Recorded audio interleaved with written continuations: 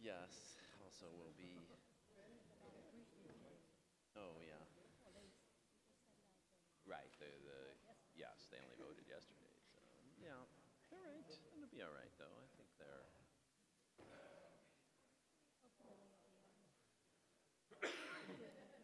Yes, yeah, yeah, I think it's gonna be fine, I mean, the, the, the, the, the steps, the, the acts of the play are predictable. We don't, we don't know what it's like.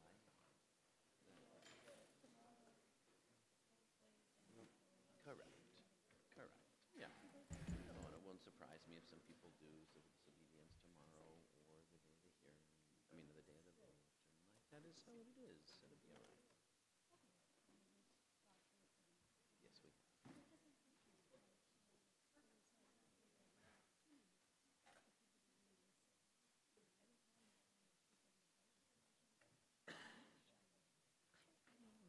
It's true, that's true. And yet, I feel like the process overall has actually been like, if you think of this as a process that started.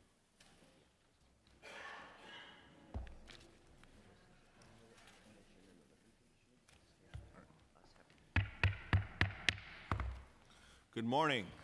My name is Rafael Espinal. I am the chair of the Committee on Consumer Affairs and Business Licensing.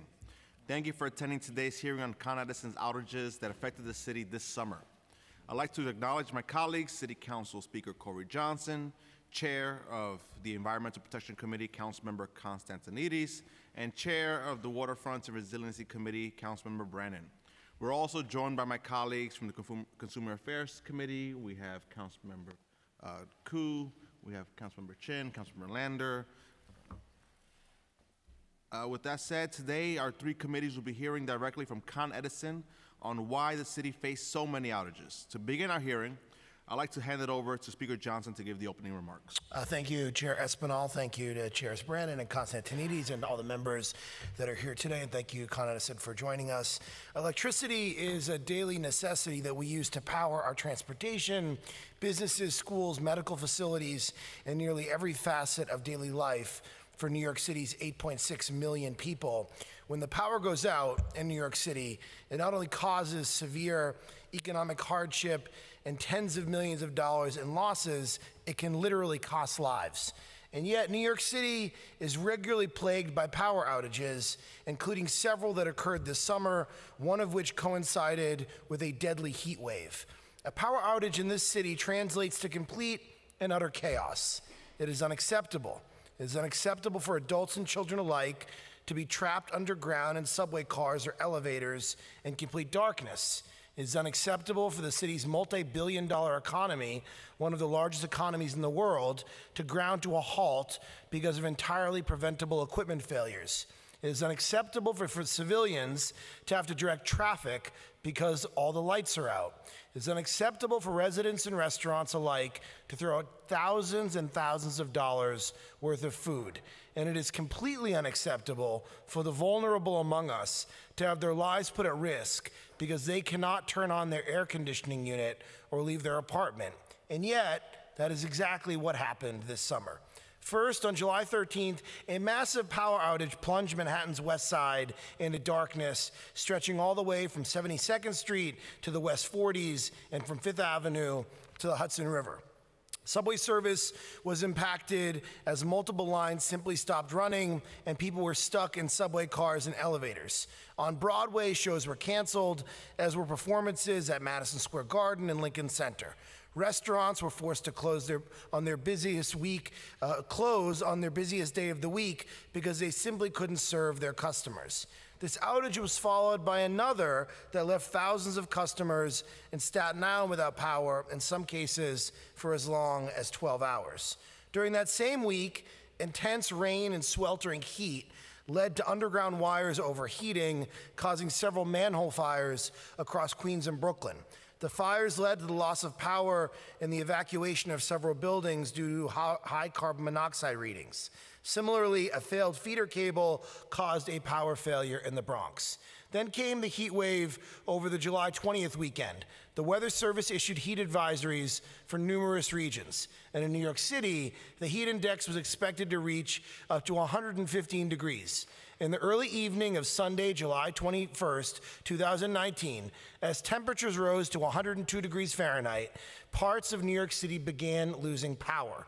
The worst hit boroughs were Queens and Brooklyn, although outages were also reported in Manhattan, the Bronx, and on Staten Island. Yet prior to the heat wave, the president of Con Edison, Tim Cawley, reassured, I don't know where he is today, reassured New Yorkers that Con Ed was, quote, ready for what the heat would bring. Ready for what the heat will bring, he said. According to Mr. Cawley, Con Ed had learned from previous peak demand events and they were fully prepared, he said. During his press conference, Mr. Cawley stated that Con Ed, quote, basically spends a full year preparing for the high demand that summer brings, end quote. And over the past year, they invested $1.5 billion in their energy delivery systems. Unfortunately, for us, for many New Yorkers, for the city, Mr. Cawley grossly overestimated Con Ed's capabilities.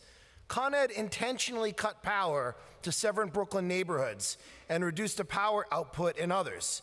On the hottest day of the year, Con Ed uh, cut power to 30,000 customers in Canarsie, Mill Basin, and Flatbush, and reduced voltage in Prospect Lefferts Gardens, Prospect Heights, Flatlands, Bergen Beach, and Georgetown. Of these neighborhoods, Canarsie and Flatlands rank four out of five on the city's heat vulnerability index, making these neighborhoods especially at risk during and after extreme heat events. Canarsie and Flatlands are majority black and immigrant neighborhoods. And although African Americans make up less than a quarter of New York City's population as a whole, they accounted for almost half of the 100 or more heat fatalities each year in the city between 2000 and 2012. Indeed, of those affected by the recent outages in Brooklyn, 63% were black. New Yorkers pay some of the highest prices for electricity. 43% more than the national average, to be exact. And these rates are only expected to go up as Con Ed is currently seeking a rate increase of 8.6% and 14.5% for electricity and gas, respectively. These are shocking numbers. And yet, somehow, Con Ed has been able to pay out increased dividends to shareholders for 45 consecutive years. It is the only utility on the S&P 500 Dividend Aristocrats Index that has been able to do that. I think New Yorkers are getting a raw deal. We pay more for, electrical, for, for an electrical power system that is poorly maintained and fails frequently. With the realities of climate change upon us, New Yorkers need a public utility that not only can meet our current needs, but can withstand a future that will likely be fraught with more frequent storms, heat waves, and other extreme weather events. We are here today to hear directly from Con Ed. We want to know why their confident predictions about the grid's ability to meet demand were completely erroneous. We also want to know what the company is doing to address system, systemic infrastructure problems in our electrical power system. We need to hear today what steps Con Ed is taking to invest in research and de- design solutions that will ensure our power system is reliable, affordable, resilient to climate change, and accommodating to new renewable energy sources. I look forward to receiving a comprehensive and thorough response from Con Ed this morning. I want to thank you uh, for all the members that are here today, again to the chairs, and I now pass it back over to the chair of our Consumer and Businesses Licensing Committee, Council Member and Chair Rafael Espinal. Thank you, Mr. Speaker. As highlighted by the Speaker, despite all of the techno technological advancements in recent years, particularly in the renewable energy sector, power outages still seem to be common occurrences in major urban cities. It is confounding to me that in 2019, New York City, with its, with its multi billion dollar economy, is still being grounded to a halt by what appear to be entirely avoidable equipment failures. More concerning is that these outages repeatedly occur during extreme weather events, particularly during heat waves. Losing power during hot spells poses a serious threat to people's lives. Across the country, more people die from heat waves each year than from all other extreme weather events combined. With an average temperatures increasing each year, reliable access to cooling devices is essential. Across the five boroughs, the neighborhoods particularly vulnerable to heat stress are home to black and brown communities. I'm particularly concerned about the intentional outages that occurred in southeast Brooklyn, which, which covers areas in or near my district.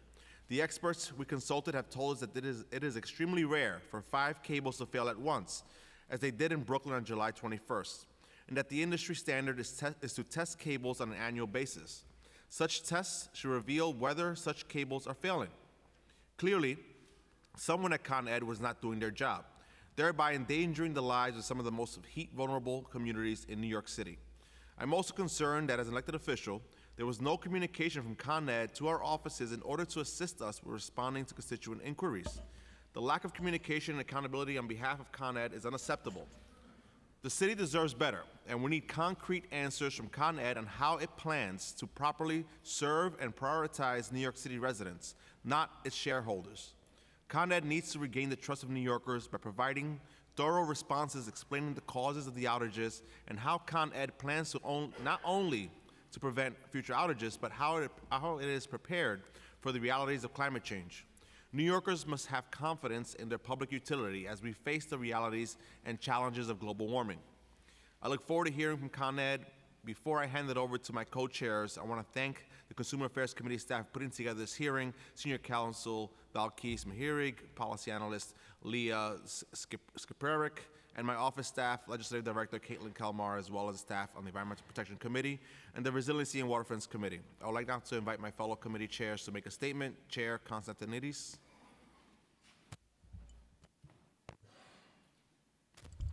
Good morning. Thank you, Chair Espinal. Thank you, Speaker Johnson, and, and my colleague, uh, Chair Brannan, as well. Uh, my name is Costa Constantinides. I'm Chair of the Environmental Protection Committee, and you know, I'm glad to be joining this hearing on the service outages this summer. Um, despite the remarkable profits noted by our speaker uh, this morning, Con Edison explicitly mentions the desire for an even higher rate of return on equity as part of the reason they're requesting additional rate increases beyond what are some of the most highest in the nation. Ed charges ratepayers for membership in trade associations, trade associations that directly fund the American Legislative Exchange Council, or ALEC, anti climate science lobbying efforts across the nation. And all the while, our city's electrical grid continues to rot. The speaker talked about the outages in Manhattan and Brooklyn and Queens. I know in my particular district, uh, I take umbrage with Con Edison calling me this past week asking to follow up about this hearing, and yet could not get me on. I could not get anyone from Con Edison consistently on the phone during the outages in my community. Uh, in real time, I would have to get phone calls from constituents letting me know that they were out. And then I would get a phone call from Con Edison saying, well, they'll be back on by end of day. End of day is not a good estimate, and end of day doesn't help those business owners. End of day doesn't help those constituents who need to have relief. Uh, in view of the bl- recent blackouts and impacts of climate change, reliability of our electricity system is a key concern for New Yorkers.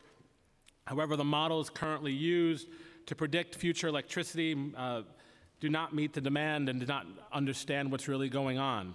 The New York, City, the New York ISO does not consider social justice concerns, including the, the continued use of fossil fuels and the resultant poor air quality. The fossil fuel plants that the ISO runs, for 15% of the time, do not address New York City's need uh, for clean energy mandates. Uh, battery storage could be cleaner and more effective than the new gas peaker plants. There are plenty of things that we need to do better and move to renewable energy future. Uh, New York City, as the largest city in the United States, can act as a global leader by both converting to an ecologically, socially, and an, econ- an economic, uh, economically regenerative and economic, eh, economy expeditiously, and by leading a transition to renewable energy generation and battery storage. But we cannot rely on this old business model. While scientists expect the Earth to be warmer 100 years from now than it is today, and every year it's been warmer, and last year it rained more than we've seen in, in decades. There's a wide range in how much warming uh, the Earth will experience. The choices we make now matter. We need to transition to renewable energy, and we need to have a, a power supplier that is worried less about profits and more about the people that they serve. And frankly, I join uh, with many of my colleagues who, who say that if, uh, if Con Edison's not up for the job, then we need to find someone else. So I want to thank our committee staff uh, Samara Swanston, our counsel, policy analysts Nadia Johnson and Ricky Chola, financial analyst Jonathan Seltzer, my legislative director and counsel Nicholas Wazowski, along with the staff of the Consumer Affairs and Resiliency Committee for their hard work. Thank you. Thank you, Constantinides. Up next, I want to call uh, Chairman Justin Brannan. Thank you, Chair Espinal. Uh, I join Speaker Johnson in welcoming you to this joint oversight hearing to discuss uh, Con Ed's summer 2019 power outages. My name is Justin Brannan. I have the privilege of chairing the Committee on Resiliency and Waterfronts. Uh, I want to again extend my thanks to the Speaker, Councilmember Espinal, who chairs the Committee on Consumer Affairs, and Const, uh, Councilmember Constantinides, who chairs the Committee on Environmental Protection. July uh, 2019 was the hottest month ever recorded in human history. Because of climate change, temperatures have been rising more rapidly over the past century, and New York City is expected to experience more frequent and longer lasting heat waves. By 2050, the frequency of heat waves is expected to triple.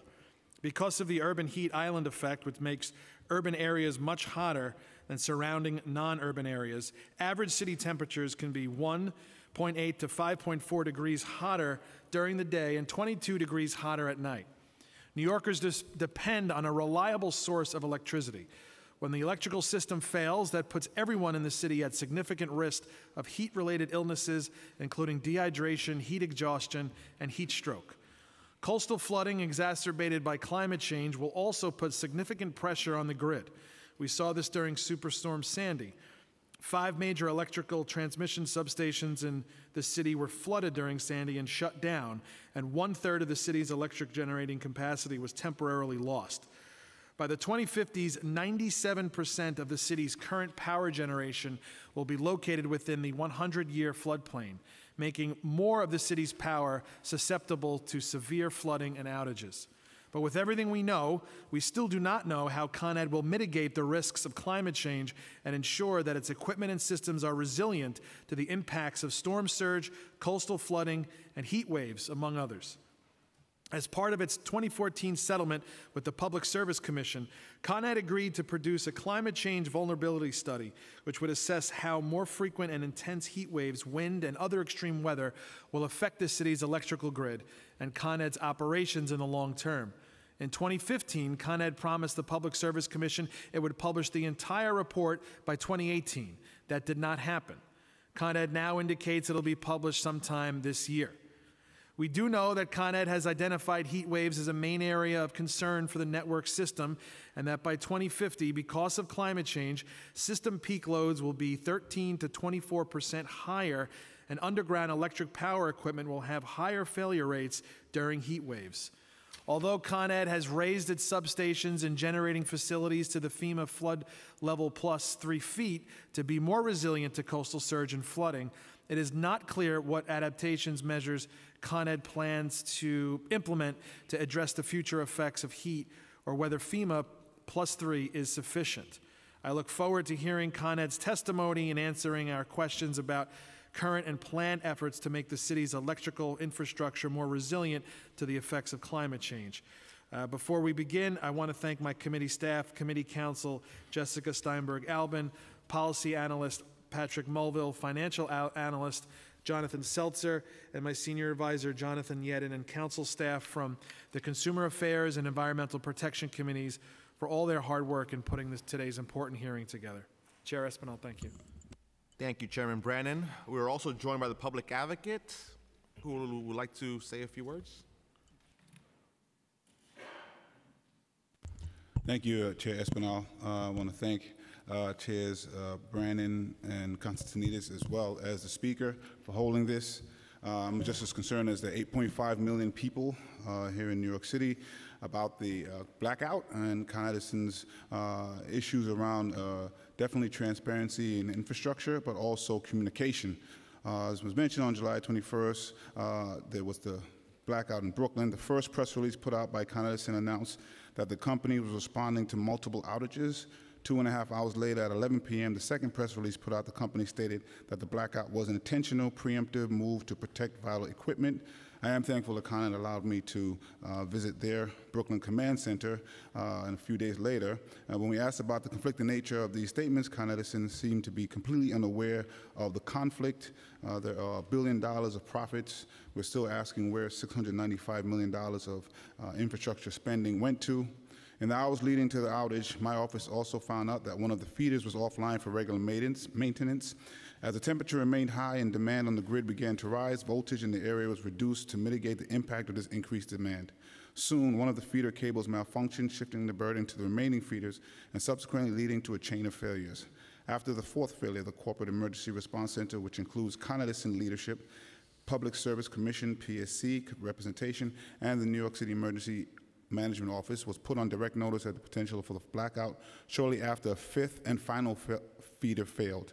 My office was informed that after this moment, Con Edison leadership had approximately five minutes to make the call to depower the grid to prevent a power cat- catastrophic outage.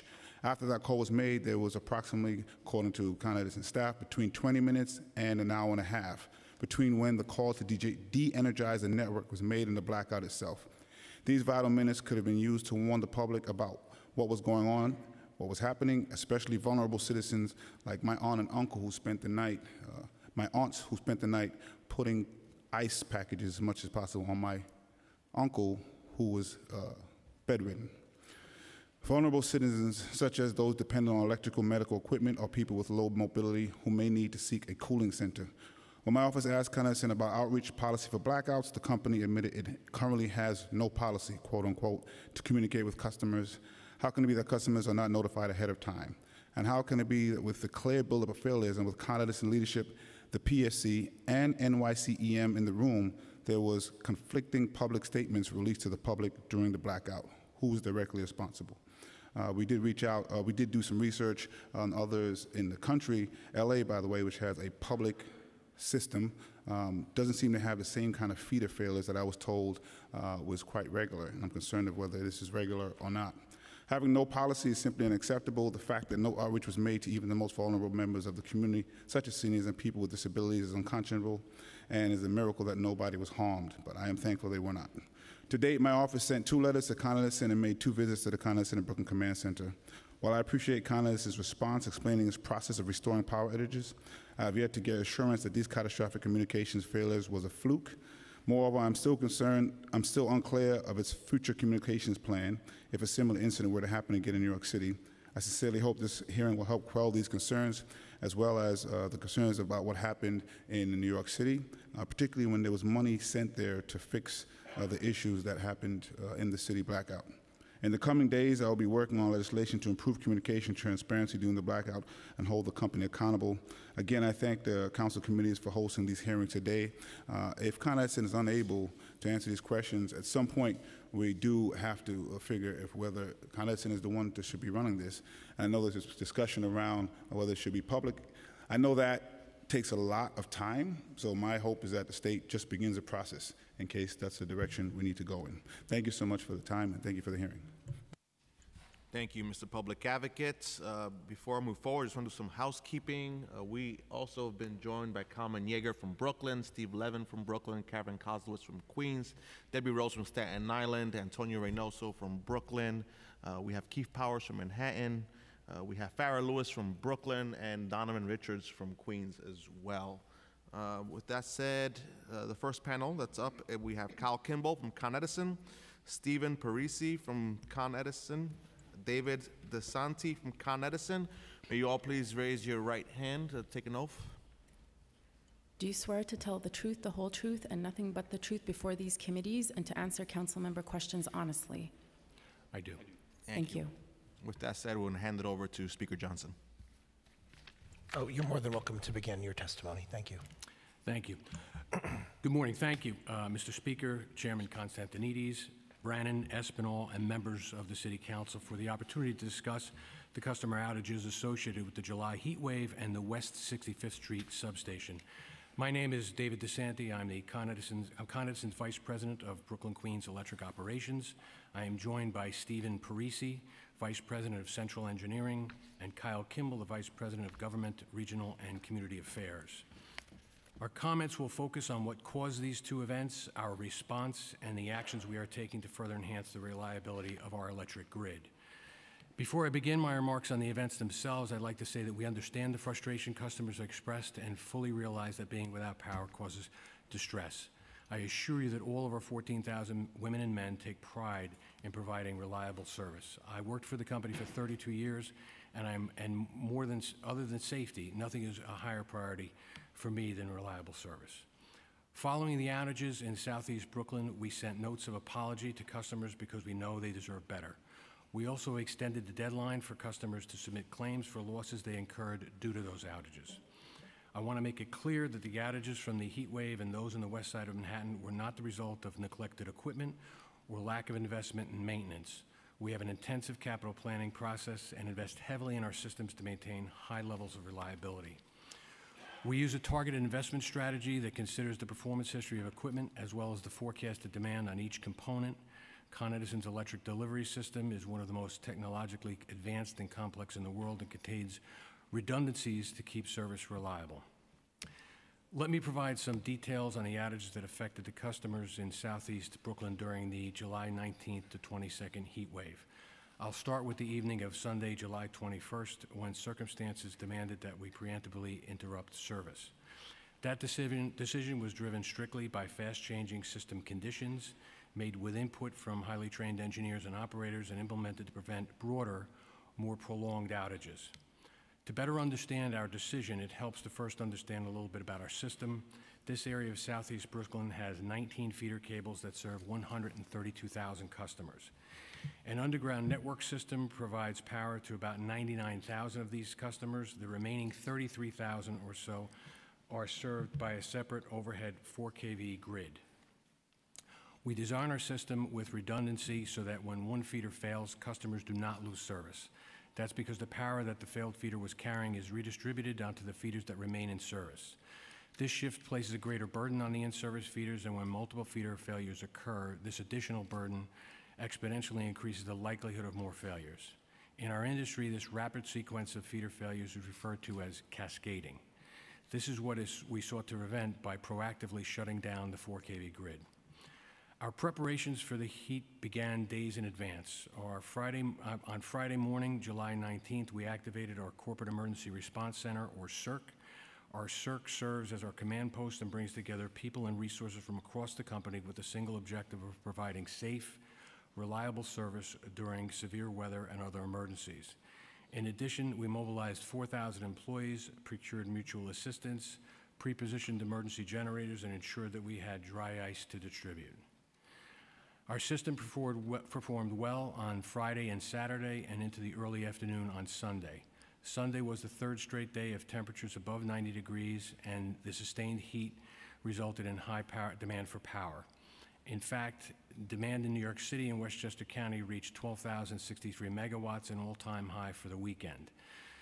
Because the heat wave spanned the weekend, the demand was particularly heavy in residential areas such as southeast Brooklyn.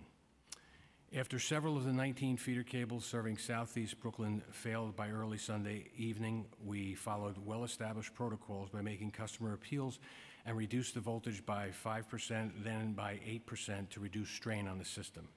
Despite these measures, additional feeder cables serving the southeast Brooklyn grid began to fail in relatively rapid succession, and ultimately six of the 19 feeders failed. The network normally served by 19 feeders was now being served by 13, each of which was heavily loaded due to the high demand inherently, inherently associated with the heat wave and the demand that shifted from the failed feeders. It was clear that allowing the grid to run with the six feeders out of service would result in cascading failures, extensive equipment damage, and broader prolonged outages. As a result, at 7.32 p.m., we preemptively interrupted service to 30,000 customers in the 4 kV grid, affecting people in the neighborhoods of Canarsie, Flatlands, Mill Basin, Old Mill Basin, Bergen Beach, Georgetown, and Marine Park. Because conditions were dynamic and events were moving so quickly, there was not time for us to alert customers before the shutdown of the equipment. The decision and the actual shutdown took place within minutes of each other. We made the decision in the presence of representatives of New York City Emergency Management who were embedded in our CERC giving them a real-time flow of information as to what was taking place and how we were responding. We understand the importance of communicating with customers and are working with agencies, including NYC Emergency Management, on ways to improve our communication during outages. Our decision to preemptively interrupt customers was correct for several reasons. The analysis by our engineers and operators made it clear that if we took no action, additional equipment was going to fail. It would have taken longer to repair and more extensive dam- and, and resulted in more extensive damage, meaning customers would have been without power for longer. Our action also prevented more widespread impact as service interruptions would have reached an additional 99,000 customers in Crown Heights, Prospect Heights, Prospect Lefferts Gardens, Prospect Park South, and Flatbush. It is important to note that the customers whose service was affected were going to lose power regardless. Our decision to de-energize our equipment did not cause more customers to be without power. I assure you that we fully appreciate the impact of shutting off powers to customers. We did not take this decision lightly, and we appreciate that the action had a real and significant impact on people, particularly those who are elderly or on life-sustaining equipment. We always regret having customers out of service. When customers are out of service, our crews work round the clock to make restoration. As is often the case, the heat wave was broken by severe thunder, by severe storms, which arrived late Monday afternoon, causing additional outages. By midnight Sunday, we had restored 55% of those affected by the preemptive interruption, and within 24 hours had restored service to nearly 95% of those in southeast Brooklyn affected by the Sunday outage. Customers had several ways to stay informed on the status of outages, text or phone call, and by visiting our website and outage map. We also notified elected officials and kept them appraised throughout the event, and were in regular touch with the media. Our outreach included deployment of customer service vans and personnel at Jacob Joffe Fields in Flatlands and near Seaview Park in Canarsie. We distributed dry ice at both locations and had customer assistance personnel available to provide information on outage status, give claim forms to customers, and answer questions. In meetings with elected officials since this event, we have gotten back, um, we've gotten feedback that these were not optimal locations. We will work with stakeholders to identify better sites. The events in southeast Brooklyn occurred despite our investment of more than $200 million in our grid in the area during the past decade. System-wide, we have invested more than $1 billion a year, $1 billion a year in our system since 2005, and at least 1.5 billion each year since 2015. While no utility's electric delivery system is fully immune from outages, Con Edison does strive to be as reliable as possible, and a number of metrics show we are the most reliable electric delivery company in the United States. In terms of outage frequency, we are about eight times more reliable than the average electric utility, both in New York State and nationally. Additionally, over the last five years, heat-related outages to customers served by overhead lines have declined. We seek continuous improvement. We learn from every incident and every success. New York is the greatest city in the world, and our customers deserve the most reliable electric service. We take that charge seriously. We have completed repairs to the 4KV, 4KV grid. In addition, we are finalizing plans for significant upgrades in southeast Brooklyn. These improvements will include replacing 70 sections of underground cable serving the network and 25 sections of overhead cable within the 4KV grid itself installation of new switches on the overhead and underground systems to automatically isolate faults and reduce outages and allow for faster restoration when outages do occur. And we, we intend to complete the deployment of smart meters in this area by year end. I'll now turn it over to my colleague Steve, who will talk about the outage on the west side of Manhattan. Thank you, Dave, and thank you to the council for the opportunity to speak. The outage on the west side of the evening, on the evening of July 13th was due to the incorrect operation of protective relays on transformers at a substation on West 65th Street following a fault on a 13 kV cable. Relays are the brains of our system. They make decisions in milliseconds to protect the grid when faults occur. Our first priority was to safely and quickly restore customers, so we immediately mobilized our corporate emergency response center and communicated that we would restore all customers by midnight. Uh, we met that target and restored our customers in an average of three hours and 10 minutes. We worked with New York City Emergency Management on site to keep the public up to date and on our response. Following restoration, our planners and operators began analyzing data and equipment performance. We also conducted diagnostic testing to identify the specific cause of this event. Within 48 hours, we announced preliminary findings and on July 29th, we announced our preliminary findings. We announced the root cause was an improper connection between some of the sensors and the protective relays at the West 65th Street substation. This connection caused the protective relays to improperly shut down transmission feeders supplied from the West 49th Street station to West 65th and several other substations that also serve the area. Since this event, we have taken preventative measures by isolating similar relay equipment at other substations, and we are analyzing and testing before they are placed back into service. Although we are confident that we have identified the root cause of the West Side outage and taken actions to prevent reoccurrence, we continue to conduct an in-depth review of the event. In addition to this ongoing review, there is an event analysis process underway with the New York Independent System Operator, the Northeast Power Coordinating Council, and the North American Electric Reliability Corporation. Also, we are providing information to the New York State Public Service Commission in its investigation of this outage. In closing, I'd like to again emphasize our commitment to safety and reliability. We back that commitment with strategic capital planning and robust investment in our energy systems. The events in southeast Brooklyn and on the west side of Manhattan happened because, despite our strategic targeted investments, our system is not perfect. They did not occur because of neglected infrastructure or a lack of maintenance or investment. Our decision to interrupt service in the southeast Brooklyn on the evening of July 21st, while understandably frustrating for customers and puzzling to some, was due to the system conditions and not any other factor. We remain convinced that it helped avoid a large-scale outage that would have stretched on for several days. That concludes our prepared remarks, and we'll be happy to answer any questions you may have. Uh, Thank you all for being here. I'm going to start with uh, some questions. Uh, In the lead up to the heatwave weekend, uh, as I mentioned in my opening statement, your president, Tim Cawley, assured reporters that Con Ed was, quote, "ready for what the heat will bring." In retrospect, this was clearly a mischaracterization of the situation. Can you explain why he mischaracterized the situation? Yes, uh, I wouldn't say he mischaracterized the situation. Uh, You think you were ready? We, we were, yes. So that's what ready looks like? The outcomes are the outcomes, sir. We, we do everything we can to get ready. Uh, I would refer you, you talk about our reliability. I would refer you to the chart on the, on the last page of the handout, and it, and it discusses our reliability with regard to our peer group. If you look at, if you look at the chart, it references uh, outages um, across the, uh, the nation in different uh, service territories.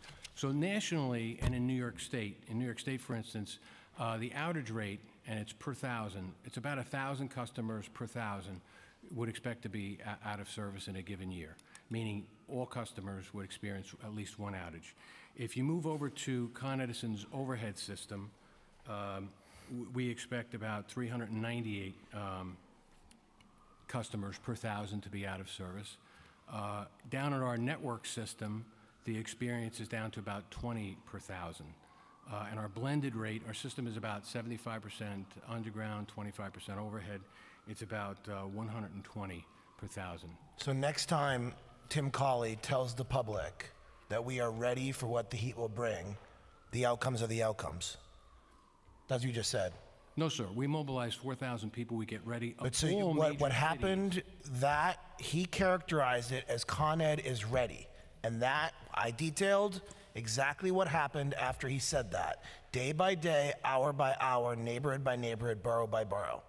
So it- do you think that the public should feel assured that when your president stands up in front of reporters and says, we are ready for this weekend, and then that's what happens, that the public should feel safe and assured by the top official from Con Edison giving them th- that assurance ahead of time? I think if you look at the reliability statistics, the idea, so we do, uh, we do two things. One, every year we do an extensive capital planning process to get ready for the summer. So you take the lessons learned from the, the previous summer, you make investments in the system to deal with whatever issues arose. If you have areas that had multiple outages, you go in and figure out um, what you need to do differently in those different neighborhoods. And so when someone says we are ready, that's based on one, everything we identified in the previous year that needed to be done in the capital in the capital uh, project process, and we completed all those repairs, made any uh, re- re- resiliency investments we needed to make based on uh, our our capital plan. And then, of course, if you look at the reliability statistics, you know, if you are in the network system, the chances of you being interrupted are very, very low. Um, and they are higher in the overhead system, but still relatively low compared to the state and the national average. So the idea is when someone says that we are prepared, it means that the best we can see based on the information that we have, we have done what we needed to do to get ready for this system. It doesn't mean the system is foolproof. Did he say that? The way you just explained it, did he say that to the public ahead of time? Did he explain it that way? I, I'm sorry, I wasn't. I, I'm just taking the words that you're quoting. No, no, I'm, I'm, But I'm- I'm the way you just explain explained it, giving that context to the public and uh, putting on uh, some conditions, I don't think Cawley explained it that way.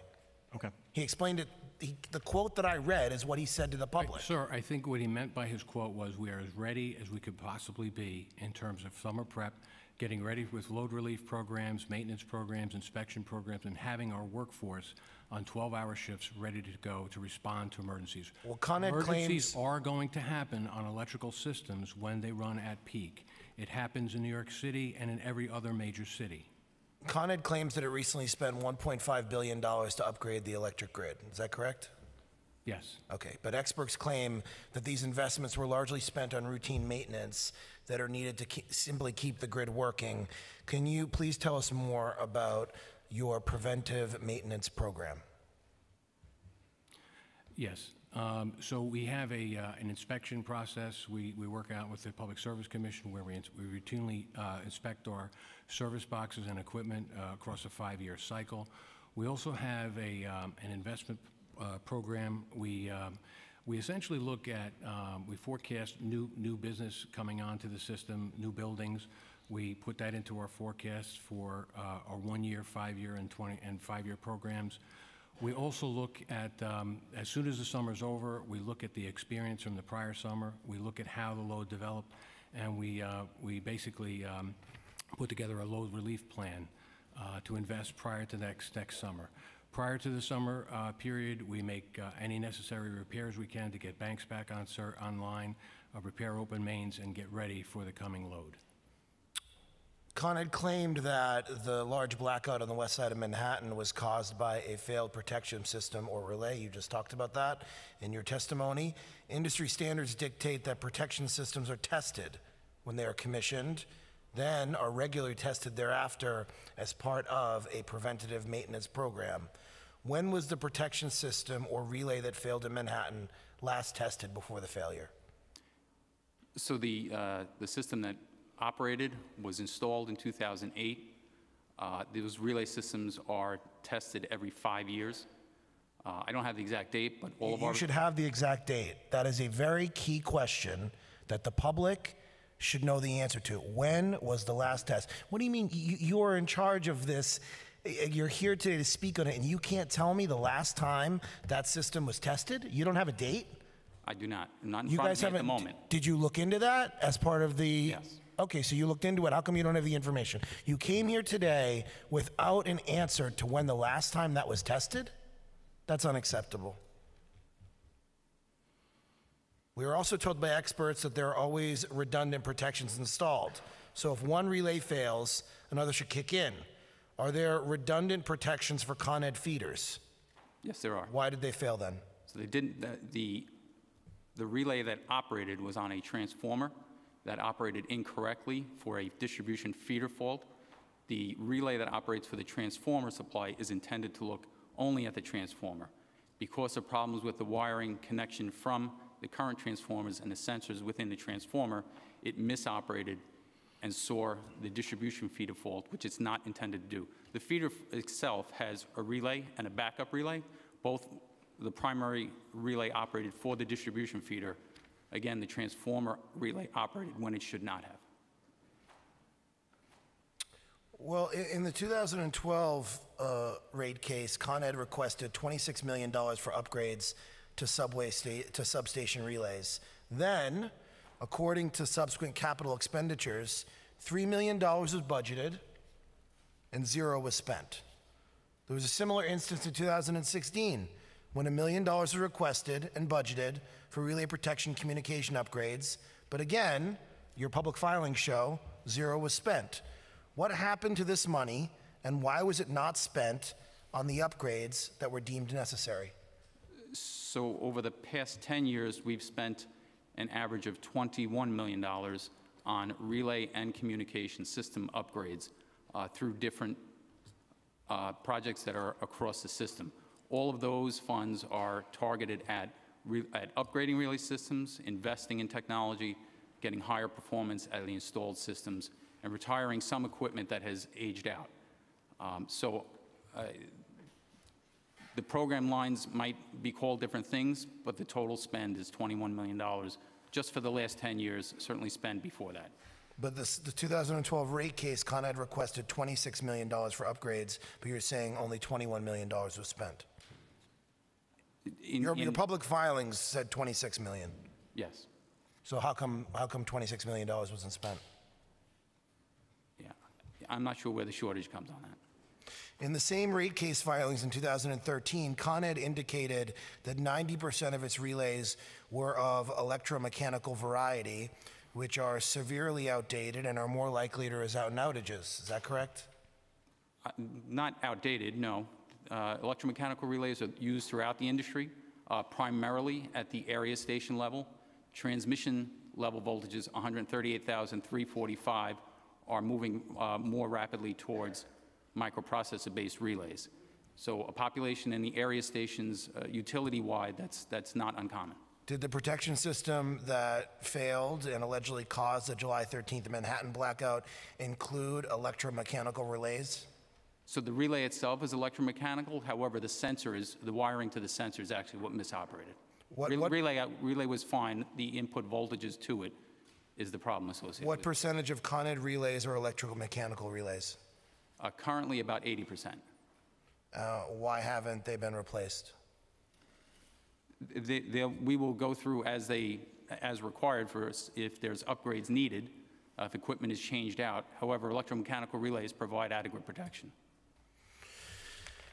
So, uh, industry standard dictates that cables should be tested regularly. An insulation test would normally indicate whether there are signs of degradation in a cable. Uh, in an interview, Mr. Cawley stated that the five cables that failed in Brooklyn, leading to the outages during the July 20th heat wave weekend, Experts tell us it's very rare for five cables to fail at once. It is more likely that Con Ed failed to conduct its regular testing or ignored the results in such tests. When were those cables last tested? And what were the results of those tests? The So- cables that failed. Yeah, so um, there's a, there's tests in the industry that are done occasionally with high pots. We conduct high pot testing on cables uh, if they meet certain criteria when they're returned to service. Um, We don't have a, a, a, a high pot program where we take feeders out of service intentionally to, to test those feeders. Um, uh, The science surrounding that shows that it really can't uh, predict, isn't predictive of a heat-related thermal failure. Uh, So we don't do it for that, for that reason. So when was the last time those cables were tested? Um, I'd have to look at the records. of How come, came out how of come service. Con Ed comes here today So without we these don't, basic so we, answers? again, they're not tested for the purpose of, of a thermal test. It's, uh, it's only when they're under certain criteria, when they're returned to service, based on the characteristics of the fault at that time. So, so let me just give you some, some understanding of, uh, so you understand the breadth of, of the, uh, the issue here. So we have 65 uh, networks across the system, served by about 1,600 uh, feeder cables. During the three-day heat period, we lost 46 feeders, 16 of them in the uh, peak period, six of them in this one network. So it was a very concentrated failure in this one network, and it was unique. In 2008, the Public Service Commission approved funding for your energy efficiency programs. In testimony from the New York Energy Consumers Council, as part of your current rate case, your company still has more than $100 million in unspent funds that were specifically earmarked for these programs. Can you explain this discrepancy? So there could, there could be a, uh, I'm, I'm not necessarily aware of that specific discrepancy, but there could be a number of reasons um, that it doesn't necessarily mean it's not going to be spent or that it's not a priority. It's a huge priority for us. We have more money uh, in the rate case for energy efficiency. Um, I can't necessarily explain that specific discrepancy. $100 million. That was 11 years ago. 11 years ago, the PSC approved funding for your energy efficiency programs. And there is a current set-aside amount of money in unspent funds of $100 million that was earmarked for these programs 11 years ago. It would be helpful to understand So- why that is. The energy efficiency programs is typically break down into two pieces. Uh, One was where we, we work with NYSERDA and, and local program, p- folks to uh, distribute uh, LED light bulbs and so forth, which really reduce that, that, uh, that demand, that peak demand for, for power, which avoids us having to build additional plant, which can impact rates and certainly helps with the, uh, the carbon issue. Uh, The other piece of it is folks who subscribe for demand response programs, where we essentially pay them to, to turn off their equipment uh, during peak demand. Uh, We may, I, I have to look at the details, we may not have fully subscribed all those programs across that period of time. But that's not money we get to, to keep, so you understand. That's money that is directed toward that, those efforts. But it's money that could help customers. Yeah, and we, and it's, and like I said, it's not, if it's not spent, it doesn't mean that it's not a priority, that we're not continuing to spend. Um, it's a, it's a tremendous priority for us, and it's been extremely helpful in helping us meet some of the demand, particularly in Brownsville, Brooklyn, uh, where we've had a lot of success. So an, uns, an unspent balance, one, doesn't stay with us, and two, doesn't mean it's not a priority. It means for, for one reason or another, it just hasn't been spent. When And we're, or we may be under budget. When deciding which neighborhoods to cut or reduce power due during a heat wave, does Con Ed take into account the city's heat vulnerability index? No, we do not. Why Uh, not? Operators, uh, operators really have to make uh, technical decisions. We- We're not, we don't track customers by demographics. Uh, We, we really have to look uh, purely at the, the, uh, the engineering behind it and uh, make decisions based on, on that factual analysis. Are there some neighborhoods that have, have a higher concentration of older equipment? It's hard to say. We, we have a robust investment plan. This network in particular, uh, of the 65 networks I mentioned, um, if you look at the, the assets we've directed at it, it ranks eighth in, in spending in the last 10 years. So we have directed quite a bit of, uh, of capital dollars and maintenance dollars to this network. No, but that's a simple question. Are there some neighborhoods that have a higher concentration of older equipment? That you should know that. Well, yes, but it's, it's, yes. So what are those neighborhoods? I would say, I don't know off the top of my hand. It- A lot of it would be, would So look all at- the questions that you don't know today, So let me that, are, give you- that, that can are I give- basic questions you should know, and we expect answers to. And I hope that today, given these are basic questions, these are not complicated questions. that's a pretty that Con Ed will come back to us later this afternoon with a written response of these questions that you've been unable to answer at this public setting, given that uh, 8.6 million people uh, rely on you all. Okay, so um, how does uh, prioritize where to upgrade equipment? We, we have a, a, uh, for, for network reliability, we have a network reliability model which looks at and uh, prioritizes the assets in that, um, um, in, in that particular network, looks at the reliability data on all of the uh, cable and equipment. The underground um, system in Con Edison is quite large. It, it incorporates uh, 96,000 miles of uh, secondary and primary cables. Uh, We have characteristics, performance characteristics on all of it. We look at, uh, as I said, we look at new business load growth, we look at uh, demand um, that's moving around on the system, and we prepare a, uh, a- a- an investment plan to meet that.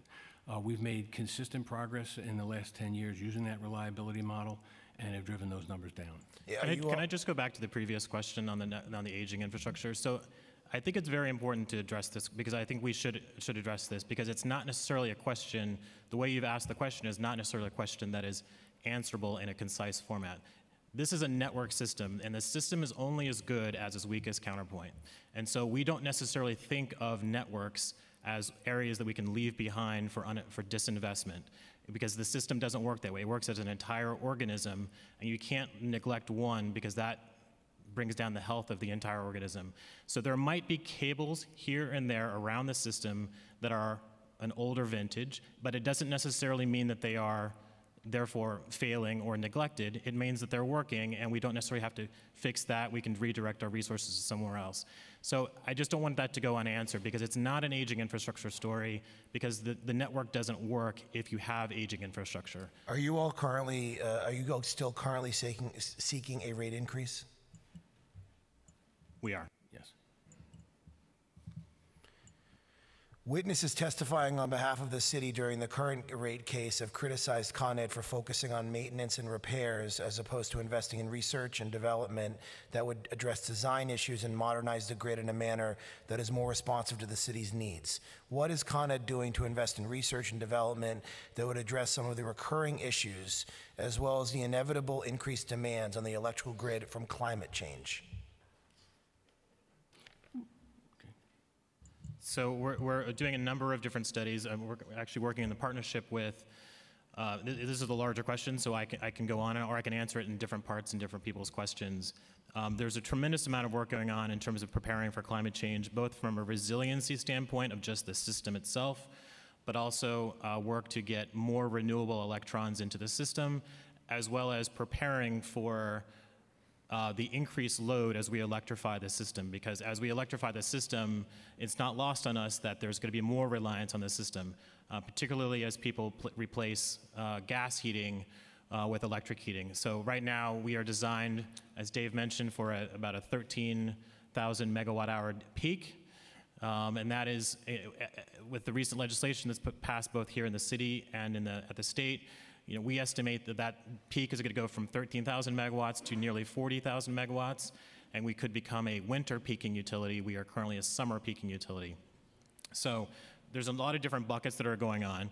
In, in, on, the, on the issue of resiliency, we are working very closely on the, uh, the climate vulnerability study that should be released, uh, as Councilmember Brannan mentioned, at the end of this year. Um, that, that's something that's being discussed now and finalized. We're also working in, this, in the second category of preparations with um, the electric system itself.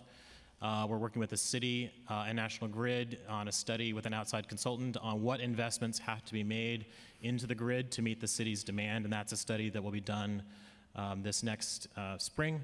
And then thirdly, there's a study coming out, and we're happy to brief, and all of these we're happy to sit with the council and brief staff, the council members, about the findings, because I think this is a very important conversation for us, um, this resiliency and, and preparation conversation, is there's a, a, study we're doing with the uh, Energy um, Electric Reliability Institute um, that is focused on the technologies that, that are still needed. So one of the biggest problems is as we move to this renewable future is there are some still pretty significant technological gaps in terms of how people are actually going to be able to take te- technologies into their homes and replace uh, uh, fossil fuel fossil fuel heating uh, with renewable heating, and so heat pumps and that sort of thing. But there's still some technological gaps. So we're working with, uh, we funded a study with EPRI um, that is looking at what are the technolo- technology gaps that consumers are going to, that we need to overcome in order to have wide-scale electrification. So there's a number of different things going on in those three different categories that I could continue going on.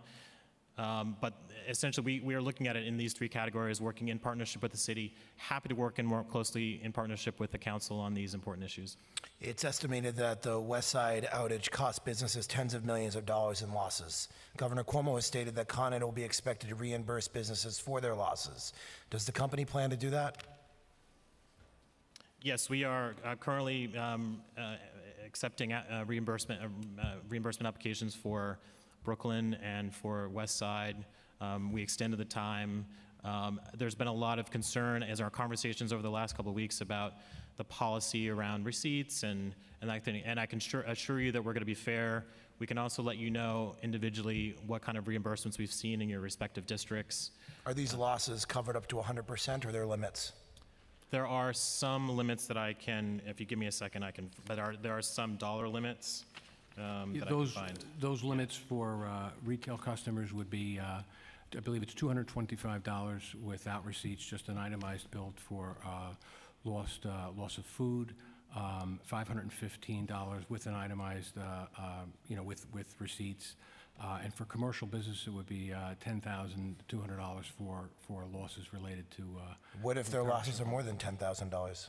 Um, for like lost business, no, we don't, we don't cover that. Well, that's really bad for those small businesses. We, we al- also, un- we understand that frustration, we understand the impact. you think that's fair? So, we don't guarantee service, But do right? you think that's fair? We don't guarantee service. But do you think that's fair? The reimbursement policy is something we worked in close, so this is a f- function of the tariff we've set, that we've negotiated with uh, the PSC. Um, So wh- whether or not it's fair, I guess it's more that that's, is- this is what we're allowed. You think it's to- adequate? I, for the for the business that is not able to that needs have ten thousand dollars, no. I love more than ten thousand dollars. I'm sure it's not. Uh, why do New Yorkers pay some of the highest rates nationally, 43% than the national average, higher than the national average? So, so the infrastructure and uh, the, the, what we have in, uh, in the, in the uh, inner city is really quite capital intensive. Uh, no one else has a network system uh, like Con Edison's. It requires significant capital investment. Um, and to do work and conduct any sort of work in the city is expensive. It's an expensive place to operate. It's an expensive place to uh, provide service. Con Ed has been reporting increased dividends for shareholders for the last 45 years consecutively. How is it possible with all the money needed? How is that possible with all of the money that's needed uh, on an aging infrastructure grid? So, so the money we direct, in fact, the, the rate increase we're asking for is, is not, not money to put in our pockets, it's, it's money to invest in the system. And we work with the Public Service Commission and other stakeholders on a plan, an investment plan, um, so that we can, we can effectively uh, provide uh, resilient, reliable. But you already have plenty of money. You're, you're giving big dividends to your shareholders year after year. You're the only, We've, pro- we've the provi- only We've provided modest, modest increases in dividends to, to keep our. modest. Modest increases in dividends to keep our, our stock attractive in, in the marketplace. Uh, we fund our utility uh, through stock and, and uh, borrowing, um, and that's about a 50-50 split. The, uh, the borrowing that we need to, to, to execute the capital plan, um, all that borrowing, the interest rates does, does go into rates. Um, and the dividends we, we pay to, pay to the equity market is to, to maintain that, that funding. Okay, I'm going to finish here. I just have a couple more questions. I to apologize to the colleagues for all these questions. In 2000, in the 2013 rate case, Con agreed to carry out an assessment of climate risks to its grid. You just spoke about that, Kyle. Part of that 2013 rate case agreement included a reporting requirement. The first report was due in 2014, and the timeline has been adjusted multiple times. However, no parts of the report have been publicly released. How many parts of the report have been completed so far? We're waiting for it's more than five years. And when do you expect it to be publicly released?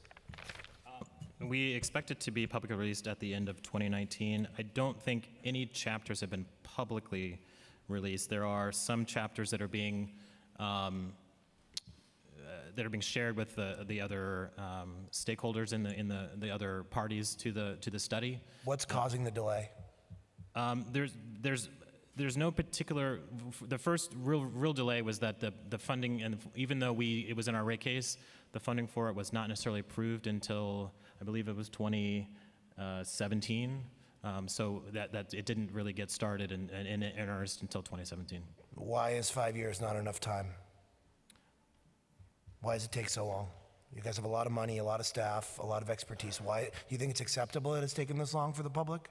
I think what's going to be good is it's very it's it's going to be a very good report that's going to address a lot of the issues, and it's also going to take into account a lot of the um, the, the changes that have happened within the last year. Historically, heat waves impact the city's electric grid more frequently and more significantly than any type of weather event. As we witnessed this past July, the number of heat waves by 2050 is expected to triple. And Con Ed projects the system peak loads by 2050 will be 13 to 24 percent higher than they currently are. What are Con Ed's plans to provide reliable service when system demand is almost 25 percent more than what we witnessed in July? And what impact will that have on the rates that customers pay? We continue to invest in the system. We have a, a one, five, and 20-year uh, look-ahead plan. Um, we, we hope to be informed by the, the study, which will tell us what's, what's ahead with regard to electrification. Um, we think that will force, that will drive uh, continued investment in the system. We may at some point become a, a winter peaking utility. Um, We also intend, our, our design criteria for our system um, incorporates what we call an 86 TV, which is our combined, uh, it- it's really a combined of the humidity and temperature at that time. It's about a, about a 100 degree uh, temperature um, index. Um, And, and we're going to do a sensitivity study and see what that would look like if it went up a degree to 87. The experience in this heat wave was 86.9. We were, we, we were above design, and in fact, the load in some of our networks was slightly above forecast as related to that. Um, That, that study, we'll, we'll talk about and point toward that, that continued capital investment. At that point, we would, we would talk with, uh, speak with our regulators and, and other stakeholders about the, uh, the best use for marginal dollars. Is it, is the idea to invest heavier in, in our system, or should we pursue, pursue alternatives such as uh, further investments in uh, energy efficiency and demand-side management? Uh, I, I think, is a very opaque organization. Very, you know, there's not much transparency. You can't glean much from the public filings. We have to rely upon the testimony that's presented to us here today, or the testimony that Tim Cawley gave yesterday to our state colleagues, or to what you all say in public. And I don't feel like anything that's happened since the initial blackout in the middle of July has given much confidence to the public or to elected officials. Uh, we, I feel like there is a lot of platitudes. I feel like there is a lot of technical uh, language that's used that the public doesn't easily understand, that doesn't translate, that they don't have expertise in. And today, we had, I had some basic questions. My colleagues to have plenty of questions that there weren't uh, answers to. So uh, you're making a lot of money. You're providing a dividend in return to your uh, shareholders. You continue to ask for rate increases year after year after year. And then things happen, and you stand up and say, We're still very great. We're wonderful. We're doing all this good stuff. There seems to be a total mismatch, I think, potentially in the perception you have of yourself and the perception that the public has of you. And uh, I think it's important for any agency, any entity, any organization to have a candid, introspective assessment of themselves. And there has not really been uh, much level of contrition, I think. I feel like there are throwaway lines that I, that I read uh, in testimony that I heard today, that I saw from Mr. Cawley in the aftermath. If I were you, I would be saying, I am so effing sorry for what happened. I am so, this is embarrassing. I am, this is terrible. We know that there are people in nursing homes and on ventilators and people that don't have air conditioning and businesses that are losing money. And we are sorry. I don't hear that. There's not that enthusiasm or that exuberance or that passion in what's been said. Tim Cawley should be here today. I don't know why he's not here. He went yesterday. He should come here. I'm very disappointed he's not here. But anyone who's a public representative should be saying that. The governor is outraged and saying what has he said about Con Ed, that you don't have a right to your license to operate in the state. Hearing elected officials and the public over and over again talk about what happened.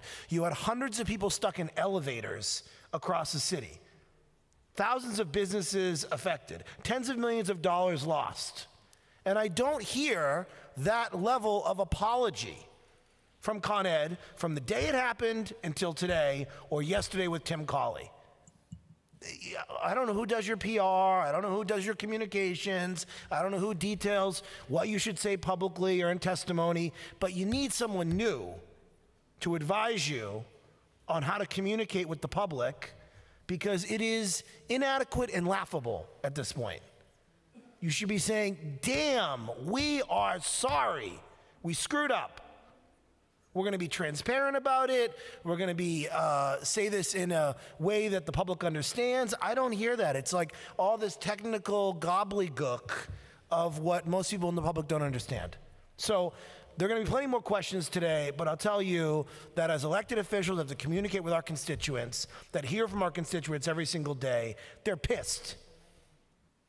They're unhappy, not just with what happened on the days the blackout happened, but they're unhappy with your communication since then and with how you communicate with them via the press and publicly. That is another big aspect of this, and it's one that I think they should seek to change as quickly as possible. Just one, um, we have, I think there's one outstanding, if I calculate, there's one outstanding question, which was when was the uh, relay inspected uh, in the west side? And so I think Steve has an answer on that. Yeah, so as I mentioned, relays are inspected every five years. I mentioned that it was installed in 2008. These systems that misoperated, well, three of them, uh, were inspected 2014, 15, and 16. So just as a piece of information. So it had been a while. The- On cycle, inspected on cycle. Yeah, but it's still been a while. Every five Might be years. on cycle, but it's still been a while. Every five years. Thank you. Chair. Thank you, Speaker Johnson, uh, for your intensive questioning. Uh, I think we got all- through a lot of uh, the important questions that need to be asked, but I'm going to drill uh, a a little deeper. Um, Can you explain specifically to the public on why you are seeking a rate increase of 8.6% from consumers? And what type of analysis is involved in that calculation? Uh, That's across, again, that, that rate increase is, uh, we're- looking for a three-year, that's a three-year rate increase we're, we're looking for. And we work with the Public Service Commission um, and stakeholders when we present that plan. And essentially, it's, it's our analysis of what we need to invest to assure reliable uh, service to customers, also incorporating needed expansion, load relief, and also to bring um, new customers online. The city is growing. You see uh, cranes up all over the city, in Brooklyn and Manhattan, uh, still vibrant growth in the city.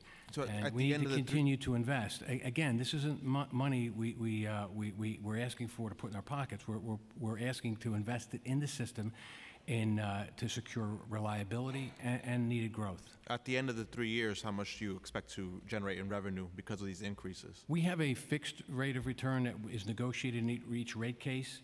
Um, It's, it tip, I can't speak about the rate case right now because it's in proc- process, but typically that floats around 9%. It's based Now, out of, out of the, and correct me if I'm wrong, out of the $1.378 billion in profits that Con Ed made last year, the 9.5 million that goes to the CEO every single year, and the 84.6 million that went into dividends, how much of that is going to be reinvested back in Con Edison's uh, upgrades and management? So we spend, uh, our net income is about a billion and a half, uh, and our capital program is about a billion and a half. So they're not necessarily, it's not the same dollars, um, but it's essentially equivalent to our, our net profit, amount- the amount of money we are putting back into the system. Okay, do do you, would you, would you say that it's fair to, to uh, say that uh, consumers should, should be a little sour about the fact that their rate increases are going up while so much money is being invested in shareholders, a CEO, and overall profits? So it's just really important that, that these, the, the, the first premise is that you have to invest in a system, and it's an expensive system to invest in, given the, the, the, the urban, the density of the urban fabric that we're operating in. So whoever is, whoever is running that has to invest in the system, and they have to raise capital in the capital markets. And the way we raise capital in the capital markets is through debt, um, at around 4%, uh, and shareholders who are willing to invest their, mostly their retirement funds into um, a stable dividend-paying stock. That's sort of the, the basic idea, is that you have people who want stable dividend-paying stocks, who are looking for current income. They invest in think, infrastructure companies, and Con Edison has proven to be a good investment for that population given everything that we have to accomplish together in terms of our, our clean energy future, the, the amount of investment we're putting into the system um, is going to have to increase as we think about how to meet people's demand. And so um, that's essentially how we attract capital is are those dividends. So what that's how the city that's how this the city itself is relying on us attracting um, those shareholders and, and to accessing the debt markets to to pay for the infrastructure. What, what guarantee do you provide New Yorkers that, your customers, that the, the increase is going to go into upgrading your failing infrastructure? The, the, so I just, I just want to make, just take quick exception to the idea that it's failing infrastructure because I think the statistics show that it's, it's not failing. We have had outages and those are regrettable, but I just, I just have to just, I, I can't let that, that's, it's not about a failing infrastructure story. Uh, having said that, we negotiate these rate cases with the Public Service Commission. We're heavily regulated. Um, we propose what we want to invest in. They actually propose separately what they think we should invest in, and we come to a settlement. Um, often, so we are highly regulated on that. So they are helping us running, in, in many ways, also running our system in terms of the capital that we're investing in, but we also report back to them about what we're spending. We're, there's constant check-ins and accountability for how is that money getting spent. Uh, is it getting spent in the right way? If we're overspending, there we're, we're subject to revenue ad- re, uh, adjustments. So every step along the way, we are heavily regulated by the PSC in terms of what we're spending and how we're spending it. And so that, that's the level, that's, that is the, the basic purpose of the PSC is to provide that accountability. Yeah, in, in your testimony, I heard uh, we, we heard a lot about testing and maintenance. What what is Con Ed is doing to upgrade their systems to take us to the next to the future? Talk about renewables With regard to renewables, and renewables So- your systems, so so, two we can things, uh, make sure that it's not ailing in the future. So, so uh, we're we're very familiar with renewables. In fact, our our our corporation is the uh, second largest solar developer uh, in the United States. Uh, With regard to welcoming and incorporating renewables onto our system, um, we've got an underground system that now we- we've got an ability to uh, lock in, so to speak, our network protectors so we can accept uh, solar power into our network grid um, more easily than we've been able to in the past. And a lot of utilities, uh, those utilities that have underground facilities have- have struggled bringing, um, bringing solar power onto non-radial systems. We, we have very open access uh, for renewables. Uh, We welcome them. If you look at the regulatory um, uh, direction in the last 30 years that we've been under, it, it's really been an effort to kind of reduce uh, Con Edison from a, a vertically integrated utility where you had all of the customer operations, the sale of electricity, the production of electricity, and the transport, to reduce it um, really to what would be considered the natural monopoly, which is any enterprise that uh, uh, two people competing can't possibly do as efficiently as, as one person, right? And that paradigm for that would be a water service, right? You can't have two water pipes in a street and it's, it's more efficient than having one. Uh, So we've taken the generation assets and they've gone off to a, a, uh, a free market, so to speak. And, uh, and certainly on gas and electric, you can purchase gas and electric from uh, whoever, whoever you'd like. We really are uh, just a transport system for electric and gas. That's our main business. And uh, we, we, we're open to renewables. We're working with. them. I guess, And just, uh, I'll, I'll take, a note, just uh, uh, add, add to this question, I'll turn it to Steve. So um, on our website, there's a, uh, we just released a report in January of uh, all the, ca- the 20-year essentially capital plan that's essentially focused on, and a big part of it is focused on getting ready for uh, renewable future. And so things like grid modernization, we're going to spend, uh, you know, four to five billion dollars there. And that's es- essentially, in, in the past, the grid, uh, you get the, the electrons from Indian Point or some points west, and they come to your house um, when you turn on the, the light switch.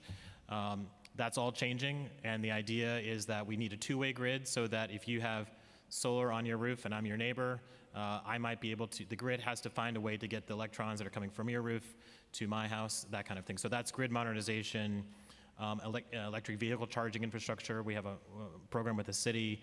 Uh, we think there's going to be, you know, uh, wide-scale adoption of electric vehicles um, pretty soon, um, but we don't have the infrastructure, so it's a bit of a chicken or the egg. So we've decided that it's the chicken, and we're doing the infrastructure, uh, and the cars will follow. Um, also looking at ways to um, make the system more self-healing so that you don't necessarily have widespread outages. This is something that's more effective on the overhead system um, that Dave and his team have spent a lot of time um, where they have overhead systems thinking about how to make the system more self-healing so that uh, when there's a tree fall, during weather events, when a tree falls or a mylar balloon or a squirrel, that you don't necessarily lose 1,000 people, you may only lose 500 because the system can automatically adjust. Um, we're looking at uh, programs around cable and manhole monitoring. So you have remote systems in manholes that can detect when there are heat issues or there's something going on in a manhole that you wouldn't necessarily know and, and, until it explodes. Um, so this is giving us early warning on issues that are happening in manholes. So these are all, and I could go on and on and on. There's a, re- a very detailed Yeah, so report on the website. Ba- back this. back to your to your customers that were affected by the power outages. Uh, you know, Con Ed often talks about the amount of customers that were affected, but we, we know that there are in many instances you have buildings uh, that can be counted as one customer with multi units. Do we have an exact number of how many New Yorkers were actually affected because of these In- power outages? So I believe in the, in the, in the uh, outages in southeast Brooklyn, the, uh, the customer count was 33,000. The impacted um, population was, I believe, 89,000. Eighty nine thousand. 89,000. The customers that, um, that were not interrupted in the Flatbush networks, were- which essentially were, uh, we prevented from going out of power with the preemptive interruption, uh, approaches um, over 300,000. Now, because of these outages, as mentioned earlier, there, we had a lot of consumers that lost, uh, you know, experienced a loss of goods. Um, you mentioned there was a rebate refund program. How many of the 89,000 in Brooklyn So- or, or across the city So, ha- well, have so far we've received, far? so far we've received about almost 3,600 um, claims, and we've already got 1,000 checks out. 3,600 claims? 3,600 claims, and we've already gotten oh, more than 1,000 checks out. Uh, Does there need to be more outreach on, on? Uh, It's on, it's on our website. Um, We'll, we'll, if you want to get it out through com- community boards or through your offices, we'd be glad to give you that information. How much have you paid out in, in Um, I exact do dollars? have that in my notes. I think it's, a- it's above a quarter of a million dollars already. A quarter That's gone million out. dollars? Right. But I, I, I'd really have to go through all the notes to get the exact number. You know, just looking at the Brooklyn numbers, having 89,000 customers, only at, only 3,600 people have applied. I think there must be some sort of communication issue uh, with your, cons- with your, with your customers. Well, I, I wouldn't know that everyone suffered that loss, because remember, the, the customers went out of lights at, at 7:32 PM, and by midnight, we had, um, we had about 55% of those customers back in service, right? So that was, not, not everyone was for, out for, for past 12 hours. And, and we're not that strict about the 12 hours with claims. We, we don't uh, have such a strict line. People should send in our claims if they had a loss. If they believe they, they lost food and they had to throw stuff out, they should, they should uh, get a claim and submit it.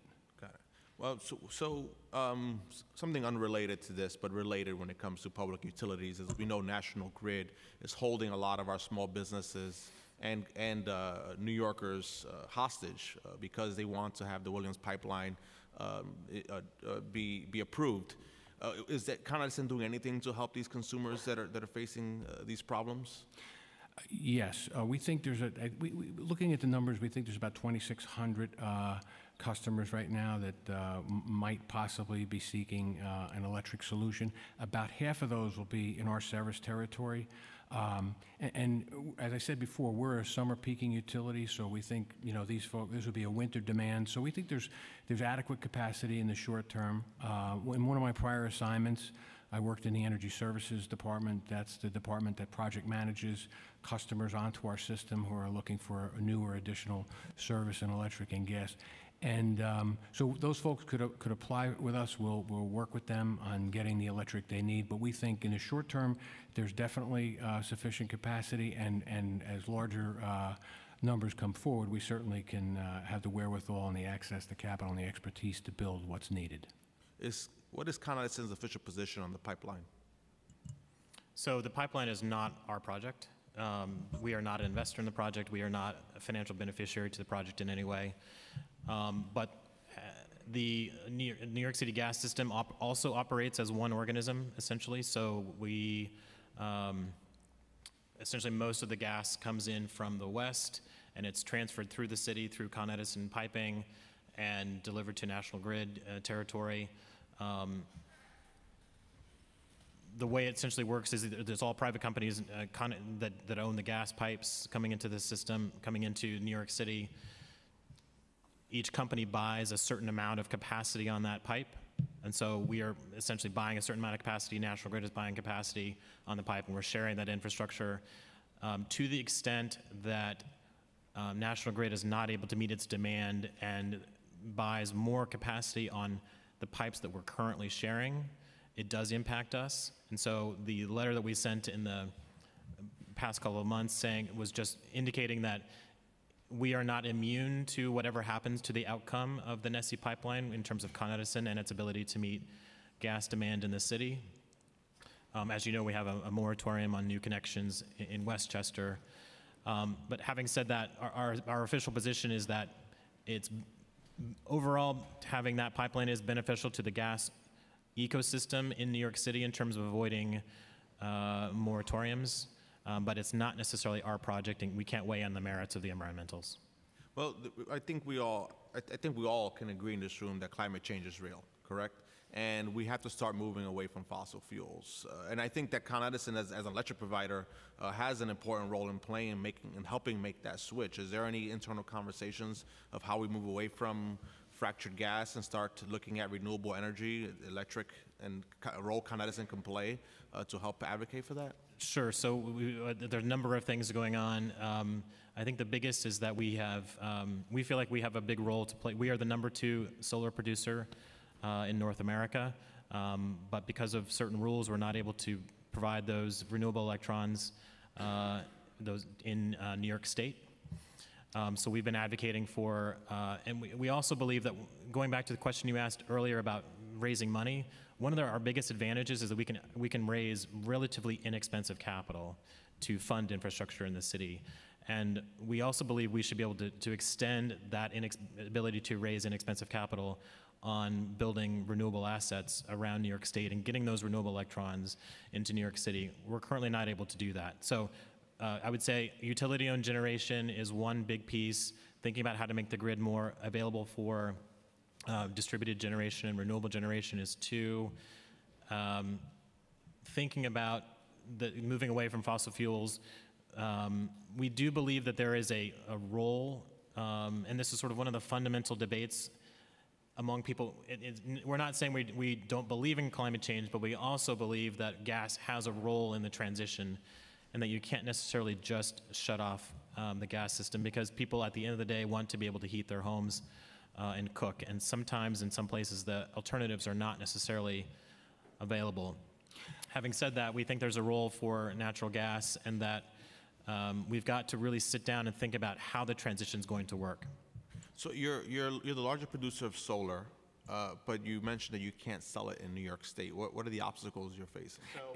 So, what, so what, I, what I mean by that is, so right now, if we wanted to go build a 1,000 megawatt solar farm in um, somewhere not in not in New York City, we would not be able to do that um, because the uh, when um, deregulation happened in the 90s, the basic idea is they split out power generation from power distribution, and so a solar farm is considered, or a wind farm is considered generation. Um, so we are not able to own generation anymore because we, because of deregulation in the 90s, and that is it's not necessarily a legislative issue. I mean, in terms of a law prohibiting it, it's a um, a conversation we have with the PSC on whether or not we should be able can be can own those assets. Right. Uh, uh, One example uh, of those assets we- we'd really like to to bring online would be community solar, right? Uh, We have certain facilities with large roof areas. We think we could fund the development of a community solar project where individual consumers who ordinarily wouldn't have access to to solar power could subscribe and be a portion, part owner in that. And we could certainly uh, fund that development through our regulated company. Beyond that, we also have an affiliate, an unregulated affiliate with our transmission company, which is now working with uh, uh, other utilities in uh, developing transmission assets that one day will support uh, the government's initiatives for offshore uh, wind projects and the, and the like, to bring, bring other renewables onto the system. All right, thank you. I'm going to pass the mic to uh, one of the other chairs.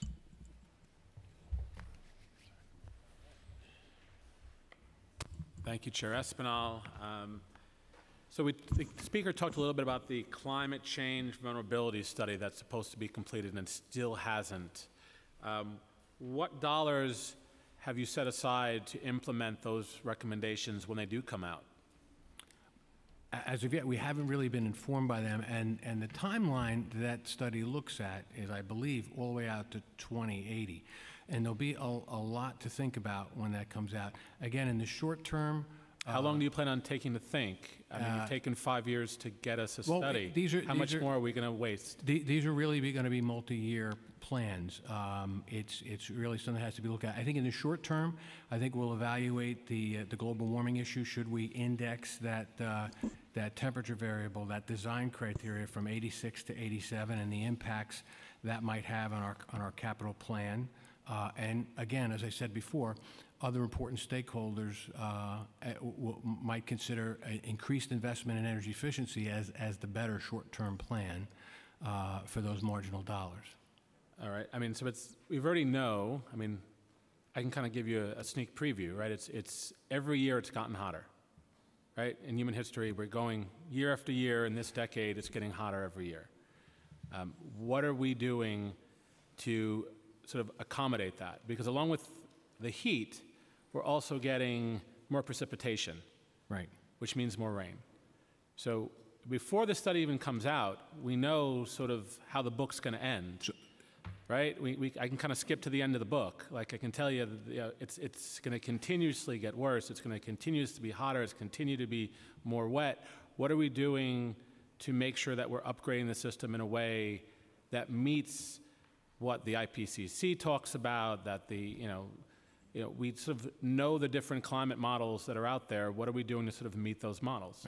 So, so as I said before, we're going to do a sensitivity analysis and take a look at what that, And how long will that take? what that, I, I would say we could have that done within a year, get, get an idea of what that impact would look like. And we Why don't get is to that make, not we don't happening get to make, sir, let me just finish. We don't, we don't get to make uh, changes in our design criteria on our own. It, it speaks to the level of investment we're allowed to make. We have to make that in company with our regulator. It's, a- it's a significant decision. And I, I, don't think it, I mean, there's a specific, there's a specific answer to your to your question, which, which Dave is giving you, and there's a broader answer was that the transition is, and we've spoken about this before. We're not necessarily.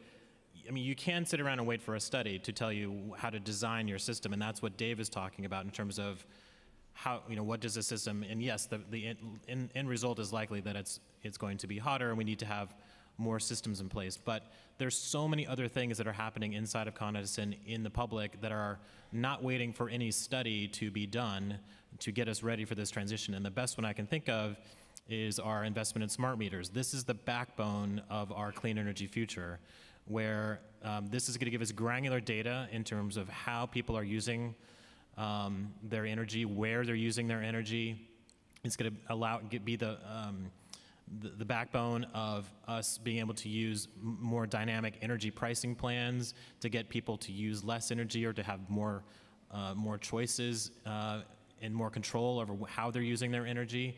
So uh, I, I wouldn't want it to be put out there that we're waiting for this study so that we can do everything. There's so many things that are happening that I could go through, but I don't want to take all your time that I appreciate mean that, that, that the, the transition is well underway inside of Con Edison. A specific example um, Kyle's talking about would be time of use rates, right? Where we can take that peak demand and uh, through pricing signals, uh, get the behavior of consumers to change where they can, they can charge vehicles, specifically set timers to charge vehicles at night, do laundry at night, things of that nature. And we can do that with smart meters. Smart meters will also give us much more granular information about load growth, which will influence our, our plans for. I, I hear a lot about smart meters. What I, what I don't understand is that there was kind of projected, um, you know, previous to this heat wave that, you know, the sort of, the, the sort of max was about 13,300 megawatts, right? Yep. And that this, this particular heat wave came in around 12,000 and some change. So we weren't at that projection, correct? Correct. Right. And yet we experienced significant outages and challenges to the system. Right. So, So I don't know how a smart meter, you, you're giving me a lot of this about the smart meters. How does, how would that sort of, we have a problem here, right? We, we Right. didn't hit where we thought we were going to hit uh, because of the demand, because of the heat, and we still saw massive outages and challenges to the system, people being sort of blacked out.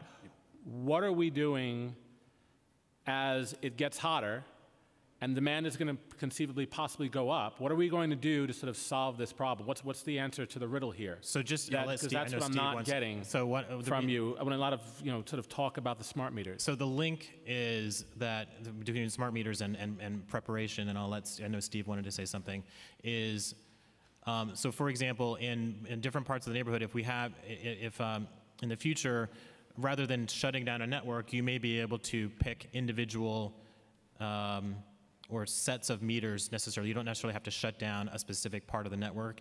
You can find load relief in shutting down specific parts um, and, and or bring them up specifically. So that's, at the end of the day, one of the issues that we're going to have to deal with as a city in terms of there's one piece which is grid investment and everything we've talked about and putting more feeders down and putting more assets into the ground, more transformers, more substations. But the other idea is that people at the end of the day need to just be able to have the tools to use energy more smartly. And and so and that's going to be a big part of the solution in in those hottest days is that people have the ability to control. Right now in your home you're either either your air conditioner is on or off.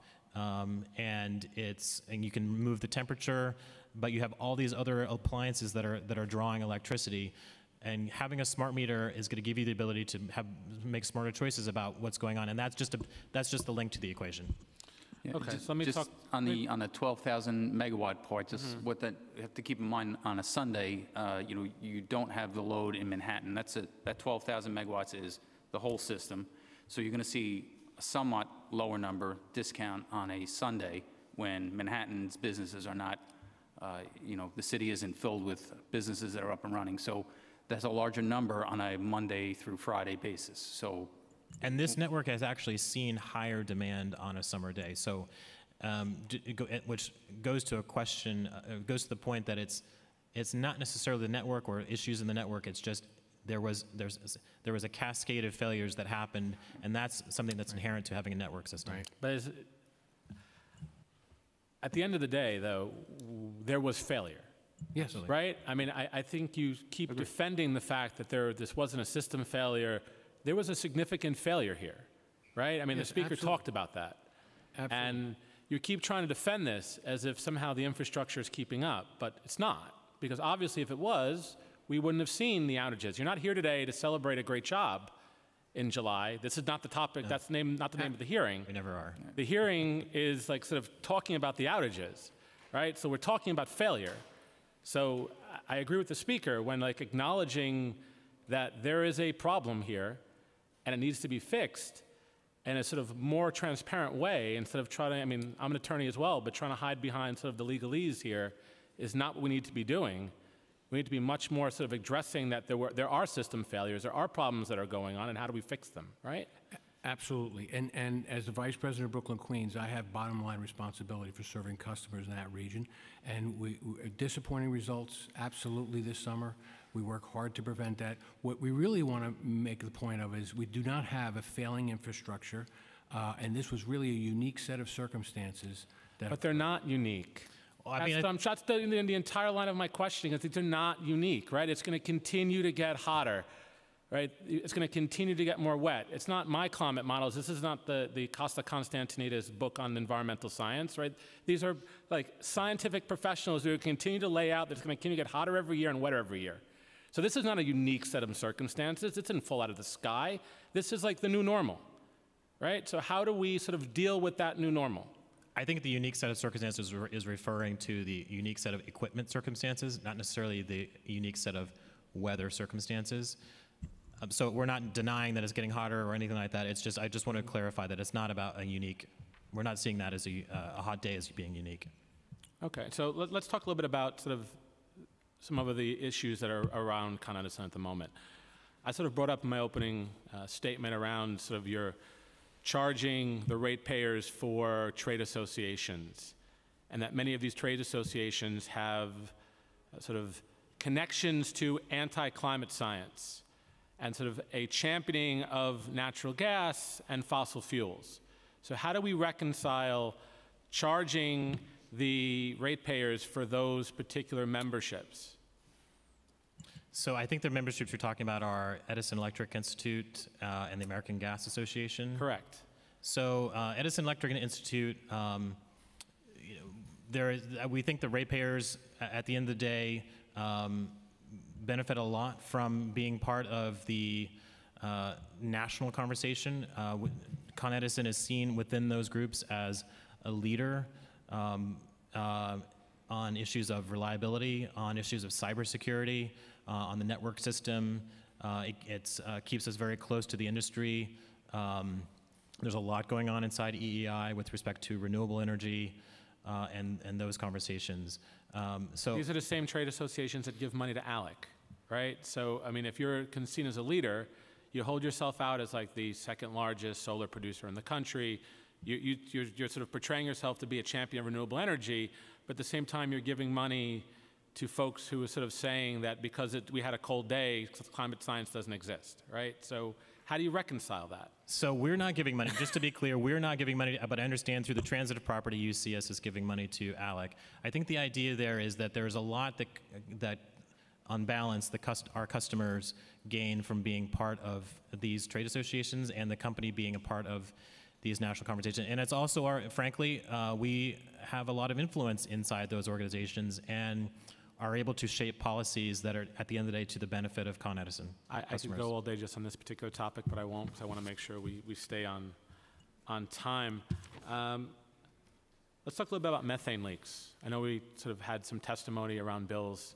You know, the- methane's 86 times more potent, uh, and yet um, you, know, you consistently downpay that sort of leakage rate um, and sort of fixing the system. You talk about the system not being failing, and yet we sort of have issues of methane leaks, um, which is one of the highest in the country. How do you reconcile your statements on methane and, and not being um, a sort of a system that is in sort of having leaks and having challenges?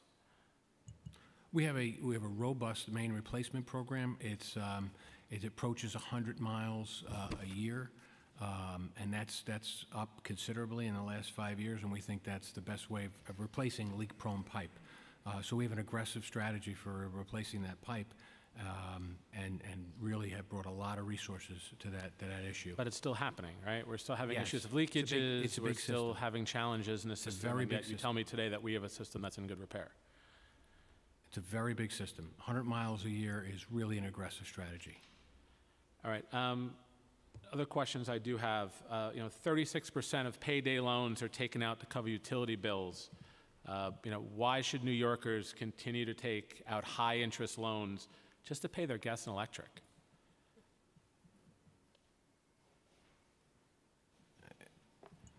I mean, it's one of the highest in the country, right? So, like, why, why, why should families have to take out payday loans to pay their utility bills? I mean, that, The that's price, the price of electricity, if you look, if you break down the bill uh, for electricity, it's basically, if you break it down, it falls into thirds.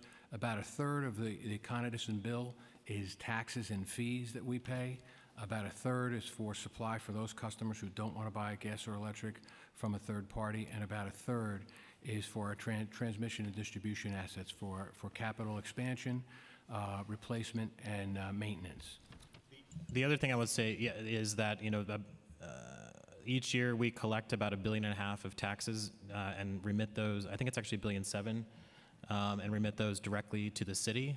Um, so there, a big component of the bill is property taxes that are paid on the asset. So what's ended up happening actually is as we invest in the system, we are assessed a new property tax rate on those investments, and that goes um, directly to the city. So uh, a- there's a third of it is just the cost of energy, a third of it is what the cost is to get this energy to you, and a third of it is the cost to um, pay taxes on the system. One thing we do do for uh, there, there, there's a lot of resources available um, to for customers who are not able to afford their bills, who might be on public assistance, and we can get information to all of you. Uh, but there's uh, we work closely with HRNA to to uh, help uh, offset some costs for those who are struggling to pay their bills. So my last questions are, you know, we had a really hard time. I mean, and I didn't, my community did not have the same level of challenges during the blackouts as South Brooklyn or, or the west side of Manhattan. But we had a real challenge getting people on the phone and getting hard answers. Um, I had constituents calling me that they were out of service. I wasn't getting updates in real time. I was getting lots of press releases from Con Edison. Um, I kept them all on my phone. I got lots and lots of press releases talking about how you were on the job. Um, but I wasn't getting a level of reach out, a level of here's what's happening in your community. Uh, what do you say to, you talk about communication and, and how it needs to be better. What are your plans to actually make it better in the future that we are having real time discussions about how constituents can get their power back?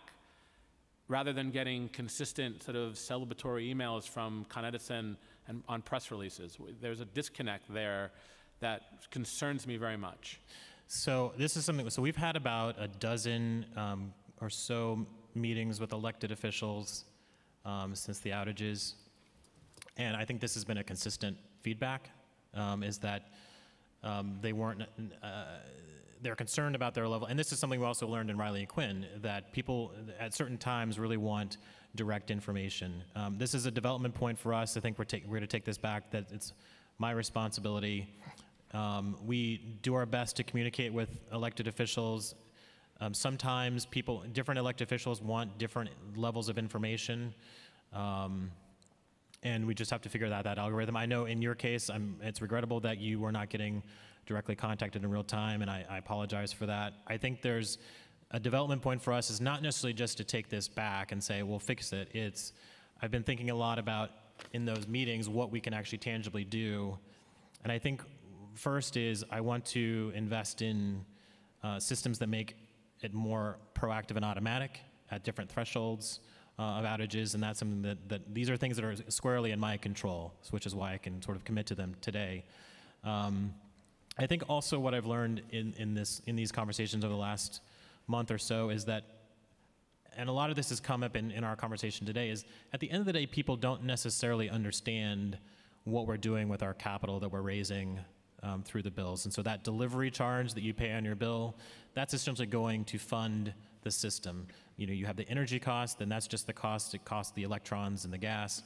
The, uh, and the there's delivery se- section and then there's taxes. On that delivery section, we need to do a better job communicating with our communities about what we're actually spending capital on. Because at the end of the day, they really people don't necessarily under, understand what we're spending capital on. They just see the street is dug up, or they or they um, uh, rarely, but occasionally experience uh, an outage. And so I think we need to work better on, on that interaction with customers and our electeds and happy to come to the council and brief more proactively on things like the rate case settlement. Uh, we can, we'll certainly brief you on the climate change vulnerability study when it comes out at the end of the year. We Will have it- the will it- city. Will it definitely come out? Are are you That's- committing that's- today that it'll be at the end of the, year? to the best of my we've knowledge, had it that's- pushed back a couple of times already. Are you committing here on the stand today that it'll be by December 31st, when the ball drops to bring in 2020, that study will finally be in, in the hands of the people of the city of New York? To the best of my knowledge, today, that's, that's the date. It is not necessarily something I can control or commit to, so I wouldn't want to do that. Um, it's also not something I'm in- intimately involved with, but um, that is, from my best knowledge here to you, before you today, that is the date. Um, I think the last thing is, um, you know, briefing on the rate case settlement, briefing on the vulnerability study, um, briefing the council on this on the um, study we're doing with the city on investments that are going to be needed into the grid to meet electrification needs. Uh, there's an EPRI study that I mentioned on technologies that are needed. That's going to be a fascinating study that we have we are planning to brief the council on as well. So uh, I think, in addition to having better systems on proactive out, um, outreach with respect to outages, um, I think there are certain things we can do to be more transparent and proactive on our, our capital.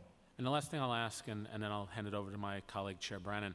Um, I think the speaker may have covered this as well. The sort of nationally recognized rule for food safety is that for, for dairy, you know, this is the FDA, this isn't, again, the city of New York, this is the FDA, that you know, dairy, meats, eggs, they have to be kept, if they lose power more than four hours, they're not kept in a safe temperature for more than four hours, they have to be discarded right? And then, but your reimbursement policy for food spoilage requires a blackout at least 12 hours. So we have supermarkets in my district that threw out a trailer full of goods. Mm-hmm. I have a bakery that had to throw out, you know, almost their entire inventory. But yet they're not eligible for reimbursement based on your food spoil, based on your food spoilage blackout rules. So how do we sort of recognize, you know, sort of reconcile the FDA ruling that says more than four hours, got to go, with 12 hours on your end for reimbursement? We'll certainly consider those claims. We would encourage those folks to submit claims and, and detail the impacts they had, um, and, and we'll certainly consider them. To be considered. Okay. I, I, I, I don't think the 12 hours we, we, we hold is a very, very uh, firm it's not a line. firm rule. And it's, just, it's also just not in our interest to, to be petty about it, so I don't think we are going to be. So I will make sure that I am they speaking, to, suffer- the- if I'm they- speaking to those business owners today and making sure that they are filing claims with you um, with a, a lo- a letter from my office sort of detailing this conversation on the stand. Please do so. Great, thank you very much. With that, I'll, I'll hand it back to, to uh, Chair Espinal or Chair Brannan. Thank you, Chair. Um, I- think, I mean, I think kind of what my colleagues and I are looking for is, at the very least, we wish that Con Ed would share our urgency um, a little bit more. Um, The vibe that we get is, you know, these aren't the droids you're looking for, there's nothing to see here, everything is great. Um, And I don't know that there- that there's anyone who agrees with that. Um, I think sharing our urgency would certainly go a long way. Um, You know, when the CEO of Con Ed makes about 150 times what the average New Yorker makes, um, sharing our urgency is the least that I think Con Ed could do. Um, you know, for my district, um, Kyle, I mean, your team has been great. I mean, they're very responsive and they answer me when things go wrong. But we're so relieved when the lights finally go back on that we forget to talk about how to prevent this from happening next time. Um, and so much of our job as, as elected officials in the city is being reactive. Um, and there's not a lot of, there's not a lot of proactiveness happening um, when these things happen. And, and in my district, I still have a lot of overhead power lines. Um, and we've talked a lot about trying to bury these power lines. We're, we're told the cost is prohibitive. It's actually easier to fix the overhead power lines when they fail. But what happened over the summer in Manhattan happens in my district reliably every summer and every winter. You can set your watch, the power will go out at least once a summer and at least once a winter. Without fail, I think for the past decade that I've been involved in service in this area. And again, we're always so thankful that the lights go back on and the air conditioner's back on and everything's back up and running that we just go, all right, we'll just, you know, we'll talk to you soon. And then it happens again, and it happens again, and it happens again, and there's never any change. Never. It's just, it's just, you know, we're responsive, we get the power back on, so we're good. Okay, we move on to the next crisis. Um, so I think sharing our urgency and, and understanding that this is just not acceptable. Um, and as it relates to the, the climate crisis that we're facing, um, and that we're going to have, by 2050, you're going to have almost 50 days a year that's going to be above 90 degrees. I, I just don't feel that, that we're being prepared. You guys seem way too calm um, uh, for, for my blood pressure um, and for what I know, i i you know, is coming down the pike here.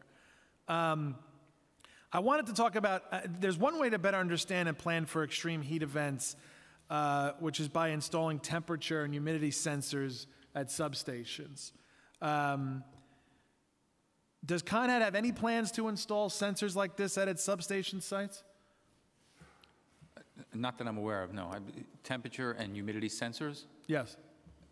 Uh, No, not, no, not. But, you, I mean, I, you- you're way more educated than I am. I you know what they are. Yeah, Right, I'm just, uh, why why would it be specifically at the substation as opposed to what we currently have? Or do they, ha- uh, do you have thermal sensors installed on cables or a plan to do that? To know when it's reaching the point that they're getting too hot? Oh, I'm sorry, okay, I I thought you were talking about just general ambient air temperature. Uh, So on our, on our substation equipment, yes, transformers, uh, you know, thi- things of that nature, yeah, we monitor the effect on our equipment very closely. In fact, we have a health index that goes along with all the major bulk power transformers in our area stations and our transmission stations. So that all goes into our maintenance program, very close to watch, you know, what what may approach higher temperatures that our equipment is designed for that, te- that temperature. And I'm imagining like in the old movies where there's this room and you see these things beeping and you're looking at substation 25 and you see that it's starting to get hotter and hotter. Is that what's happening and you're monitoring this and saying, okay, I- including, uh, including oil sampling, online oil monitoring that, that we get readings on every 15 minutes to watch, uh, you know, temperature and condition of the oil as it, as it uh, occurs over time. So that, that's what helps us monitor the life of the transformers. On, and he's talking about the bulk power system. Out onto the distribution system, even our distribution transformers in the underground networks, the majority of them have pressure, temperature, and oils, oil uh, monitoring uh, on them. So we are watching what's, what's developing on the system. And anytime that you want to come to Dave's office at 30 Flatbush and see the room with the lights beeping, as you said, you're welcome to. You're welcome to come. Yeah, and so again, I would say also is as you monitor transformers out in streets, transformers that supply people's, to people's homes, now you put that together with AMI metering and you start to really see what the drivers are, you know, what the load usage is and where we have to target replacements to be done. So why are there areas i- i- in my district where we have, still have a lot of overhead power lines where we seem to be more vulnerable in the summer, in extreme temperatures, summer and winter, to outages? What's the, what's the difference? What's going on? So I would, I would tell you, overhead distribution is, is typically in, in areas uh, that, that are uh, predominantly uh, th- three-story residential, uh, historically areas. Areas that have undergone a, a growth cycle, we sometimes upgrade from 4 kV to 27. But wholesale undergrounding is, is something that's, that's rarely done. Typically, it's when an area undergo, undergoes uh, entire redevelopment uh, as a, as a kind of a compound. We might make that conversion, particularly if they're very dense loads. Right, but why, I'm, I I know why it's we- cost prohibitive, but why are- is it more vulnerable? It's more vulnerable because it's, it's uh, really uh, uh, more susceptible to uh, weather impacts, um, animal contacts, tree contacts, things of that nature. It's out, it's out in the elements. The underground system um, is more protected, but we, we also are exposed to, uh, you know, salt spread in the wintertime, which is, uh, uh, Well, that, so we get the, we get the worst of both worlds, because we're always told transformers blow up once a month in January and February because of the salt that gets underground. And we have overhead power lines. yes, we do have issues in the underground in the winter, yes. But the cost to, to keep repairing this stuff is still cheaper than the cost of burying the power lines? So the, the cost of it, just in a per unit basis, if you compared overhead construction to underground construction, it would be about 10 to 1. Um, Traditional underground construction is about 10 times as expensive. It's very capital intensive. The, after Sandy, we conducted an, an undergrounding uh, study on, uh, with uh, stakeholders, and it's about $8 million per mile to go underground and $43 billion in total to underground the system. And that's only a component of the cost, right? Uh, We don't own the service uh, connection, the service panel into people's homes.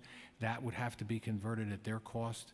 And uh, for, for homes, it could be tw- 2,500 to $5,000. For a commercial business, it could be up to $10,000. Uh, And all that is at customer cost. So it- a wholesale conversion is, is not something that's, that's uh, often contemplated. All right, I want to take a little voyage into the weeds here on, on what happened over the summer in, um, in southeast uh, Brooklyn. Um, so we had, Con Ed knew that they'd be facing shortages due to the heat waves. Uh, projected that the peak demand for electricity would reach a little over 13,000 megawatts this summer. But peak demand was only around 12,000 megawatts when you cut power to Canarsie, Mill Basin, and, and, and Flatlands. Um, the record is 13,322 megawatts, which occurred back in 2013, but it did not lead to blackouts like what we saw. Um, how did Con Ed determine that you should intentionally cut power without notice to these communities um, when it didn't seem like this was an unprecedented situation based on these numbers? So, so in my testimony, you know, you recall, uh, we were facing a uh, cascade, uh, and, and the, uh, the analysis uh, overwhelmingly indicated we were going to lose the entire network. Uh, and we would have now had um, 132,000 customers out of power. And rather than out of power for a number of hours, they could have been out of power for a number of days because of the extensive damage that occurs in a cascade and the amount of repairs that have to get made. Now, with regard to the peak, the disparity in the peaks, again, uh, this was a weekend um, peak, and during the weekends, we don't have the commercial loads on in, in areas predominantly like in Manhattan, but the residential loads are actually quite high. And if you look at the load curve for residential networks, which is a, a large uh, portion of, of, of Brooklyn and Queens, uh, residential peaks typically occur uh, around 7 p.m. when folks on a weekday, when folks go home uh, for dinner um, and go back to the domiciles. On the weekends, the peaks actually come in around 4 p.m. and, and stay there till about 10 or 11 o'clock at night. Uh, so they are very heavily loaded. Before we were talking about the advantages of smart meters and the visibility that gives us, each of those smart meters is really a, a recording voltmeter, which, which basically can send data back. And we would get very granular data about the load growth that's happening, um, that's so, so to speak uncharted, like not, not really visible to us, to people who are going out and, and, and buying additional air conditioners and, and TVs and things of that nature. Uh, The peak demand in this network was slightly above our prediction. Uh, Part of that is related to that, to- to that the temperature was actually above design, and, and we think some of it is, is load growth that we hadn't seen. Smart meters will allow us to see that immediately at the end of each summer and plan for next summer.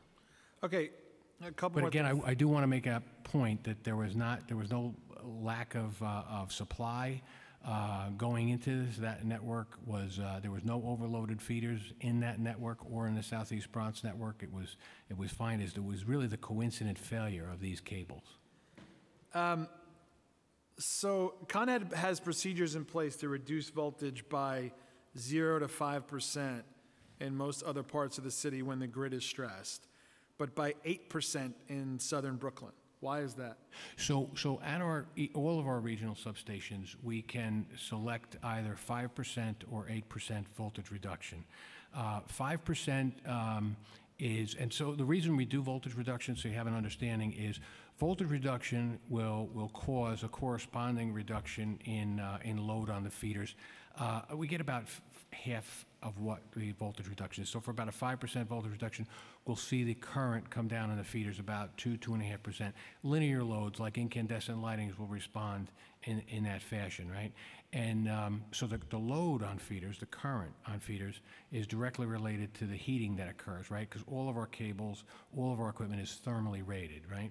So there's a benefit there. In addition, the lower voltage, there's a lot of science in recent years that the lower voltage really reduces that stress on feeders and makes them more reliable. So um, this year, we, we exercised, I believe, um, voltage reduction at the 5% level uh, 11 times, and that progressed to 8% six times. When we go to 8%, um, it, there is a, there is a greater likelihood that there will be impacts to certain customers in areas where we may have e- defects out in the network that weren't identified, or customers who have, say, elevator equipment that is, uh, really, has really very conservative pickup settings, they could be impacted. Um, When we select voltage reduction, um, we have a very robust uh, communication package related to that. Right, so how are people in those areas notified? So uh, when we select uh, 8% voltage reduction, our operators actually um, uh, select that. It commands the substation to, re- to, to uh, uh, reduce voltage to 8%. And at the same time, a communication goes back out to uh, city agencies, and we release a, um, a press release. Uh, We've been, we've been in communication with, with stakeholders such as the Office of Emergency Management. Um, They, they, they were talking about this outcome where we had a load shedding event where we actually had to preemptively de-energize customers. We, we think we need to surround that event with better communication that, that uh, is, is really robust like we have around voltage reduction. So the, the decision, uh, you- this sort of disparity in, in the voltage reduction is based on, you're saying that the, like, borough populations? No, uh, we, in this event, we went to 5% when we had two feeders out of service. Uh, And when we went to the, when the third feeder went out of service, now our network is beyond design, right? Uh, So everyone, Those, those feeders were out of service in that area in, in South Brooklyn? yeah, those feeders, we had cable failures, right? Okay. So when it progressed to, so we design, so you understand, we design our system uh, in the city to withstand, um, at peak design, to withstand the loss of any two feeders in com, any combination. Uh, When we got, when we got to the second feeder out of service, we went to 5% voltage reduction. When we got to the third feeder outage, we went to 8% voltage reduction. And of course, that's when the public uh, appeals went out for consumers to see, to see if they could possibly limit uh, any non-essential load, as well as notifying the city and OEM that we were in a, uh, a- an 8% voltage reduction situation. So knowing that current climate projections are, are saying that by 2050, we're going to have 30 to, 30 to 50 days that are going to be over 90 degrees, what are you guys preparing to do differently? So we're, we're, we're going to be informed by that study, which is really going to look at the impacts of electrification And that's the one we don't, well as- when did we say we're getting that?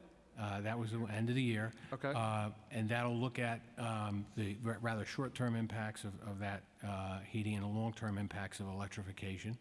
Uh, And then we've really got to work with our regulators and, and other stakeholders in, in deciding what are the elements of the plan to achieve that. And I think it's going to be a combination of infrastructure investment, uh, doing all we can to bring in additional renewables onto the system, as well as um, um, avoiding demand, either with demand response or, which is uh, the best thing, is energy efficiency, right? That, that, that energy efficiency strikes on all the important chords. It reduces carbon, it reduces our need to build infrastructure, and it reduces the bill impact as a result of that infrastructure build. So, a simple question. If I'm living in one of these neighborhoods where you're gonna, you're gonna cut off my power, and my power, you know, my power is cut off, how am I getting this notification? So that's something, again, we, we- in speaking with OEM. and- Minor, minor detail. Phones. No, phones would be, the would be the way to do that, uh, but that, that uh, was an issue that many stakeholders have, have, uh, have raised with us. You mean And like we've really home gotta- phones? And we've got to really. I've heard of those. No, we look at uh, texting, um, uh, banners on the, um, on televisions. uh, Well, I things of that can't turn my television No, on. I, I, I get that. I mean, we, we've got to think that through. Um, But we essentially, we think mobile phones, most of those have, have a charge on them and can last for a while. Computers. Computers can't turn them on. You can. I'm just saying, it's, a- you know, you're about to turn off my power, my power's already turned off.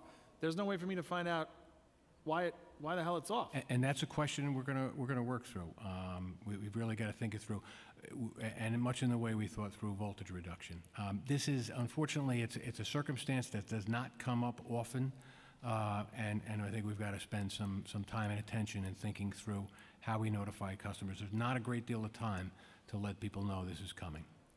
And and we do everything we can to avoid it. It's the last option. Going back to the, um, the um, humidity, uh, the thermal sensors, do we have, does Con Ed have thermal sensors installed on cables?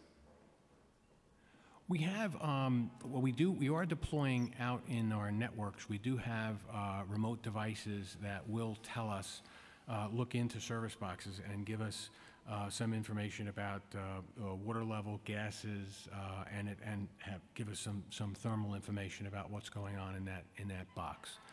We can certainly model and predict what temperatures are occurring on our cables uh, through, through load devices and things of that nature. Yeah, I'd also say too, in, in uh, service boxes, manholes, we have been installing sensors that do infrared detection for us. So we're able to monitor that uh, and, and pick up failures before they occur. Uh, So we would be able to go out on those. We do that throughout the year, part of our maintenance program as well.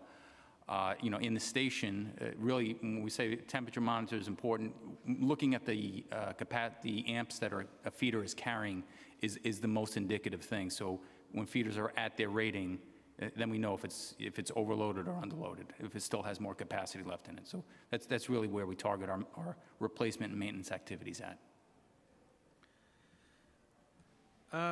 I want to, I want to end on um, a question about the FEMA uh, flood plan. Your current design standards for key systems and equipment uh, for a flood event is the FEMA, the 2013 100-year floodplain plus three feet? Is that correct? Correct. Okay. Why do you think this standard is sufficiently protective? And have you considered the FEMA plus five feet standard? And if not, why not? So when we went through our, our post-Sandy storm hardening, we worked with the collaborative, and, and we went to the FEMA plus three, um, best information at the time, and that's what we did all of our storm hardening efforts around. Uh, There's East Coast Resiliency right now is, uh, will be underway. Um, That uh, based around some of our facilities, obviously on the east side, uh, around 14th Street. So we would be increasing some of our uh, storm hardening efforts there. We have to look at that, and- and I think certainly we'll see if the long-range projections even further than the FEMA plus three, then we have, we have to consider incorporating that. And it's also in this study that we keep talking about, it's a big component of the study as to whether or not the standards should change. You got to have a big party when the study comes out.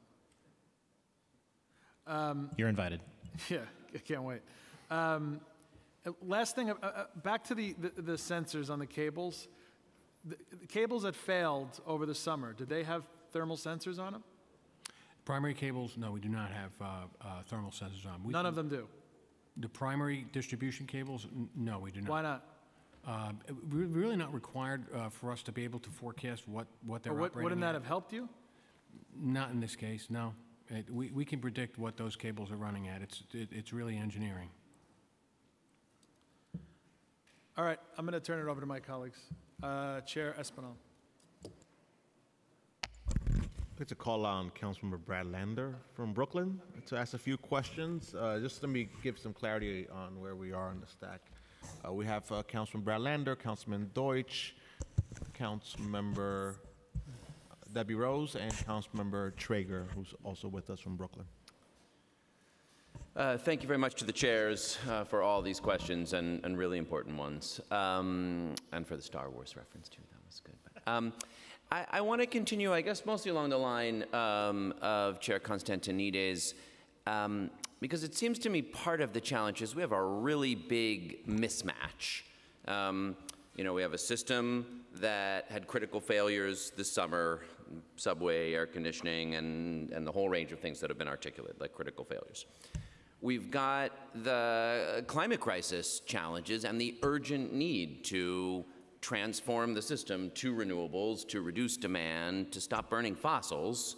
Um, and we have a, a big mismatch. It's just a super complex system with many actors, so no one is in neat control. You guys are in the hot seat today, and that is appropriate for this summer's crisis, but you don't have all the levers necessary to make, to both address critical failures and drive massive transformation to prevent us from burning the planet up and get us to a place where the system is resilient for that future. Um, but I guess the question I want to ask you is like, how are we going to do that? Which is not how is Con Ed going to do it for us? Um, but we can't just, you know, say we'll get a study and we'll take another five years and you guys will tinker here and some other people will tinker there.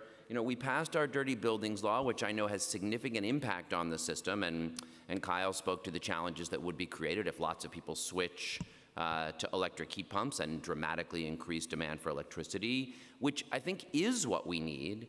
It's just we also need to achieve renewable production, storage, and transmission that is consistent with that transformation. And maybe we'll have to live with some gas from here to there in transition, but that would be a lot more palatable if we knew how long that transition was and really had confidence that we were making it instead of just hoping that somehow all of this is going to fix itself. And it's impossible from listening this morning to have any confidence that we are on the path we need to be on. And today that's frustration at you guys, and so be it. But really, what we need is frustration at the system that we are all a part of and a serious effort to bind ourselves to a path that will deliver.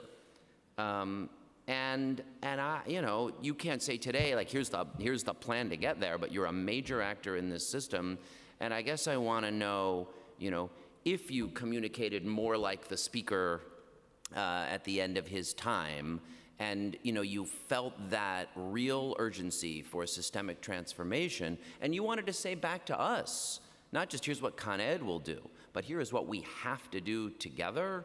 What would that What would that look like, and what can we do to bind ourselves to that future better? Who else can we demand things of, as well as what we should be demanding of you to get on the right path forward? And, and I'll just leave it there. I mean, that's my question. I don't want to take more more time, but I that's what we have to use this hearing today to push you and us and every other actor in the system forward to do. Sure. I- think it's an incredibly important question, and I think it's worthy of having, um, you know, a more extended conversation with the council around this, because I think we, we've danced around this at a lot of the different hearings. We've used um, some of the hearings, whether or not it's the story Borealis or, or, or the climate emergency, as, as opportunities to try to get out some of these ideas. But I do think that what you're tapping into is that there is uh, a very important need to have a big conversation with a lot of stakeholders about how we get there. And there's a lot of things that are happening inside of Con Edison, and I and I am sorry that the uh, the urgency that's that that seems to be lacking is not there. But I think it's also uh, a building full of incredibly smart people who are very focused on maintaining reliability. Um, of the system. And um, these larger policy questions about how we fundamentally transform our grid um, are not just questions that we can answer ourselves, you know, inside for Irving Place. I- think the, the, the way that I think about it is there's the one, the things that we can control are the, uh, the things that we're doing with the capital plan in terms of grid modernization that I already laid out. I don't necessarily need to talk through all that. Just in terms of getting the grid fundamentally ready. Those are things we can control. Um, getting it ready for two-way power flows and distributed generation and EVs, that kind of thing. So I won't go into that. I think the larger conversation is separate apart from getting the grid ready. It's this fundamental question of how are we going to produce all the renewable electrons? Where are they going to go? How are we going to get them to the city? Just really basic questions like that.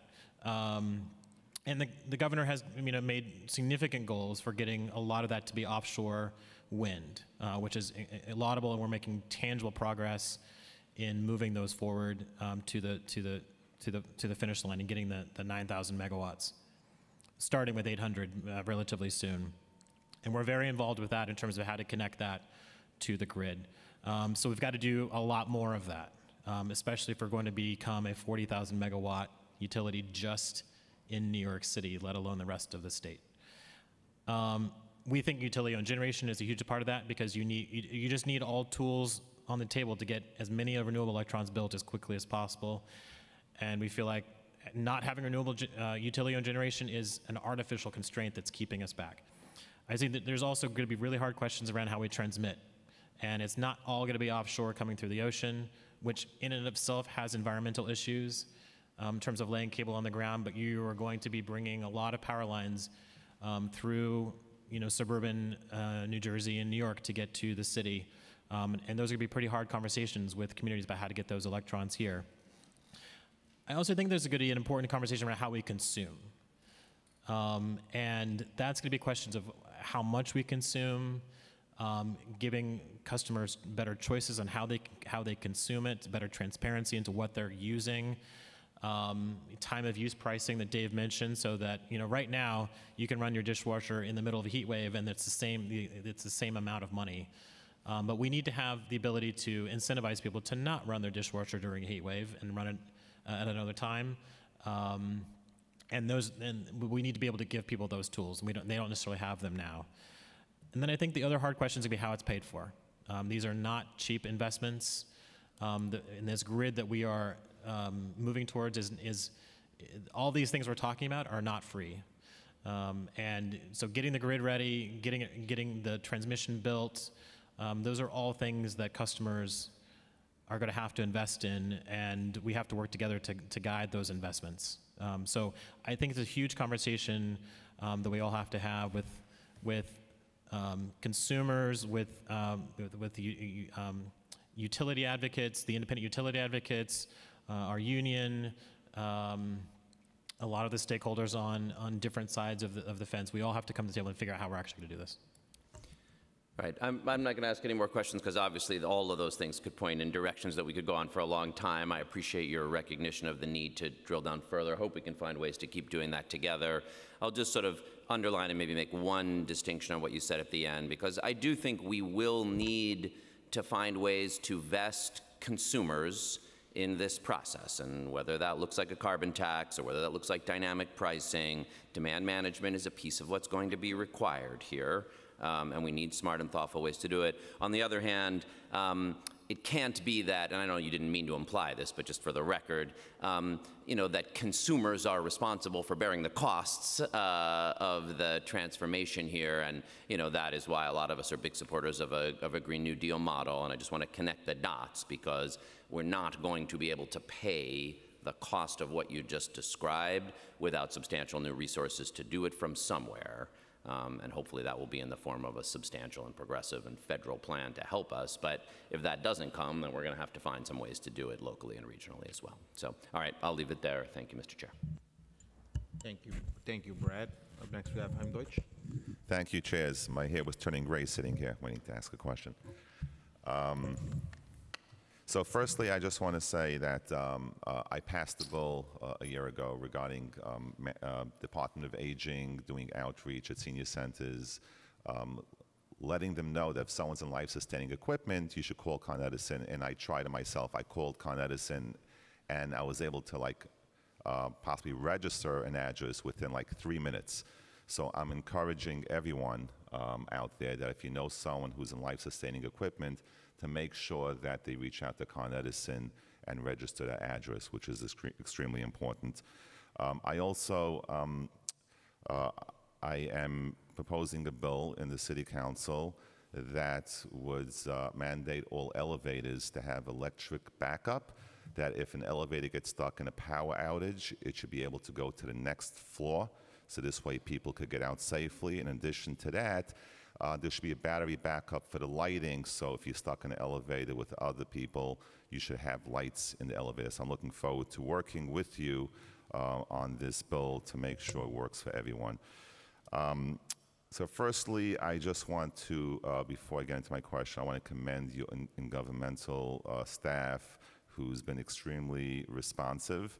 And I do receive the emails whenever there's a power outage, and uh, I use that information. I check the emails myself, my council emails, so I disseminate that information to uh, my constituents, whether it's uh, via Facebook or um, uh, having um, my staff calling people up just to get that information across, which is extremely important.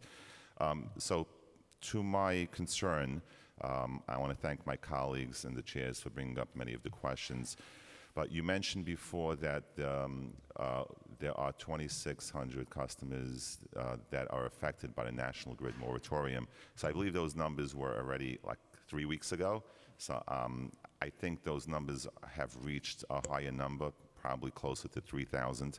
So you did mention that short term, because uh, uh, Con Edison always projects um, like on different developments coming into the community and um, how the zoning is uh, with working with the planning commission, I hope.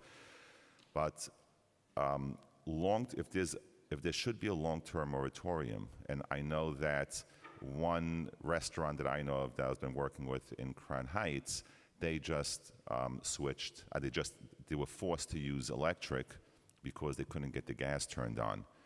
So, what is your projection?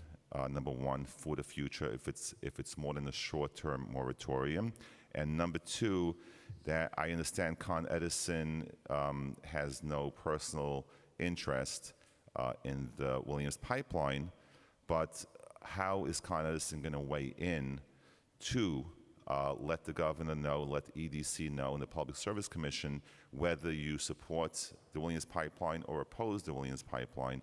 That we need to come up with a resolution to um, have people turn to some type, other type of energy opposed to electric. Um, many businesses, um, uh, affordable housing, people are suffering each and every day. And if you take Brooklyn, Queens, and Long Island, that is affected now, combine them all three, there are 10 million, uh, more than 10 million residents. So from the 10 million residents, from the 10 million plus residents, you have approximately, let's say, 3,000 people that are affected. So the conversation is really not, people are not talking about it. Because when you're talking about uh, more than 10 million people, this is a drop in the bucket. Um, so what is, how is Con Edison going to weigh in um, for the future of, of, um, of your electric grids and, and having this, having an excessive strain on the future? Okay. With regard to the customers who may transfer for over, we don't, we don't yet know how large that population, population is. But again, we'll, we'll accept those, uh, those applications as they come forward. And as I said, in the short term, I'm, I'm certain we have sufficient capacity to take those customers on and we can, we can plan. We have an obligation to serve with our, our tariff with the state, you know, compels us to. We're, we're going to make sure, we're going to put anything we need in place to secure electric service for those customers uh, further on down the road, and um, we'll, we'll, we'll be able to be there uh, for them. How long this, this moratorium will last, we, we don't know. We don't know. So um, the question, if all 3,000 customers um, turn to electric, right? You could have restaurant owners, you could have developments, um, and every day you have more and more applications that are being put in. So in a month from now, it could be 4,000, it could be 5,000. We don't know. Um, if Con Edison had issues up until now with the grids, right? And especially in the summer when you're saying people should lower the usage. But you also have to remember in Brooklyn and other parts of the city, people are vacationing during the summer months, so they're not using as much. They're not using the electric. So imagine people stay home during the summer months, right? That power outage that we had several months ago would have been larger, and it would have been really like um, a lot worse than than it was. We ad- we adapt to changing conditions. Uh, We did so when the, uh, the city passed the, the uh, Clean Buildings Law, and we had to build out infrastructure for gas in, in the city to meet the conversion demand. And similarly, on the electric side, I think we'll be ready to, to meet this demand as it, as it comes on. Um, I, I, I don't see a problem with that. So you don't We'll see any. We'll build, yeah, we'll be, we'll build the necessary infrastructure. So you don't see any problems whatsoever if everyone switches to electric? Not in the short term. We- we Not in, not in short, I'm talking Not about for long- those 3,000 or so you Not for those retire, yeah. 3,000 or so. So anything more than 3,000, um, then you would have to start thinking about it, right? Well, uh, that So- actually so- leads into the discussion about electrification. So shouldn't we, like, be proactive, because we don't know how long this moratorium is going to last, and to um, basically reach out to, to the state and say, listen, um, we could be in an electrical crisis, not just in, in a, in a gas crisis? Shouldn't be, shouldn't we be proactive rather than reactive? So there's a there's a couple of things there. Um, one is something you said. I just wanted. To, I don't want to forget to say it. So one thing that I think would be uh, helpful with um, with just in terms of continuing partnership with the council is we are actually not formally part of the um, ULURP process. So whenever someone and I'm intimately familiar with this from my time at the Economic Development Corporation. So whenever you do an area-wide rezoning, there is an environmental impact statement that's done, and there's consideration paid for, and I actually worked with Councilmember Rose on one of these. There's a attention paid to schools, roads, um, water infrastructure that's necessary to facilitate, but there's not necessarily a conversation in that EIS about energy infrastructure. And so what ends, ends up happening is that if it, in an area-wide rezoning happens, uh, we can pay attention to it based on our, our, our, our presence in communities, but there's not necessarily a formal role for the energy or the, for the utilities in assessing the infrastructure needs that are necessary for an area-wide redevelopment.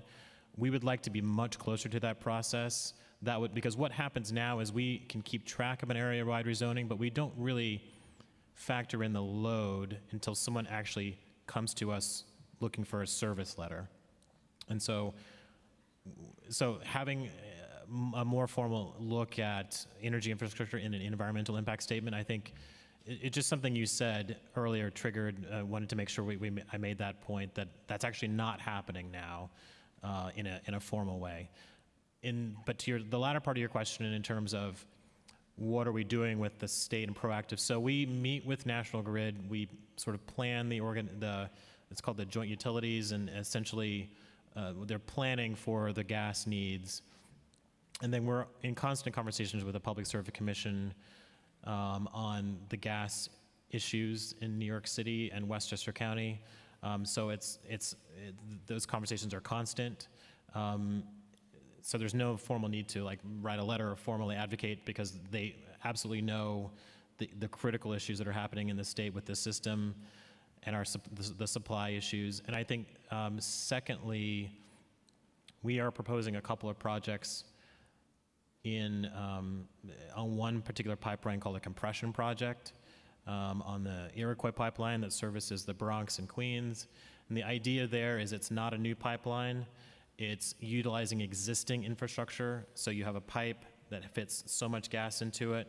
You can upgrade the compressors all along the pipe and fundamentally squeeze more gas molecules into the same existing pipe.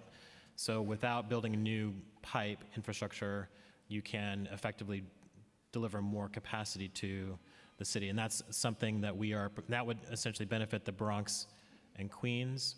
Um, so, and these are all projects that we're, these are, we're working on with the Public Service Commission um, to, to hopefully get approved um, to meet some of the, the gas issues. But So there's a lot of advocacy going on every day on these issues with. So in other words, um, you're saying you are concerned about the future of the grids um, based on the moratorium. Oh, I'm sorry, and the last thing I was going to say is, we are working with the city, to answer your question, we are concerned, and we're working with the city and National Grid on a study that essentially says, what do you need to do to the grid to meet the demand that's going to come from people transitioning off of gas?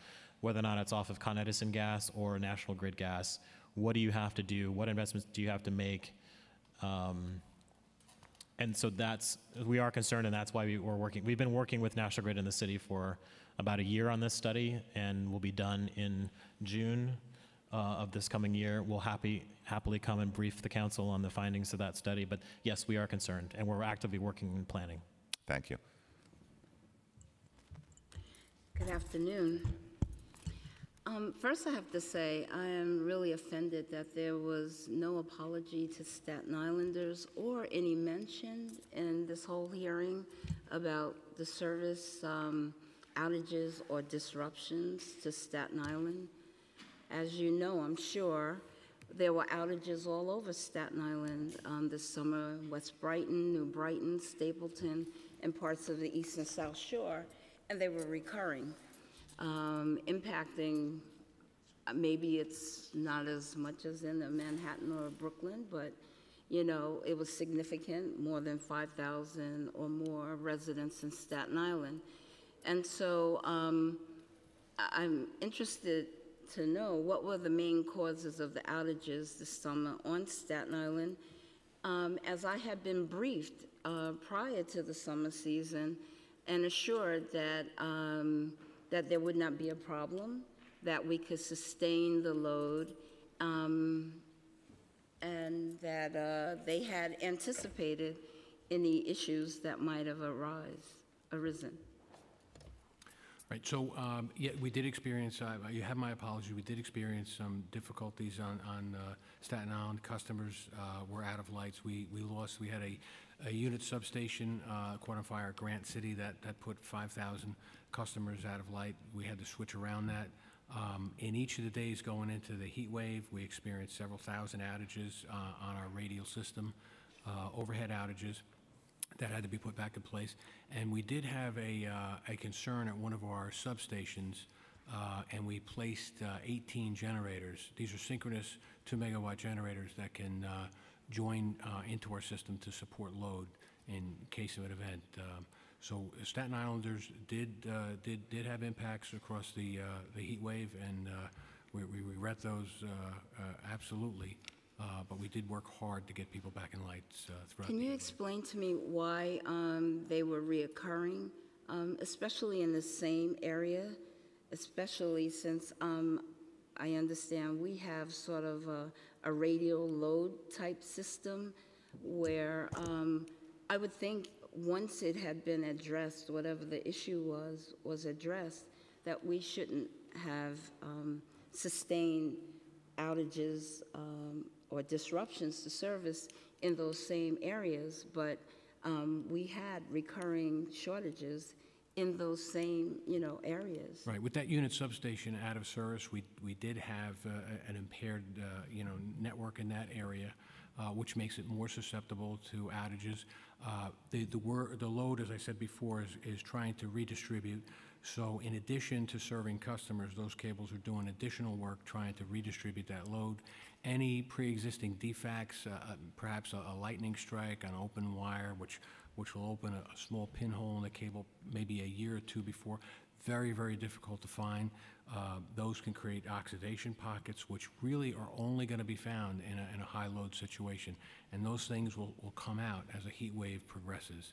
Um, But we did, we did have plenty of staffing down at Staten Island. We did do everything we could to try to restore people as quickly as possible, but there were significant impacts, and I apologize. So now that um, we had the high load season, um, we should have, um, we should have some markers as to where these issues exist, right? And so um, what are the changes or improvements to the infrastructure that um, you anticipate? And is there a timeline um, to remediate these? problem? So uh, we've actually, we've invested in Staten Island each year. We've backboned uh, two of our 33 uh, um, KV feeders in that area. We continue to make that investment. It's actually an element in, in the rate case uh, we're discussing right now, um, and we continue to, to, work on that and make that investment. Um, We believe uh, improvements uh, have continued. Our, hot weather performance for radial systems, open wire systems, has improved in each of the last five years, and we think it will continue to improve with continued investment. And we understood that the outages this summer were because of surges and, and the use, and usage up, an uptick, an uptick in usage. Um, But we often have problems in the wintertime because we have overhead lines. Um, Is there any, any anticipation that we'll have a problem with outages because of, um, during the winter, the trees fall, um, the wires are, Uh, We, we have an aggressive tree trimming uh, uh, protocol. We, uh, we spend money, a great deal of money in Staten Island as well as Westchester trimming trees.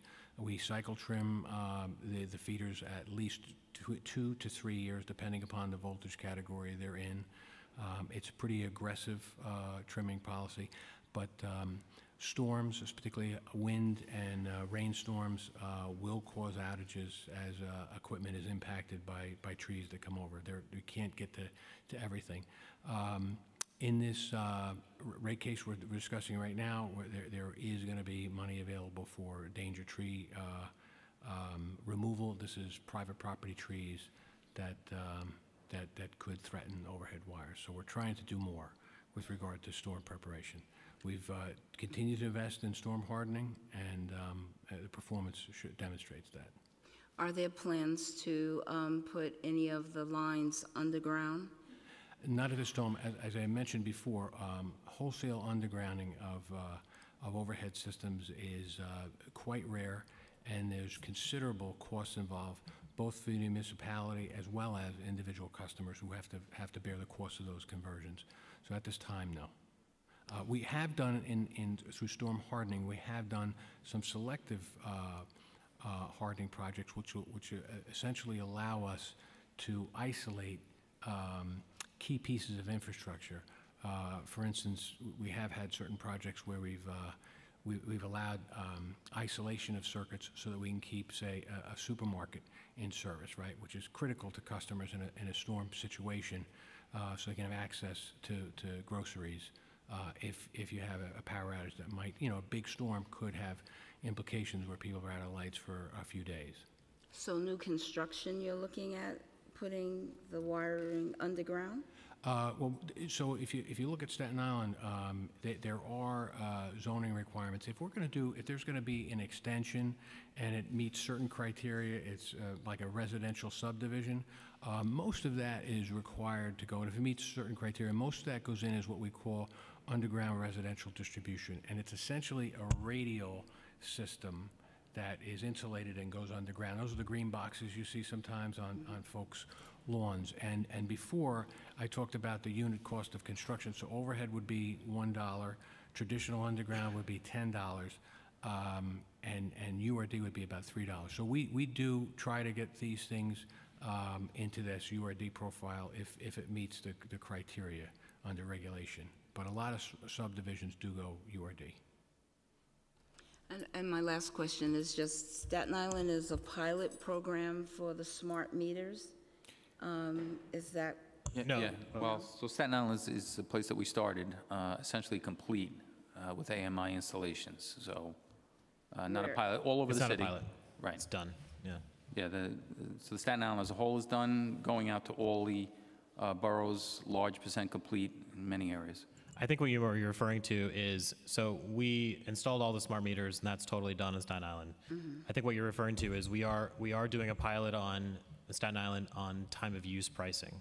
yes? So we are um, actively reaching out to customers um, right now or soon um, and giving, uh, it's, it's a fairly complex study and it's really meant to look at um, how people respond to time of use pricing, essentially, or the, their desire to even do it in the first place, and if they uh, want to be energy advocates versus sort of passive uh, customers. Uh, and there's a lot of different things going on. But yes, there's a pilot going on in Staten Island that is essentially looking at and testing what programs are most effective um, for New And Yorkers. hours of usage and, Yeah, so the idea there is, is some people will be able to opt in to a pilot where they can have energy, s- essentially, we're studying, we're showing them what their inter- energy usage is and giving them the tools to manage it. Um, there are some people who have to opt out. Um, so we're studying different things there. We're also looking at um, making sure that customers they're, they're, they're essentially getting a guaranteed flat bill so if let's say for example that the program that they choose actually makes their bills go up we are holding them flat at their normal bill uh, it's really just a test to see um, so it's giving us more tools to see how, how cu- customers respond to um, time of use pricing is everyone able to opt into that? some there's different test groups. Some people, the way it's designed is some people have to opt uh, in. First of all, not everyone's get, not everyone is a part of the pilot. So there's certain groups and neighborhoods. Um, two, some people have to opt into it. So they get a mailer and says, "Here's this program. If you would like to do this, please opt in." And there are some people who are getting notices that say, "You've this is your rate plan. If you don't," and explaining everything. And if you don't want that, you can opt out. And it wasn't determined by usage? The- No, no, no. It's it's a it's uh, It's just- mostly sort of by geographics and, but it's not by usage. Okay, Yeah. thank you.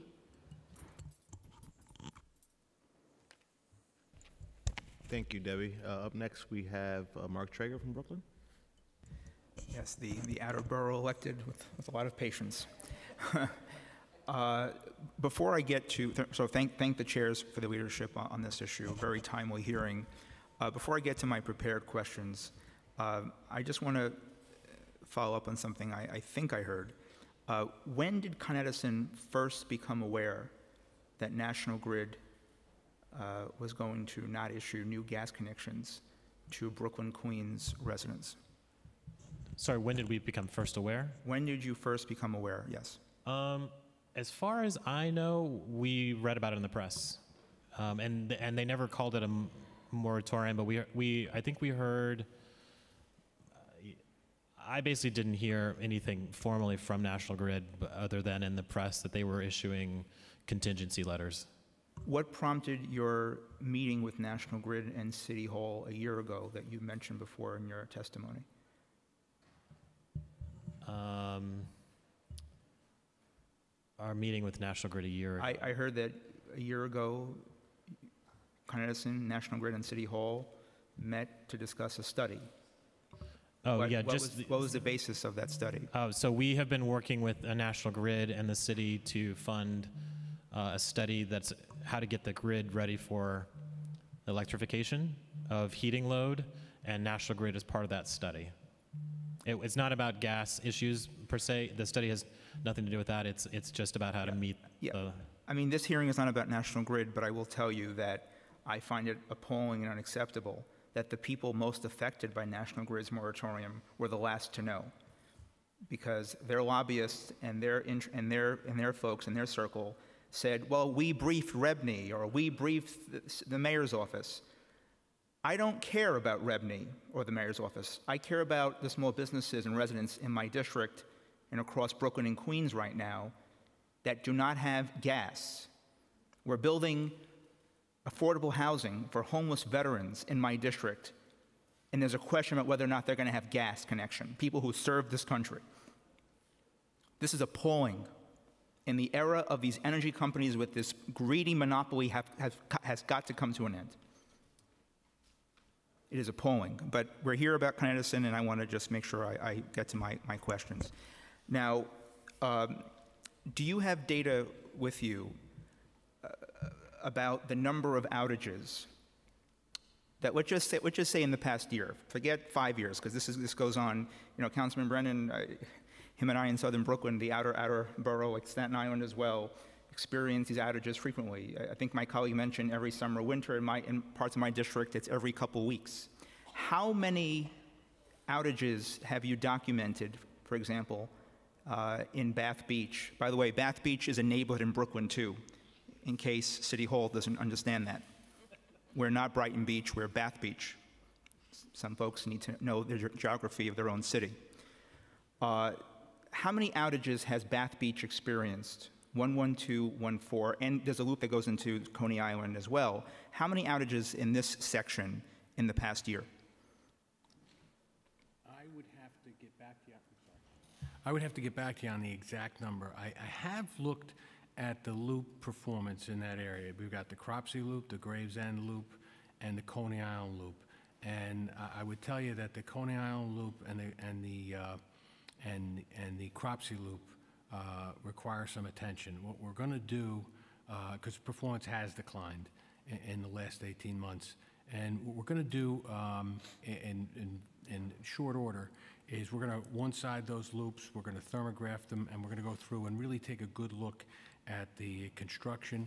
Um, Cropsey Loop, uh, as you know, there's a, there's a large public improvement project going on down at Nep- Neptune and Mermaid. That's where we had to transfer our, all our facilities uh, to one side of the street. That, that in effect has impacted the reliability loop. Um, What we'll have to, have to take a look at that um, a little closer once the, the new uh, construction is up. But um, I would say those, those two loops require uh, some attention. We, we have had outages in that section as well as uh, Seagate. We've had generators on twice this year where we had to replace uh, a step-down transformer and an underground transformer that, that failed. We've, uh, we've lost a, a, a riser. We've had a smoking manhole uh, in, in that area. Uh, so it, it, it does, Councilman, require Do you have a, first of all, I, this is the first time I've heard Con Edison acknowledge the depth of the problem in my district, and I want to appreciate that acknowledgement, because in the past, I will tell you that folks from your company have tried to suggest that my residents having backyard barbecue parties with balloons skimming through an overhead wire knocks down 3,000 people's homes' uh, power. If that is true, that is outrageous and that is frightening how delicate and sensitive our infrastructure system is in New York City. But that doesn't pass the laugh test to me.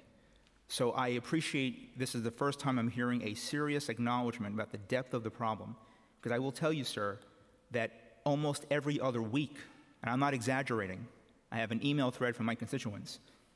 Almost every other week, there's an email about an outage. Now, does Con have a threshold uh, as far as what determines an outage? Does it have to be a certain time period? Because sometimes the outages might last 20 minutes. Sometimes the outage might last two hours. Uh, do you have a threshold that, that Uh, determines? re- Reportable to the, to the, our regulator is uh, anything beyond five minutes.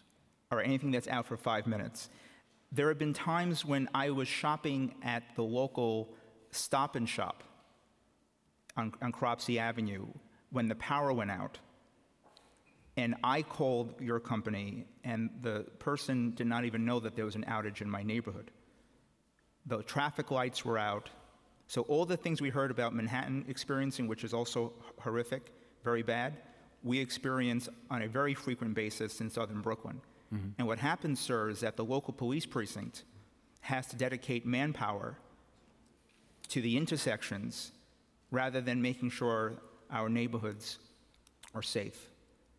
They have to do traffic control every time this happens, whether it lasts 20 minutes or it lasts an hour or two hours. That's number one. Number two, in this Cropsey loop, you have residences, as mentioned before, seniors on life saving uh, energy devices.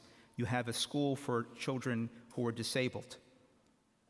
And every single time I have to respond to calls, when is this going to when is the power going to come back? This is this is every other almost every other week. And I am not going to tell my constituents that maybe it's their helium balloons that are causing problems. That's outrageous and insulting.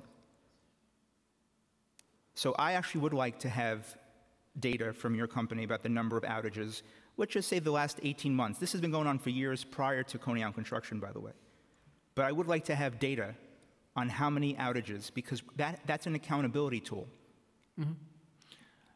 Absolutely. And, and what I'd like to do is report on you, uh, report to you on, uh, on what we're going to do uh, to make repairs and remediate the situation. Um, The Southeast Bronx uh, network, that overhead area, actually, that is a, a, um, actually performs better than the average. And those two loops I mentioned have declined below the average, and we have work to do there. And I, I apologize for that performance, and I hope to do better. And I appreciate, I appreciate that apology and recognition. And, and do you have a time frame on when these repairs can start and, and when will they end?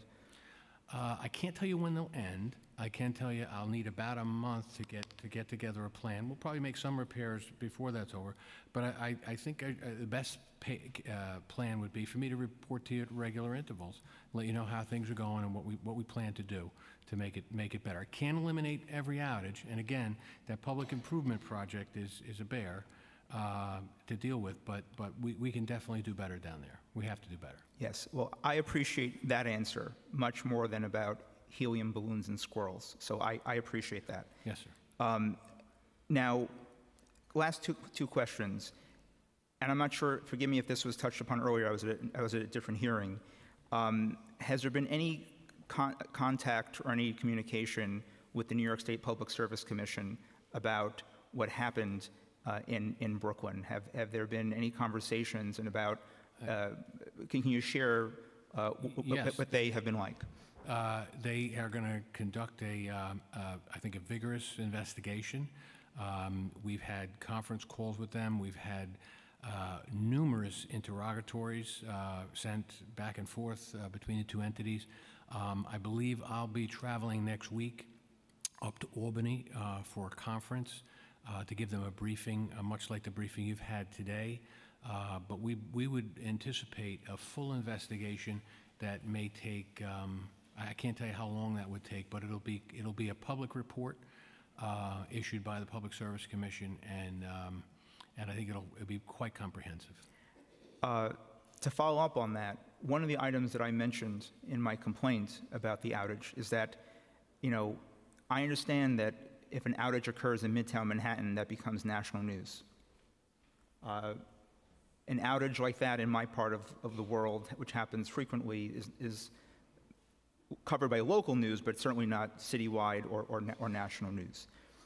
But I have small businesses that purchase seafood that have that want to sell their product. I have working class people that just went sh- food shopping, and the health code and a lot of the guidelines say if you don't have power, even if you know if a two or three hour outage, it could be a problem with regards to food storage. Now, your policy, if, correct me if I'm wrong, the threshold to qualify for reimbursement for food spoilage is much more than two or three hours. Am I correct? The policy says that, yes. Now, I think that has to be revisited, particularly in neighborhoods that see frequent outages. When you have on a day, two, three hours, two days later, two, three hours, there are people who don't chance it, especially if you buy fish or, or seafood. They don't chance it, they throw it out. The, the, the, the Parkview Diner on Cropsey Avenue, which has some of the best pancakes in New York City, they don't chance it, they throw it out. These are working class people. They can't keep doing this. But your reimbursement threshold, I think, is uh, really just not cognizant of the fact that the outages occur in these, in these pockets of two, three hours at a time, almost every other day. So, do you have any comments on making some sort of an accommodation for neighborhoods like mine that see these frequent outages in these pockets of two, three hours? We, we do look at uh, uh, claims on a case-by-case basis, um, individual claims from, from residential individuals. I, I don't know that we take such a firm line on with the 12-hour requirement. Um, I, I think we, we, we may uh, be more liberal in paying those claims. Uh, Commercial businesses, uh, uh, on the other hand, um, they have to consider outages uh, i- in their business plan um, and, and think through how they might, you know, uh, handle the occasional outage from time to time. Yeah, well, I will appreciate if you actually follow up on the, on my request to make accommodations for working class people to get their- their claims reimbursed. because it's not right for them to throw out their food shopping every time this happens. And respectfully about commercial businesses, when a small business owner opens up shop, that's with the assumption that they have power. You know, they pay their taxes, they pay their fees, they pay their bills. They are right to assume that there's going to be energy. And, and so that's, uh, that's something. uh, Now, the final piece, we heard a lot today about preparation. I was, uh, prior uh, to the, our current chair, who's doing a great job, Chair Brannan of the Resiliency Committee, uh, my prior role in the council, I was chair of the, of the Recovery Resiliency Committee. I was very much involved in the city's efforts to push FEMA and to push the federal government uh, with regards to uh, monies, money for Sandy recovery and resiliency efforts in New York City after Superstorm Sandy.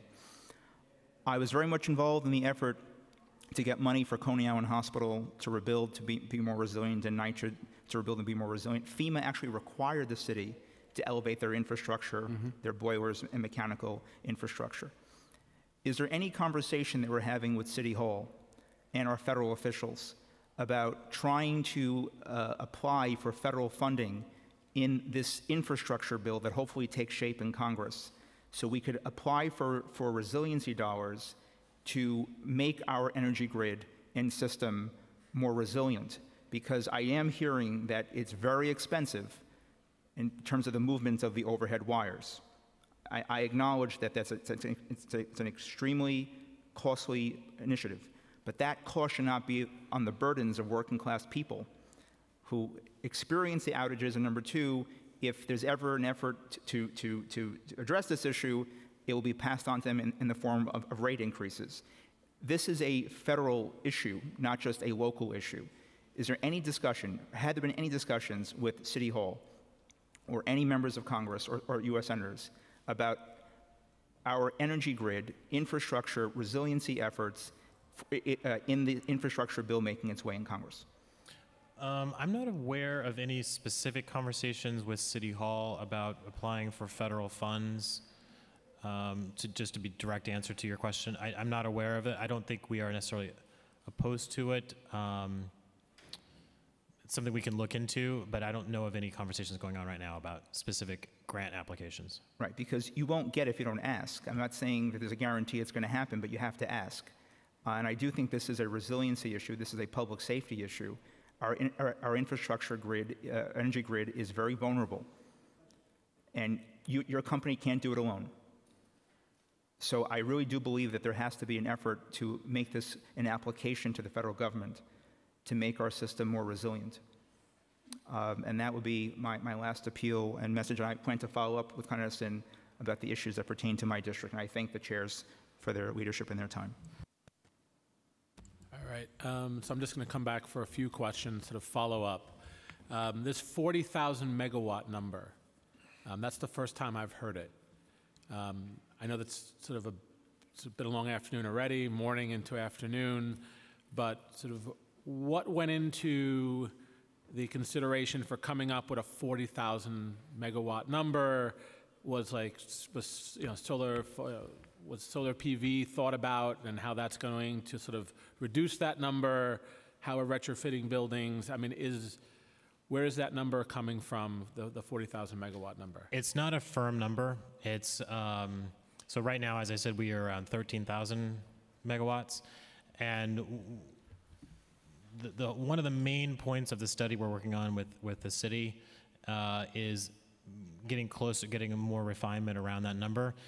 Right now, what we're and my phrase was it's up to. So it's not a firm number. It's uh, Okay, hopefully It came to me that less. was almost like a fact. No, no, sorry. It's it's up to 40,000 and the idea is that so if we're at 13 now, our concern and our thought is that the grid as a winter peaking utility either doubles or triples uh, in its uh, usage. And a lot of that's going to depend on uh, the technology that comes out in terms of getting people onto heat pumps, onto geothermal, affordability of geothermal, adoption of those technologies, and our ability to penetrate uh, on energy efficiency. So if we can, if we can, you know, if it's it's going to be 40 if a lot of those things aren't working well, and it's going to be less if we can get energy efficiency and more eff- effective units and um, smarter energy usage. So it's So 40 is like our worst-case scenario. Probably worst If- case, If yeah. every building in New York City goes electric and everyone's running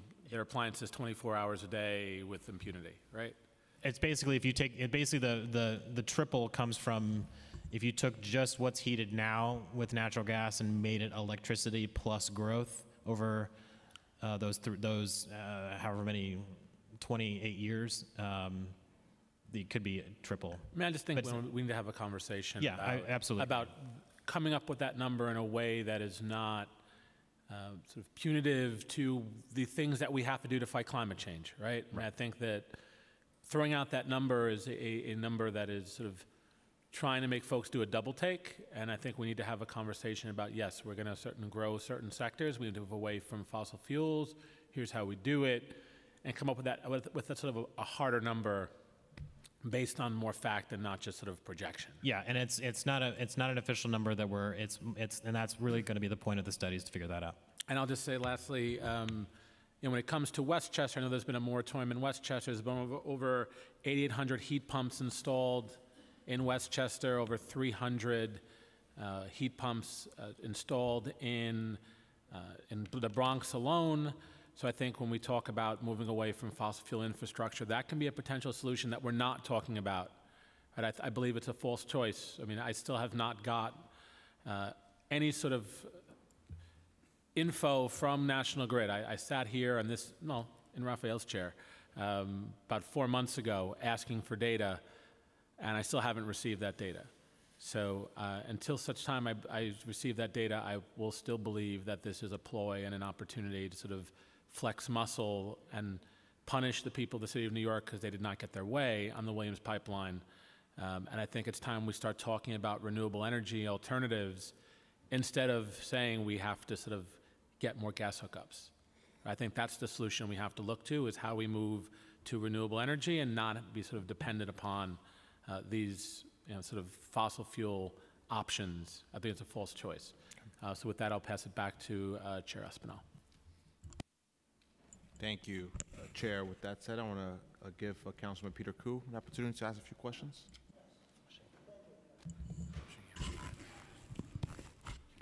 So I want to thank uh, the leadership from Connors and uh, having the patience sit down here for continually uh, three hours now. Yeah. And I have the leadership to leave and come back to ask you a question. Uh, my, my question is related to the, to the, to, to, not to the electric problem, but for the gas problem. Recently, a lot of con- my constituents, with the small business people or, or, or like developers, when they uh, uh, when they when they, uh, open a new restaurant, uh, it takes them months and to get a gas to come into their restaurants. And finally, they couldn't wait. They, they, they, they use electric to open the stores, right? But no, and also apartment buildings too, in Elmhurst, in, you know, it's not in, a, very far remote areas, just in the neighborhood, uh, downtown Flushing area, near Flushing. Uh, my question is, how come it's so hard to bring in gas? You know, we are not in Africa or some other uh, uh, remote countries. No, this is the most developed cities in the whole world. And, and you tell me, you know, we have a problem to supply gas uh, to, to new customers. And especially some, like, some, some places, when they demolish a building, the building there had gas before, but once you demolish it, you build a high rise, and they, they can't put gas to come in. So I want to know why, and then, then how you can improve it. Certainly, we can make improvements. In some cases, to, to, to bring gas in, particularly for, for larger buildings, we have to do reinforcement, which takes time, takes planning. Um, and, and again, it, it depends on the time, time we have to prepare for those, uh, those buildings to come online. If you get those, uh, those sorts of concerns and inquiries, you, you can contact me directly. I, I can get it over to the gas department. I used to work in energy services. We, we dealt with a lot of issues where we're trying to match uh, businesses and, and, and customers coming online, and, and we have to move our plans around to accommodate customers. That's what we do. Um, so, so we can do better, uh, but if you can get me those specific issues as they arise, we'll, we'll, we'll try to do what we can. And just one thing, this is um, one area that, in addition to being highly regulated by the Public Service Commission, um, we are inter- integrally intertwined with city agencies on a number of different levels. And so to the extent, for example, the, that um, someone has to have something reinforced, for example, that might mean we have to go through DOT to open the street. Um, and so uh, that's one way we sort of are intertwined with the city. Uh, I think second is, uh, and that's through the Department of Transportation. Uh, and then I think secondly, we obviously work very closely with the Department of Buildings, and we can't turn on anyone's gas until the Department of Buildings has has cleared it. And so that's another partnership we have with the city that, uh, in in the case of, uh, you know, a customer that needs reinforcement, uh, new gas for new gas service, uh, it requires a great deal of partnership with the city to get it done. So there's no such uh, stated policy from your company saying that you don't take any more new customers for gas? There's no such thing, right? Not in New York City. Not in New York City, not for the foreseeable future. So as long as they have Department of Building um, uh, permit, I mean, even the restaurant is completed. But somehow they were, they waiting for gas for four months, they, because they had to pay rent, they, so they had to open the restaurant. So, no, they use electric to, to, to power all these uh, appliances. And we all know gas is more powerful than electric. No, Yes. even in our own homes, we, we have gas uh, uh, uh, washers, right? When you wash washing machine, gas, or drying machine, or wash, if gas is much more efficient. And gas heat, so for a whole apartment building, you say there's no heat, and no, no gas, it's, it's terrible. Absolutely. I- If you can give me, uh, if- I'll, I'll talk to you afterwards. If you can Okay. give me this location, I'll, I'll look into it. All right, We'll see what we thanks. because we Bye-bye. really do not, we don't, do not want to not serve Hmm, All right, thank you. a large customer like that. Thank you. All right, wi- with that said, uh, you're free to go. We're gonna call up the next panels.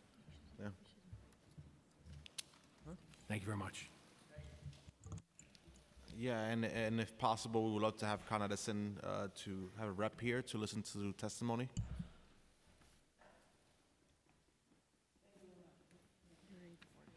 Dr. Yury Dvorkin, Assistant Professor from NYU. Richard Berkley, Public Utility Law Project.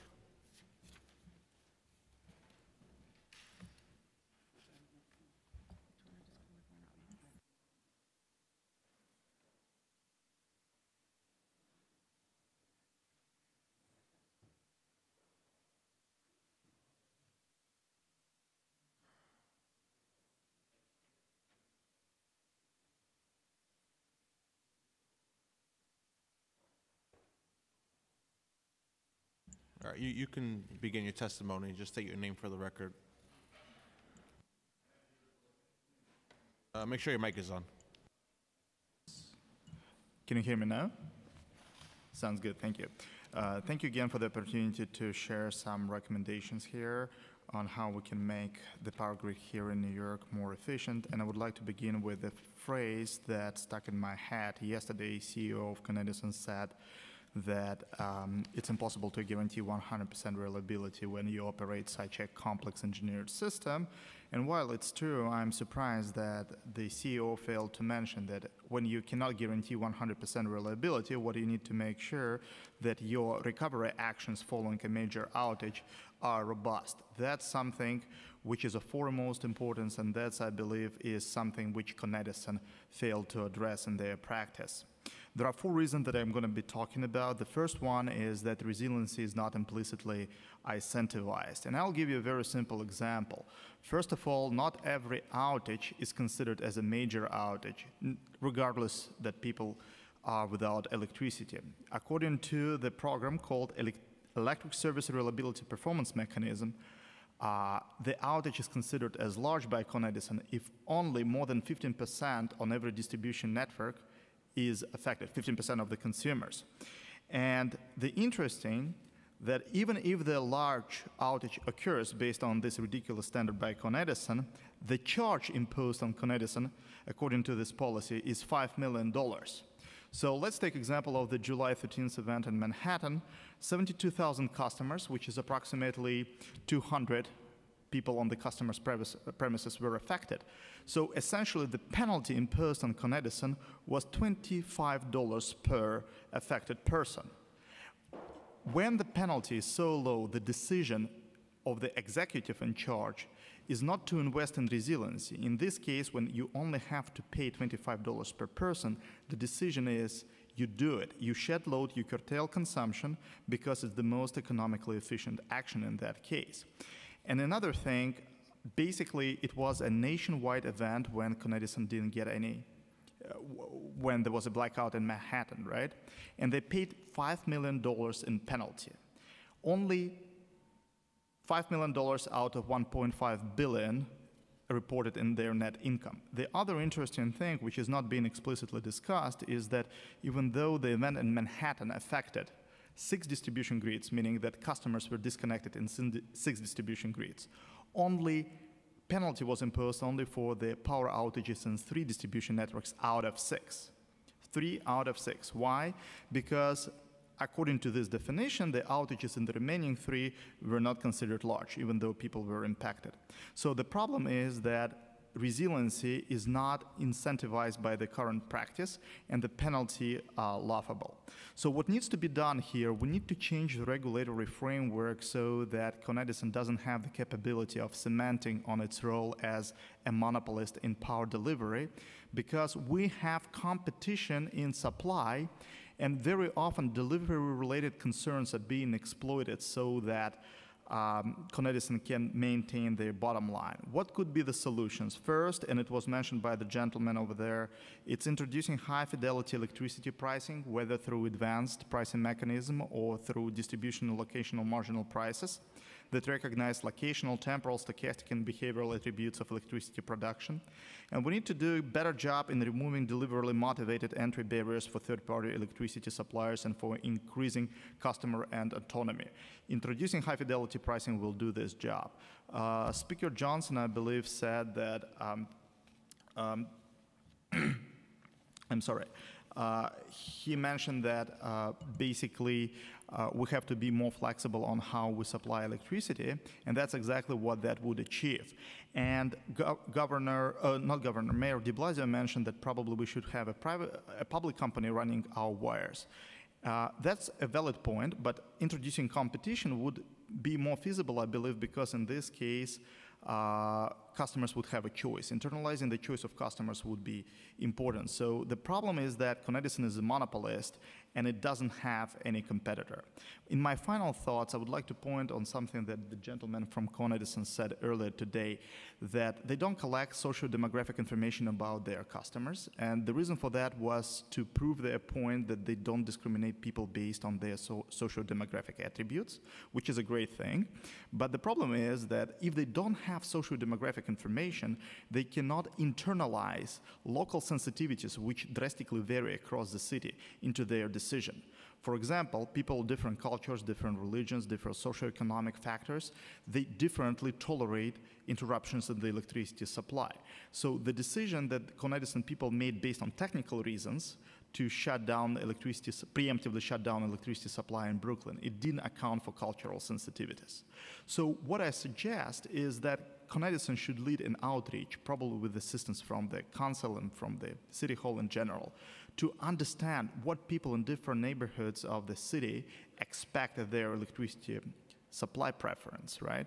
If it's an ability to tolerate a collision of a balloon, let be it. In some, it would be observance of some other reasons.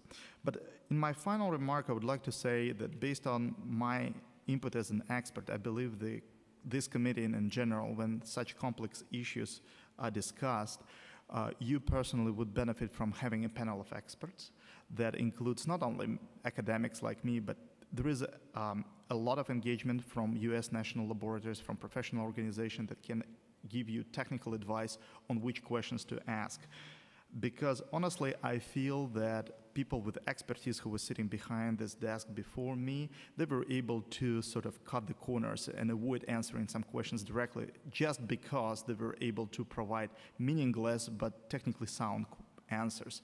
So I believe you would benefit honestly from uh, having experts on your side asking and grilling them on the questions that they don't want to answer. Thank you. Um, thank you to the chairs, thank you to the council, um, to the council leadership, and of course to Public Advocate Williams. My name is Richard Berkley. I'm the Executive Director of the Public Utility Law Project of New York. We're a 40-year-old not-for-profit public interest law firm and consumer protection organization. We were founded to fight against runaway increases in the cost of energy and to provide an independent voice for utility consumers and to have an independent entity that protects them, which may be of uh, some relationship to being here today. We are also committed to providing direct services to low income and the working poor New Yorkers and New York City residents. We intervene in utility rate cases, such as the existing Con Edison rate case and the National Grid New York City, formerly Brooklyn Union, and the National Grid Long Island rate case. So we think a lot about the interplay between the two moratoria, Con Edison soft moratoria in New York City, which uh, Councilmember Koo stumbled upon, and then also the other issues um, relating to creeping electrification. We've taken part in most of the major rate cases in New York over time, and we have also been involved in investigations into major electric outages, um, such as in the city in reverse order, the Superstorm Sandy investigations and the subsequent Moreland Commission inquiry, the 2006 Long Island City and Westchester blackouts, the 1999 Washington Heights blackout, and the 1977 blackout. My predecessor was a key member of the Moreland Commission and of the Western Queens Assembly Task Force investigations, and to my knowledge, um, provided a, a professional help to members of the council when asked. All of which brings me to today and the topic of the hearing, which is the reliability of Con Edison. But as the professor next to me pointed out, reliability is not the only important question. Resilience is as important in question with a utility like Con Edison. The company has said yesterday in front of the state legislature and today in front of you that it is the most reliable utility in the United States. And looking at the numbers on paper, um, that is not untrue. But reliability is not the only question. And particularly in New York, when the consequences of Con Edison having a failure are so much higher than they are elsewhere, you have a right, and the citizens of New York City have a right to expect more from them. Merely being better than everyone else is not good enough.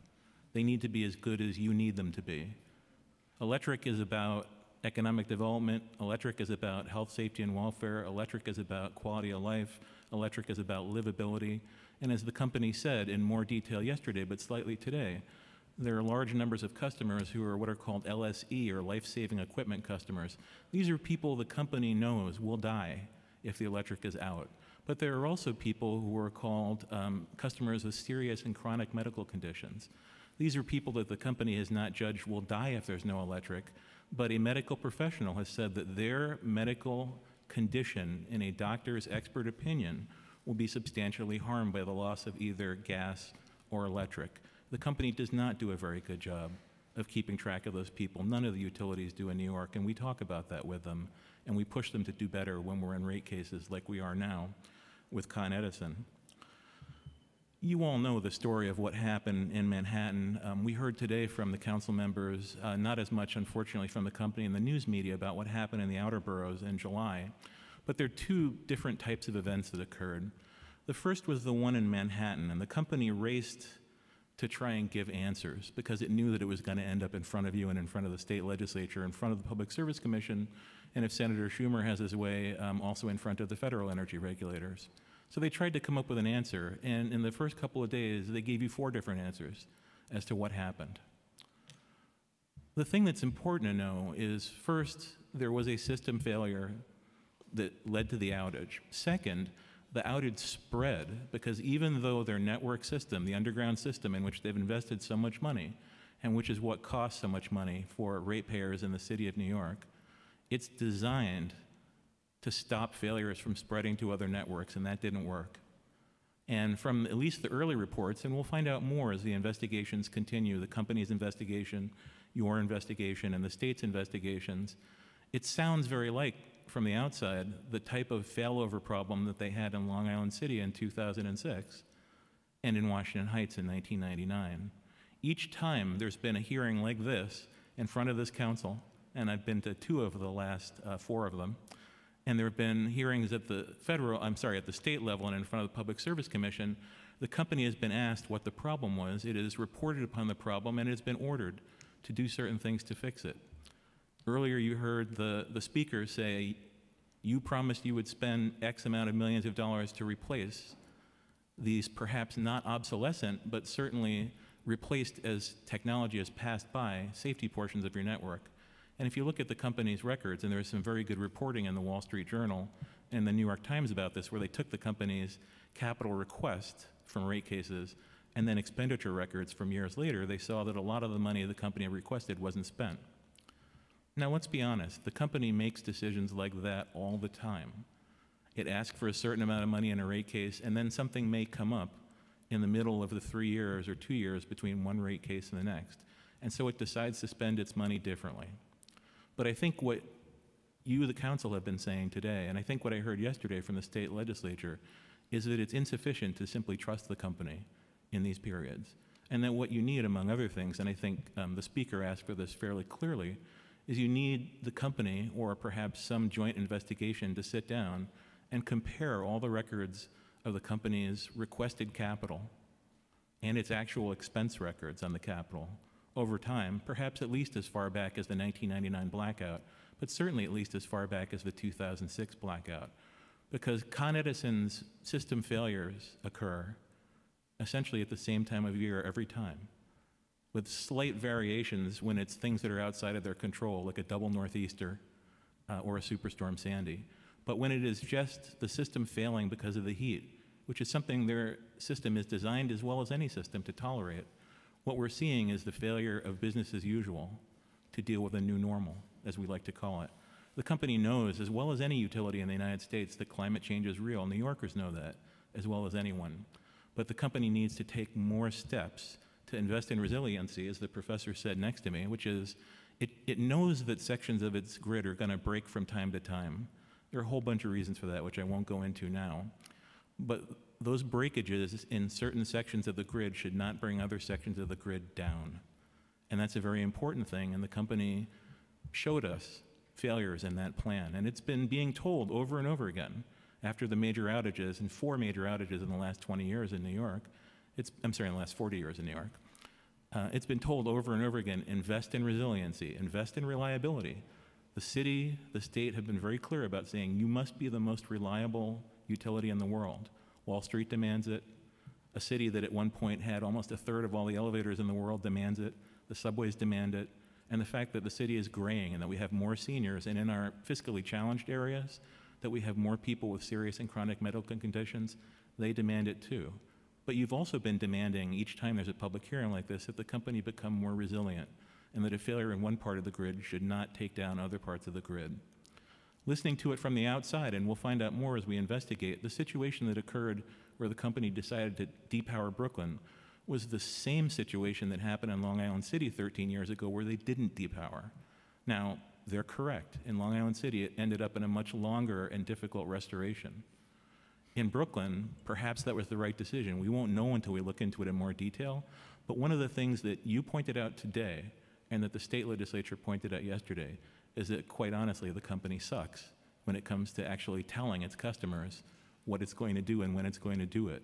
Each time there's been a major outage, you and the state have told the company that it has to communicate better. One of the best examples of this is when LIPA collapsed in Superstorm Sandy, and there's lengthy discussions in the Moreland Commission report about what the company must do to tell all the stakeholders, the businesses, the state level, the city level, the municipal level officials, that you should all be informed. Con Edison does some of that, but what it's doing is outsourcing its duty to talk to its customers to you.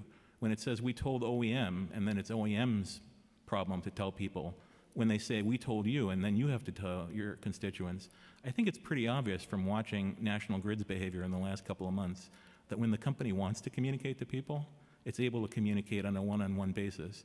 National Grid took email addresses that its customers had given it for other purposes and told them to lobby you. Con Edison, which also has email addresses, could as easily have told people, to the extent they still had email service, this is what's going to happen next in your neighborhood. We're going to shut off the grids. Get ready, whatever get ready means. But that's another question for another day. I had a whole bunch of prepared remarks. I'm not going to issue any of them today um, because it's late in the day, and I know at some point you're going to want to um, go back and think about this. So let me make a couple of observations and, and put forward a couple of questions I think that the council has to ask. First, I think this should only be the first of a series of ongoing hearings and an investigation into the behavior of the company. Again, this is about reliability, resilience, and the operation and management of the company. Most importantly, as your environmental chair and as all three chairs have said today, the company has to be looking at the future. No one doubts that it's getting hotter. No one doubts that it's getting wetter. No one doubts that there will be more extreme weather events. The company has to have a plan to do better in all these circumstances, and business as usual simply won't cut it.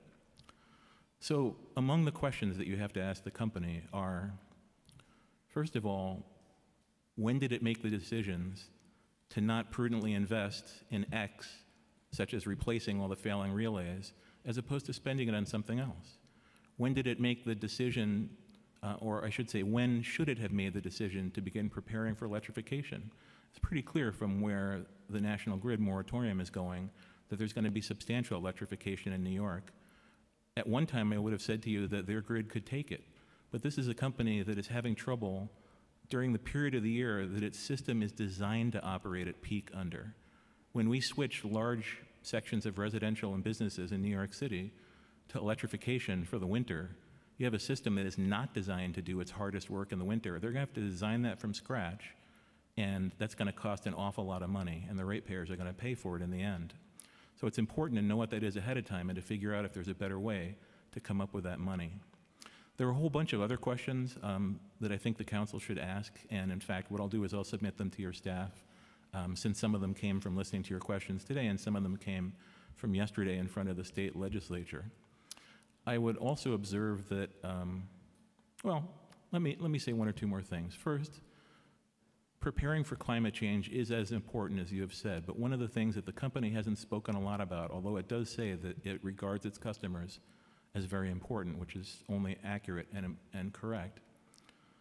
All of the measures to avert problems from climate change, all of the measures to move to more, more excuse me, to move to more renewable energy will cost money. Right now, almost 40% of the city can't afford to pay their bills on a monthly basis. You have something close to 40% of woman-headed households with children present um, that qualify for free lunch, and actually 100% of the school district in New York gets free lunch, although a lot of that is the city's money. But there are huge numbers of New Yorkers who can't pay these bills now. All of the money that's going to be necessary to be spent on reliability and resilience and preparing for a more flexible system for climate change is going to go to the bottom line. And so that's something that has to be planned and implemented. We can't avoid spending to avert the problems from climate change. We can't avoid spending to get more reliability and more resilience but you can plan. And one of the ways to do that is to make the company become more transparent as much as possible. I advocate that the council take part in trying to get more ordinary New Yorkers into rate cases. That's one of the things that I work on on a statewide basis with my organization. So let me stop there, and I, I think we both would be happy to answer questions. Thank you. No, good stuff. Thank you. I appreciate it, and we'll take it all into account. Thank you, and thank you for having me here today. Appreciate it. Uh, next panel, we have Annel Hernandez from New York City Environmental Justice Alliance. We have Lee Asishan, and forgive me if I mispronounce your name, you can correct me once you're up there, from Sane Energy Project, Kim Fraczek from Sane Energy Project, and Gustavo Gordillo from New York City Democratic Socialists of America.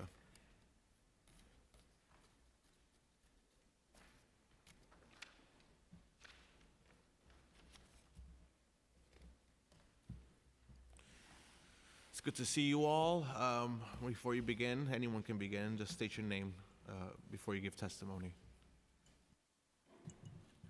Hi, good afternoon. Uh, Chairperson Constantinides, uh, Brannan, Espinal, and me members of the City Council. I just want to say that I appreciate the energy that everybody brought uh, to the hearing today. I think it's important to hold uh, Con Ed accountable, so thank you for that. Uh, my name is Annel Hernandez. I'm the Associate Director of the New York City Environmental Justice Alliance. We are a citywide membership network linking grassroots organizations from low income neighborhoods and communities of color in their struggle for environmental justice. Climate justice is based on the principle that frontline communities are most vulnerable to climate change and therefore must play an integral role in planning for the renewable and regenerative energy economy.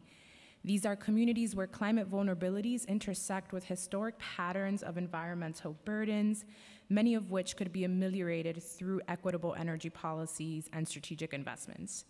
As utility ratepayers, members of these communities have financially contributed to existing energy efficiency and renewable energy programs in New York, only to encounter barriers to their own participation or programs that ultimately fail at systemically addressing the root causes of energy insecurity and energy poverty.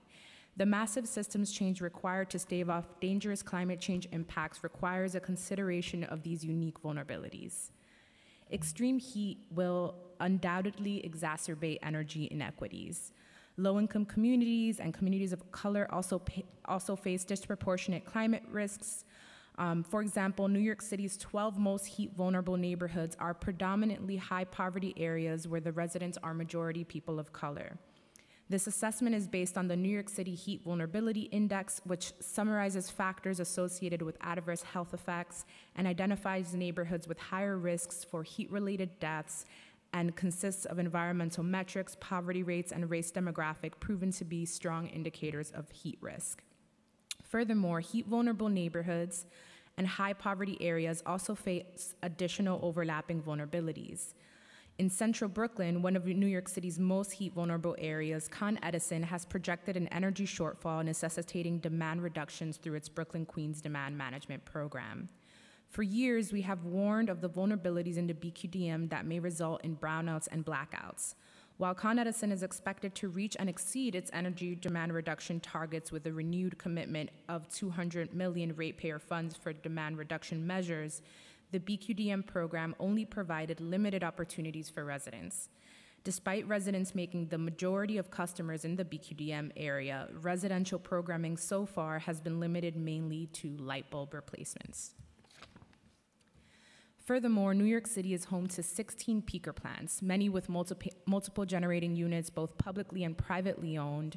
These highly polluting fossil fuel power plants, known as peakers, fire up in the South Bronx, Sunset Park, and other communities of color on the hottest days of the year when air quality is at its worst, and sensitive populations are warned to stay indoors. Peakers then spew even more harmful emissions into neighborhoods already overburdened by pollution. This outdated, inequitable, and inefficient system for meeting peak demand is ripe for transformation. All of New York City's privately owned peakers have been in operation for over 45 years and utilize old technology without upgraded pollution controls. Over the past 10 years, by public estimates, these New York City peaker plants have taken in about $4 billion of what are called capacity payments, just to sit there and run infrequently, with some units operating no more than a few hours a year to keep the grid operating.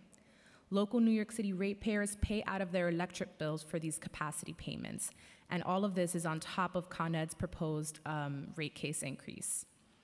Many of these plants, particularly the largest, oldest, most polluting plants, are owned by out of state private developers taking in billions of dollars in wealth out of these communities. These billions of dollars could instead be used in local investments for community solar and storage that could meet these peak demand needs, reduce electric bills, and provide resilient power, um, which would help avoid the impacts of blackouts like the one that hit Manhattan and Brooklyn this summer. Renewable and resilient energy systems will advance energy democracy, reduce energy cost burdens, strengthen the resiliency of communities, and capture the benefits that community solar and storage installations can deliver. Con Ed must not must uh, ensure not only that its grid is resilient to extreme weather, but also that there's a, a plan to modernize and prepare for the new influx of large-scale offshore wind, distributed generation, and community solar throughout the city. Right now, they are not prepared for the renewable energy future. The Climate Leadership and Community Protection Act, which legislated commitments to eliminate fossil fuel emissions in New York State by 2050, make it imperative to transition to renewable and resilient energy future. New York City's electricity generation and distribution infrastructure is highly vulnerable to storm surge, flooding, and extreme heat, and we can no longer wait to invest in a just transition. Thank you. Um, hello, my name is Lee Ziesche. I am an organizer with Sane Energy Project. I am also a documentary filmmaker who has worked with communities that have been, been impacted by frack gas infrastructure for about six years. Um, I thank the City Council um, so much for being here and listening to us today, and I wish Con Ed would have stayed and done the same. It seems like most of them left after they testified, um, but as I will kind of address in my testimony, that's kind of been the par for the course for us dealing with Con Ed. Um, the Con Ed blackouts during the heat wave and following heavy storms expose a scary truth that our energy infrastructure here in New York is not prepared for climate change. But what's even more terrifying is that Con Ed wants to continue to build out frack gas infrastructure that will only make climate change even worse. In their current rate case, Con Ed is proposing to spend 200 million of our ratepayer dollars to expand frac gas pipelines in Manhattan and Queens, 191 million dollars to expand 7 miles of pipeline in the Bronx, and 64 million of our ratepayer dollars to extend the life of an LNG facility in Astoria. That also does not include the money that they're spending to uh, replace leaking pipelines, and very often they're using that as an excuse to actually expand pipelines, which overall will increase emissions when the full life cycle of gas is taken into account, not diminish them, um, like they testified today. Climate science is telling us we need to get off gas, but Con Ed doesn't want to listen to climate science or New Yorkers who, time and time again, have vehemently opposed frac gas. All they care about is locking us into a business model that makes their shareholders obscene profits. Yesterday, at a hearing before the New York State Legislature, Con Ed President Tim Cawley said the rate case has been a very collaborative process. Sane Energy is a party to the rate case, which is currently in confidential settlement, so I can't say much. But I believe the public deserves to know that the proposal on the table completely fails the climate test and that the process has not been collaborative. The room is mostly full of lawyers in suits, and when we've brought up climate science, it's been thrown back at us as how we feel on certain issues. Requests for more public hearings in communities most impacted by fossil fuel pollution and high energy burdens were denied. And even today, we requested that settlement negotiations be rescheduled so small organizations like Sane Energy Project could attend this important hearing. Our request was denied, and I felt it was more important to be here today in this room than in that settlement room a couple blocks away, where the voices of people demanding that climate science be listened to have been ignored and even looked down upon. Yesterday, Tim Cawley said four times that Con Edison's customers are their true north but they don't seem very interested in what I have to say as a ratepayer. I think money is Cawley and Con Ed's guiding star. And yesterday, while lying about what a collaborative process this has been, Tim Cawley made about $6,777 because um, he's making about 2.4 million a year. So that, you know, over $6,000 is actually more than I have in my bank account right now. Um, I work part-time at Sane Energy organizing for a livable future, but I'm also a server at a restaurant. So I work incredibly hard for my money. And to be thinking that Con Ed is not only going to be raising my rates, but that every dollar, some of those dollars that I'm sending to them, they're actually going to be spending them on making New York an unlivable city by funding frack gas infrastructure. So, how do we get to a truly reliable, safe energy system? Uh, we stop investing in frack gas infrastructure today.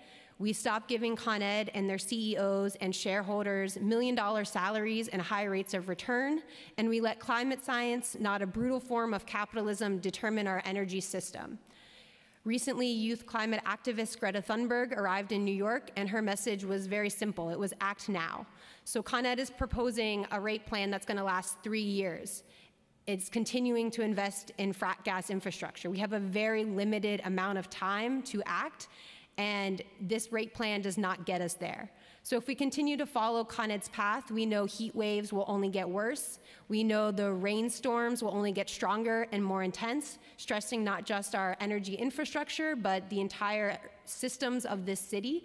So we need to act now. And like I said, I felt like it was more important to be here talking to you because I've seen action come from City Council. And so I hope you can take this message to a lot of the other members who had to leave Um, you know, what Con Ed is proposing right now is just insane. And it's been very difficult to sit there in a room, not be able to talk about what's going on, and just have them, you know, debate about how much money they're going to make while the plan that's on the table is a disaster as for the climate. So, again, thank you so much for listening and all the action you've taken already from City Council on climate change.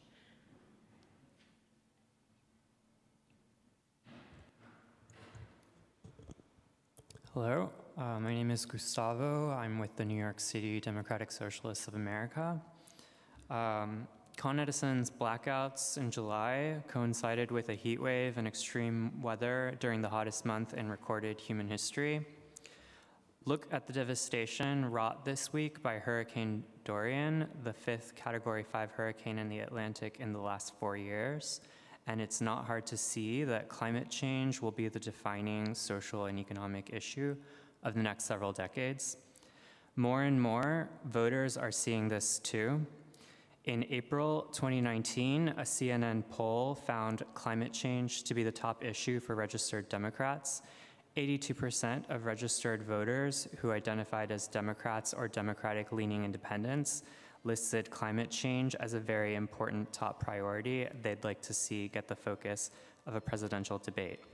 In August 2019, a poll conducted by YouGov Blue and commissioned by Data for Progress found that nearly 62% of voters said they'd support a policy holding energy companies or utilities legally liable if it could be proven that they misled the public about the consequences of climate change.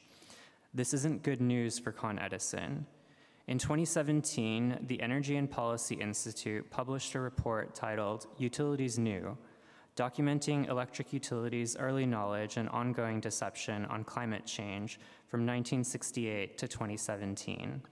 The report details that Con Edison contributed funding to produce a 1971 report on the industry's long-term research and development goals that already included research into the effects of CO2. Con Edison is a member of the major trade association, the Edison Electric Institute, which has spent recent years lobbying against solar throughout the country. And today we heard Con Edison's representatives say that they have a lot of power and influence in these organizations. At the Edison Electric Institute's annual convention in 1971, an MIT professor, Dr. Carroll L. Wilson, warned that if a consensus arose that we had to limit or curtail the use of hydrocarbons because of their impact on climate, the implications would be enormous. The Edison Electric Institute sponsored a cutting edge study between 1985 and 1988, which found that climate changes possible over the next 30 years may significantly affect the electric utility industry. But over 30 years later, investor-owned utilities like Con Edison continue to hold us hostage to ecocidal policy, like expanding fracked gas infrastructure, which Con Edison has supported both with the Williams pipeline and in its current ongoing rate case, to which we're also parties. And I also want to highlight the what what I consider to be the illegitimacy of deciding um, a rate increase behind closed doors in a settlement process where none of us are able to disclose in a public way what's going on behind behind those doors um, or what even the utility wants to propose beyond what's already been outlined in their testimony. So furthermore, in the last months, Con Edison has shown itself to be unable to cope with the extreme weather conditions that they themselves have played a major role in creating and inflicting upon us. I and others in the DSA have spent the last few months talking to New Yorkers about our broken energy system. We canvassed residents in Southeast Brooklyn who spent up to three days lingering in the heat without power during a record-breaking heat wave. That's because Con Edison intentionally cut off power to more than 33,000 homes. These New Yorkers were sacrificed without warning and wanted to know why. Con Ed had 20 minutes between the decision to cut power to Southeast Brooklyn and the actual depowering, but they have no system in place to notify people when they cut off their power. Some we spoke to in these neighborhoods, such as in Flatbush, were concerned for their family members and elderly neighbors at risk of heat stroke. One spoke of a diabetic family member in her home who was unable to properly store insulin, putting her health on the line. Some, already rent burdened, struggled to eat that week because their food spoiled and they were unable to turn on their stoves. Those who took the time to, to apply for reimbursement from Con Ed during the short window they were allowed initially found it Byzantine and difficult to navigate, but most reported not knowing reimbursement had been an option at all. One Canarsie resident had her power shut off and was forced to sleep outside on the porch with her baby because it was so hot in their apartment, again, during the hottest month in recorded history. The baby contracted viral conjunctivitis, which cannot be treated with antibiotics, and soon after gave it to the mother, which led to her missing a week of work. It was a chain of misfortune set in motion by Con Ed's greed and well documented history of placing profits over public safety, grid resilience, social equity, and climate justice. We also spoke to people in Astoria, Queens, where a lion's share of the city's power is generated, and where a recent transformer fire turned the night sky a vivid blue, leaving community members asking themselves if they were actually safe in their own neighborhood. More than 100 people made it out to a town hall Councilmember Constantinides hosted with us in Astoria to speak out against Con Ed despite the pouring rain.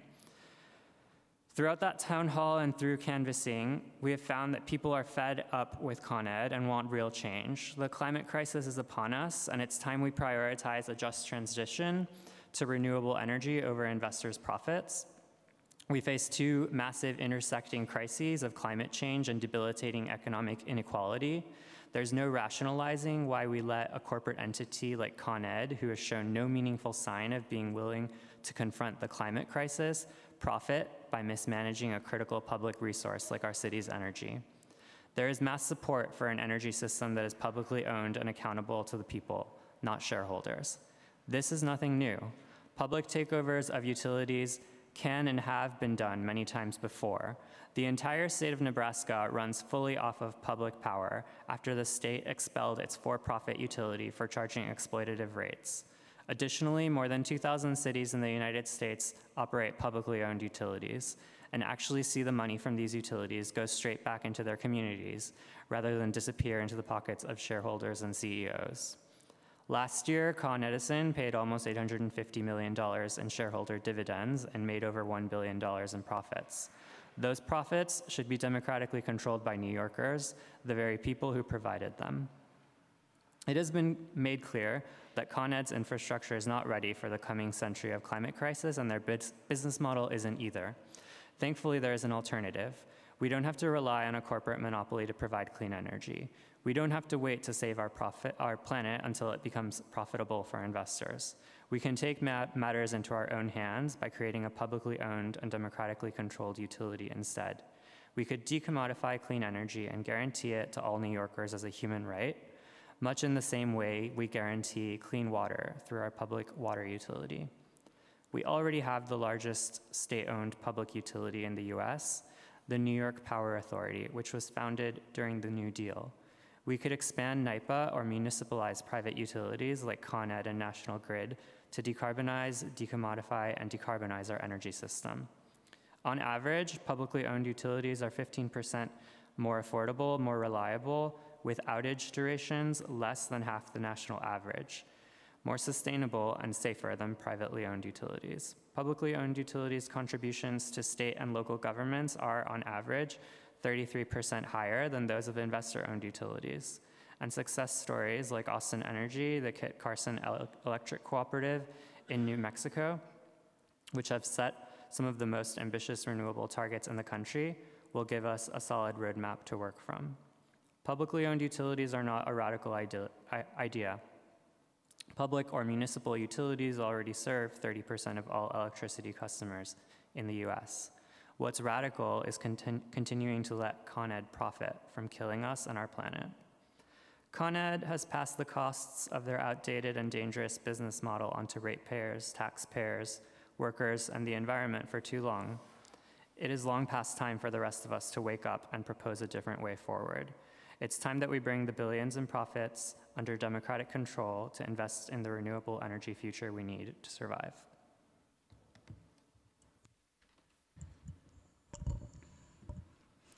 Hi, everybody. My name is Kim Fraczek. I'm the director of Sane Energy Project. Um, we represent over 8,500 New Yorkers working for the past decade toward halting fossil fuels and moving our economy to 100% renewable, owned and led renew, uh, renewables.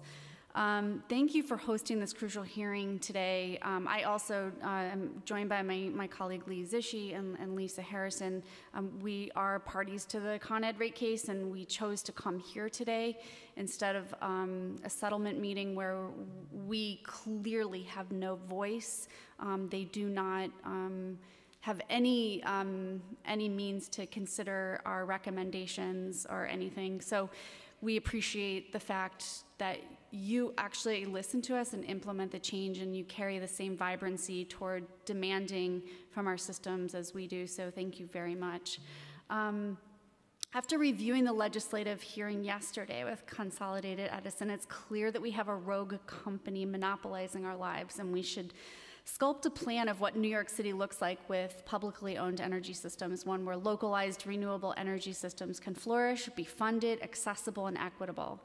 It's time for us to vision the world that we want, and, and those people in this room right now are part of making that process happen. It's not an easy task, but we should begin uh, the visioning process to make it a reality and work together with those who have already put forward incredible visions and technology to pass climate laws in the state that we just saw this past legislative session.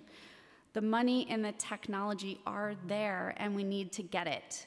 Uh, yet we have powers working against us now that are willing to fight to the death to maintain the system that works for the billionaire and millionaire class.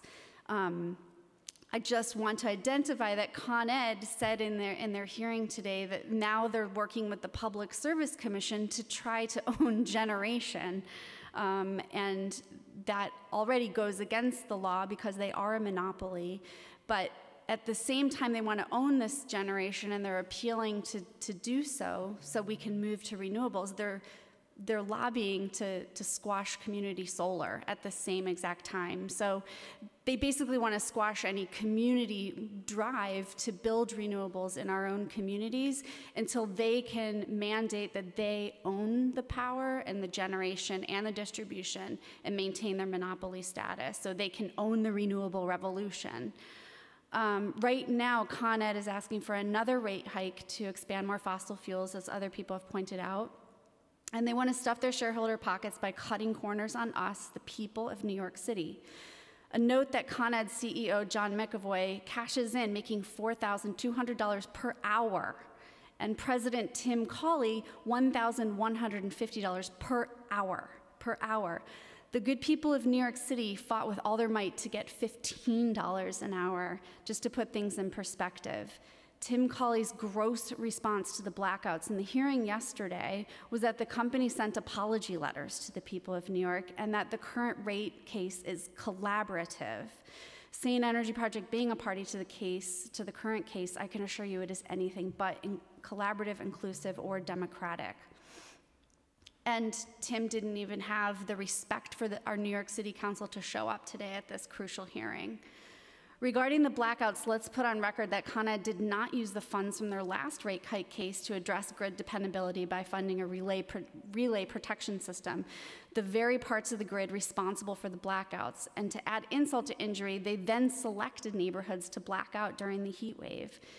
We have the answers. The answers is to redistribute the wealth and power away from these billionaires pumping fossil fuels into our city on our dime while letting our systems go into disrepair. Although renewables and efficiency conservation undermine Con Ed's profit, it will keep us safe, so it's time to fight for that. We support City Council's leadership on accountability to the corporate utilities in New York City, and we additionally urge the City Council to hold another hearing, continue to make statements and actions with us against National Grid's scare tactics, and holding businesses and residents hostage to push through the Williams-NESE pipeline. We urge you to make a direct demand to John Rhodes at the Public Service Commission to do his job and serve the public by standing up to the criminal acts of corporate utilities. When I had conversations with Catherine McCarran and John Rhodes at the Public Service Commission recently, they told, when I asked them where the, where the investigation was on Con Edison's moratorium, and now they're opening an investigation on National Grid's moratorium. And I said, when are they going to be ready? Then the Con Ed investigation was supposed to be due in June. And they, my, the answer from Catherine McCarran, who's in charge of gas at the PSC, wrote me back and said, it'll be ready when it's ready.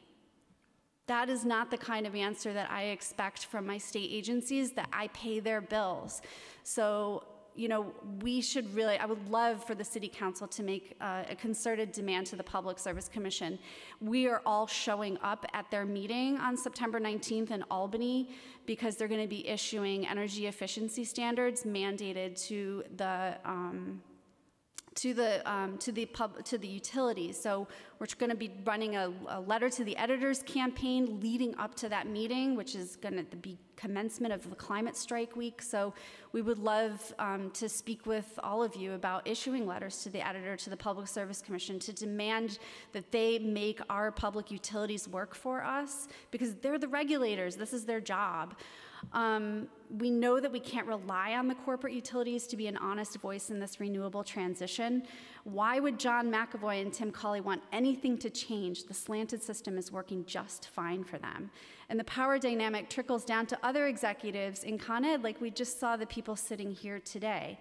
Those same people were sitting at this very table on April 15th, 2019, in the hearing to pass the resolution to oppose the Williams-NESE pipeline. Consolidated Edison representatives Ivan Kimball, the VP of Energy Management, and, and, Kyle Kimball, the VP of Government, Regional, and Community Affairs, claiming that methane gas supply constraints in New York City to justify building another heinous pipeline in order to bring profit to none other than Williams, Con Edison, and National Grid shareholders, and stick all of us footing the bill. Their testimony was counter to a report issued by Suzanne Mattei, former DEC regional director, that we don't even need the gas.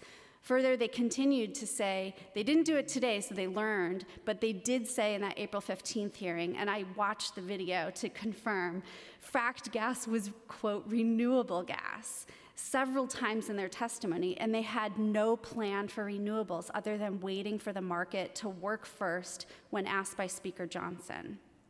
We can't afford to keep business as usual when business as usual is killing us. We need accountability and redistribution of wealth power and starting with the corporate utilities that operate in New York. Um, I'll, I'll, email you all my testimony. I, I just didn't have the opportunity to print it this morning. Thank you so much. No, thank you all for your testimony and for shedding light on all of the issues of Con Ed and especially in our communities of color. I appreciate it. Thank you. Thank you.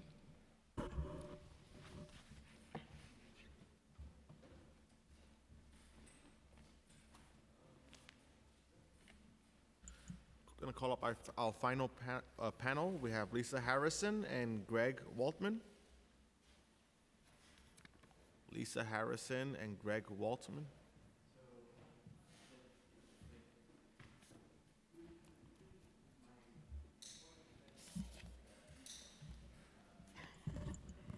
You may begin. Just remember to uh, state your name before you give your testimony.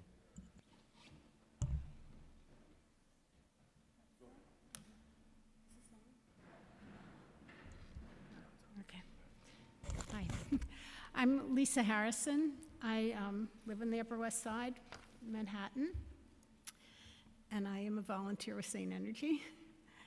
Um, so, for as long as I can remember, no blackout has been caused by lack of fuel.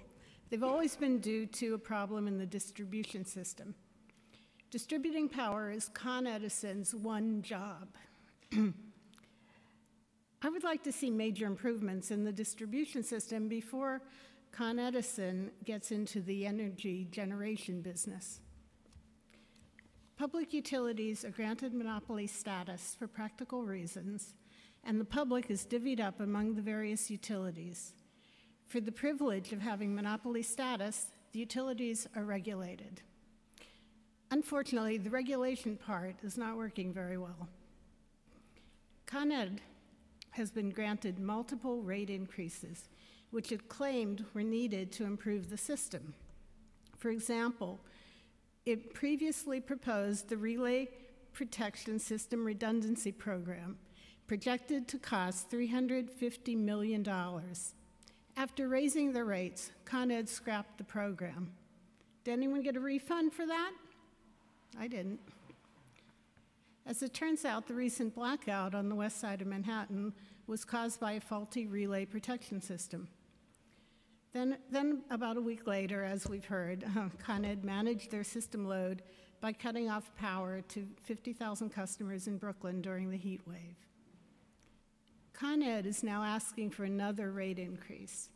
This time, they want to spend hundreds of millions of dollars to expand fracked gas infrastructure, locking us into decades more of fracked gas and forcing us to pay for it. Instead of maintaining Con Ed's business model, we should be increasing energy efficiency and transitioning to 100% renewable energy. A public utility would be helping with this effort, not taking us in the opposite direction. Instead of pipelines, we need aggressive efficiency programs and incentives for replacing archaic boilers with ground and air source heat pumps, which will eventually run on wind, solar, and tidal, tidal electricity. I just wanted to say a little bit also about the smart meters, um, which we've heard great praise for from Con Edison. Um, Scientists and healthcare professionals are concerned about the health impacts of smart meters and the radiation that they admit, emit. But this hasn't stopped Con Ed from installing them all over our city. Shouldn't a company have to prove that their product is safe before rolling it out? When did it become okay to use the public as guinea pigs? And especially in New York City, where we're not talking about a single family house with one meter. We're talking about huge apartment buildings with rows of meters in, in their basements. I got this um, large postcard from Con Edison with a smiling guy saying, Smart meters are coming. And it gave a, a phone number for uh, if you have any questions. Uh, I called that number. And I found, um, I had several questions. I, one of them was answered which was um, I said, Can I opt out of this program? They said, I can opt out if I pay $9.50 a month, which amounts to about $1,000 a year. And they said that was because they will have to send someone to read the meter, as they do currently. So I said, okay, um, my building has 10 apartments in it. If the whole building opts out, would that be 950 for the building since you're only sending one person to read the meter, not 10 people to read each meter? And she said, no, uh, it's 950 per account because that's what the PFP, um, Public Service Commission, PSC, approved. So, uh, you know, I said, well, that doesn't seem very fair. And she said, well, there's nothing I can do about it. I had some questions about the meters because I'm not a scientist. I don't really know if they're safe. I don't feel comfortable just taking Con Ed's word for it, saying, yeah, they're fine. Um, you trust us. So uh, I've tried to get some answers. The person I spoke to had no information on the smart meters. She said to call the manufacturer, which was Aclara. I called Aclara. I did not get information from them either. So I, I have a list of questions that I would like to get answered. If you have any um, influence with, you know, with them, I would love to give them to you and see if you can get answers, because I can't make an informed decision on Yeah, af- this. After the hearing, we, we can uh, have a side conversation. and That would be ask great. Questions. All right, Yeah. that Thank would- you. That would be great. Appreciate it. So, um, you know, Con Ed operates as a for-profit monopoly corporation accountable to its stockholders, not to the public. Their decisions are made on the basis of profits. Um, they do not consider the environmental impact of their decisions, only their bottom line. Con Ed is desperate to preserve their business model and keep us hooked on fossil fuel, as was made clear by their fake gas shortage and moratorium and lobbying for the Williams pipeline, which they have been doing, as people have mentioned. Obviously, the system is not working. A better option might be municipal utilities using only renewable energy. Since Con Ed clearly will not change its business model, we need a public solution to this. Thank you. Thank you.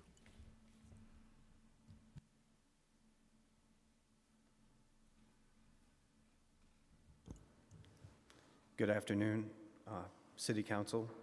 My name is Greg Waltman. Um, Here testifying on behalf of G1 Quantum, my energy company.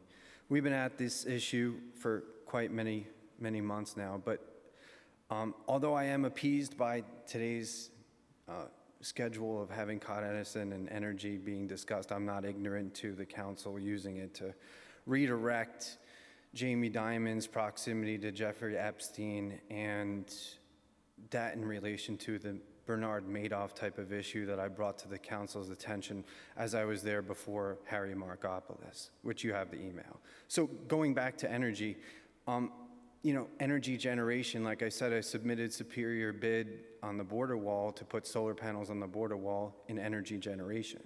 Now, these contracts could be originated from New York and then offset any type of fiscal and budgetary concerns that the council might have. So are we going to sit here, like Chair Constantinides said, in, in an illusion of choice, or are we actually going to do something? And, and that's why what I'm here to do. I mean, you have an illusion of choice with your improperly formed monopoly utility at Con Edison, but if you were to cut me a blank check today, I wouldn't be able to tell you that I'd be able to do a better job reworking infrastructure because you're going to have power outages. That's just the way it is. But how, how we address and offset or, or um, how can you talk about a rate increase under those types of conditions, and I just don't think a rate cre- increase is warranted under those types of conditions. It's, it's not that you need more competitors in the marketplace, it, it's just that you need to rethink about how you offset or address or generate tax revenues in, in, in the type of way that I just described a solar application on the wall. I mean, you, you might not like the wall, but if it's going to be there and has been there for over 100 years, it might as well produce energy. Then you stabilize an economy like a Tijuana demonstrating application, and you create the type of reciprocity you need, not only stabilizing energy prices in North America, but also Latin America. So you have the type of opportunity in Latin America that we have here in America, right? So if you create the similar opportunity, you resolve chain migratory issues, essentially killing, you know, a couple value birds with one stone. Um, and, and, and it's not only that, it's, you know, you look at Hudson Yards and you see trains clunking out tens of thousands of dollars in diesel an hour just sitting there. Anyone notice that? They just clunk out diesel not doing anything, just stationary, spending money on stationary. While, you know, New Yorkers are now being forced to, to buy single ride tickets on the MTA. Is that because the price of diesel is going up soon? I mean, it's just, it's just one of those things where there's just a, a, a lack of accountability across the board. And, and for the governor and to write checks to uh, different types of county officials, municipalities to do LIRR track uh, enhancements while overlooking quantum tracks in the clean energy application like I described many times, and reapplication of speed breaker technology is just absurd. So I just, I just hope that some of these issues, you know, are addressed and, and we parse through the value Green New Deal illusion of choice narratives that Chair Constantinides was alluding to. Thank you. All right, thank you, sir. Uh, With that said, uh, we're concluding this hearing. Um, I appreciate everyone for their testimony.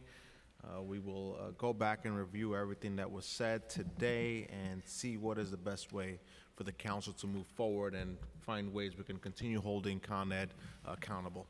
Thank you. Meeting adjourned.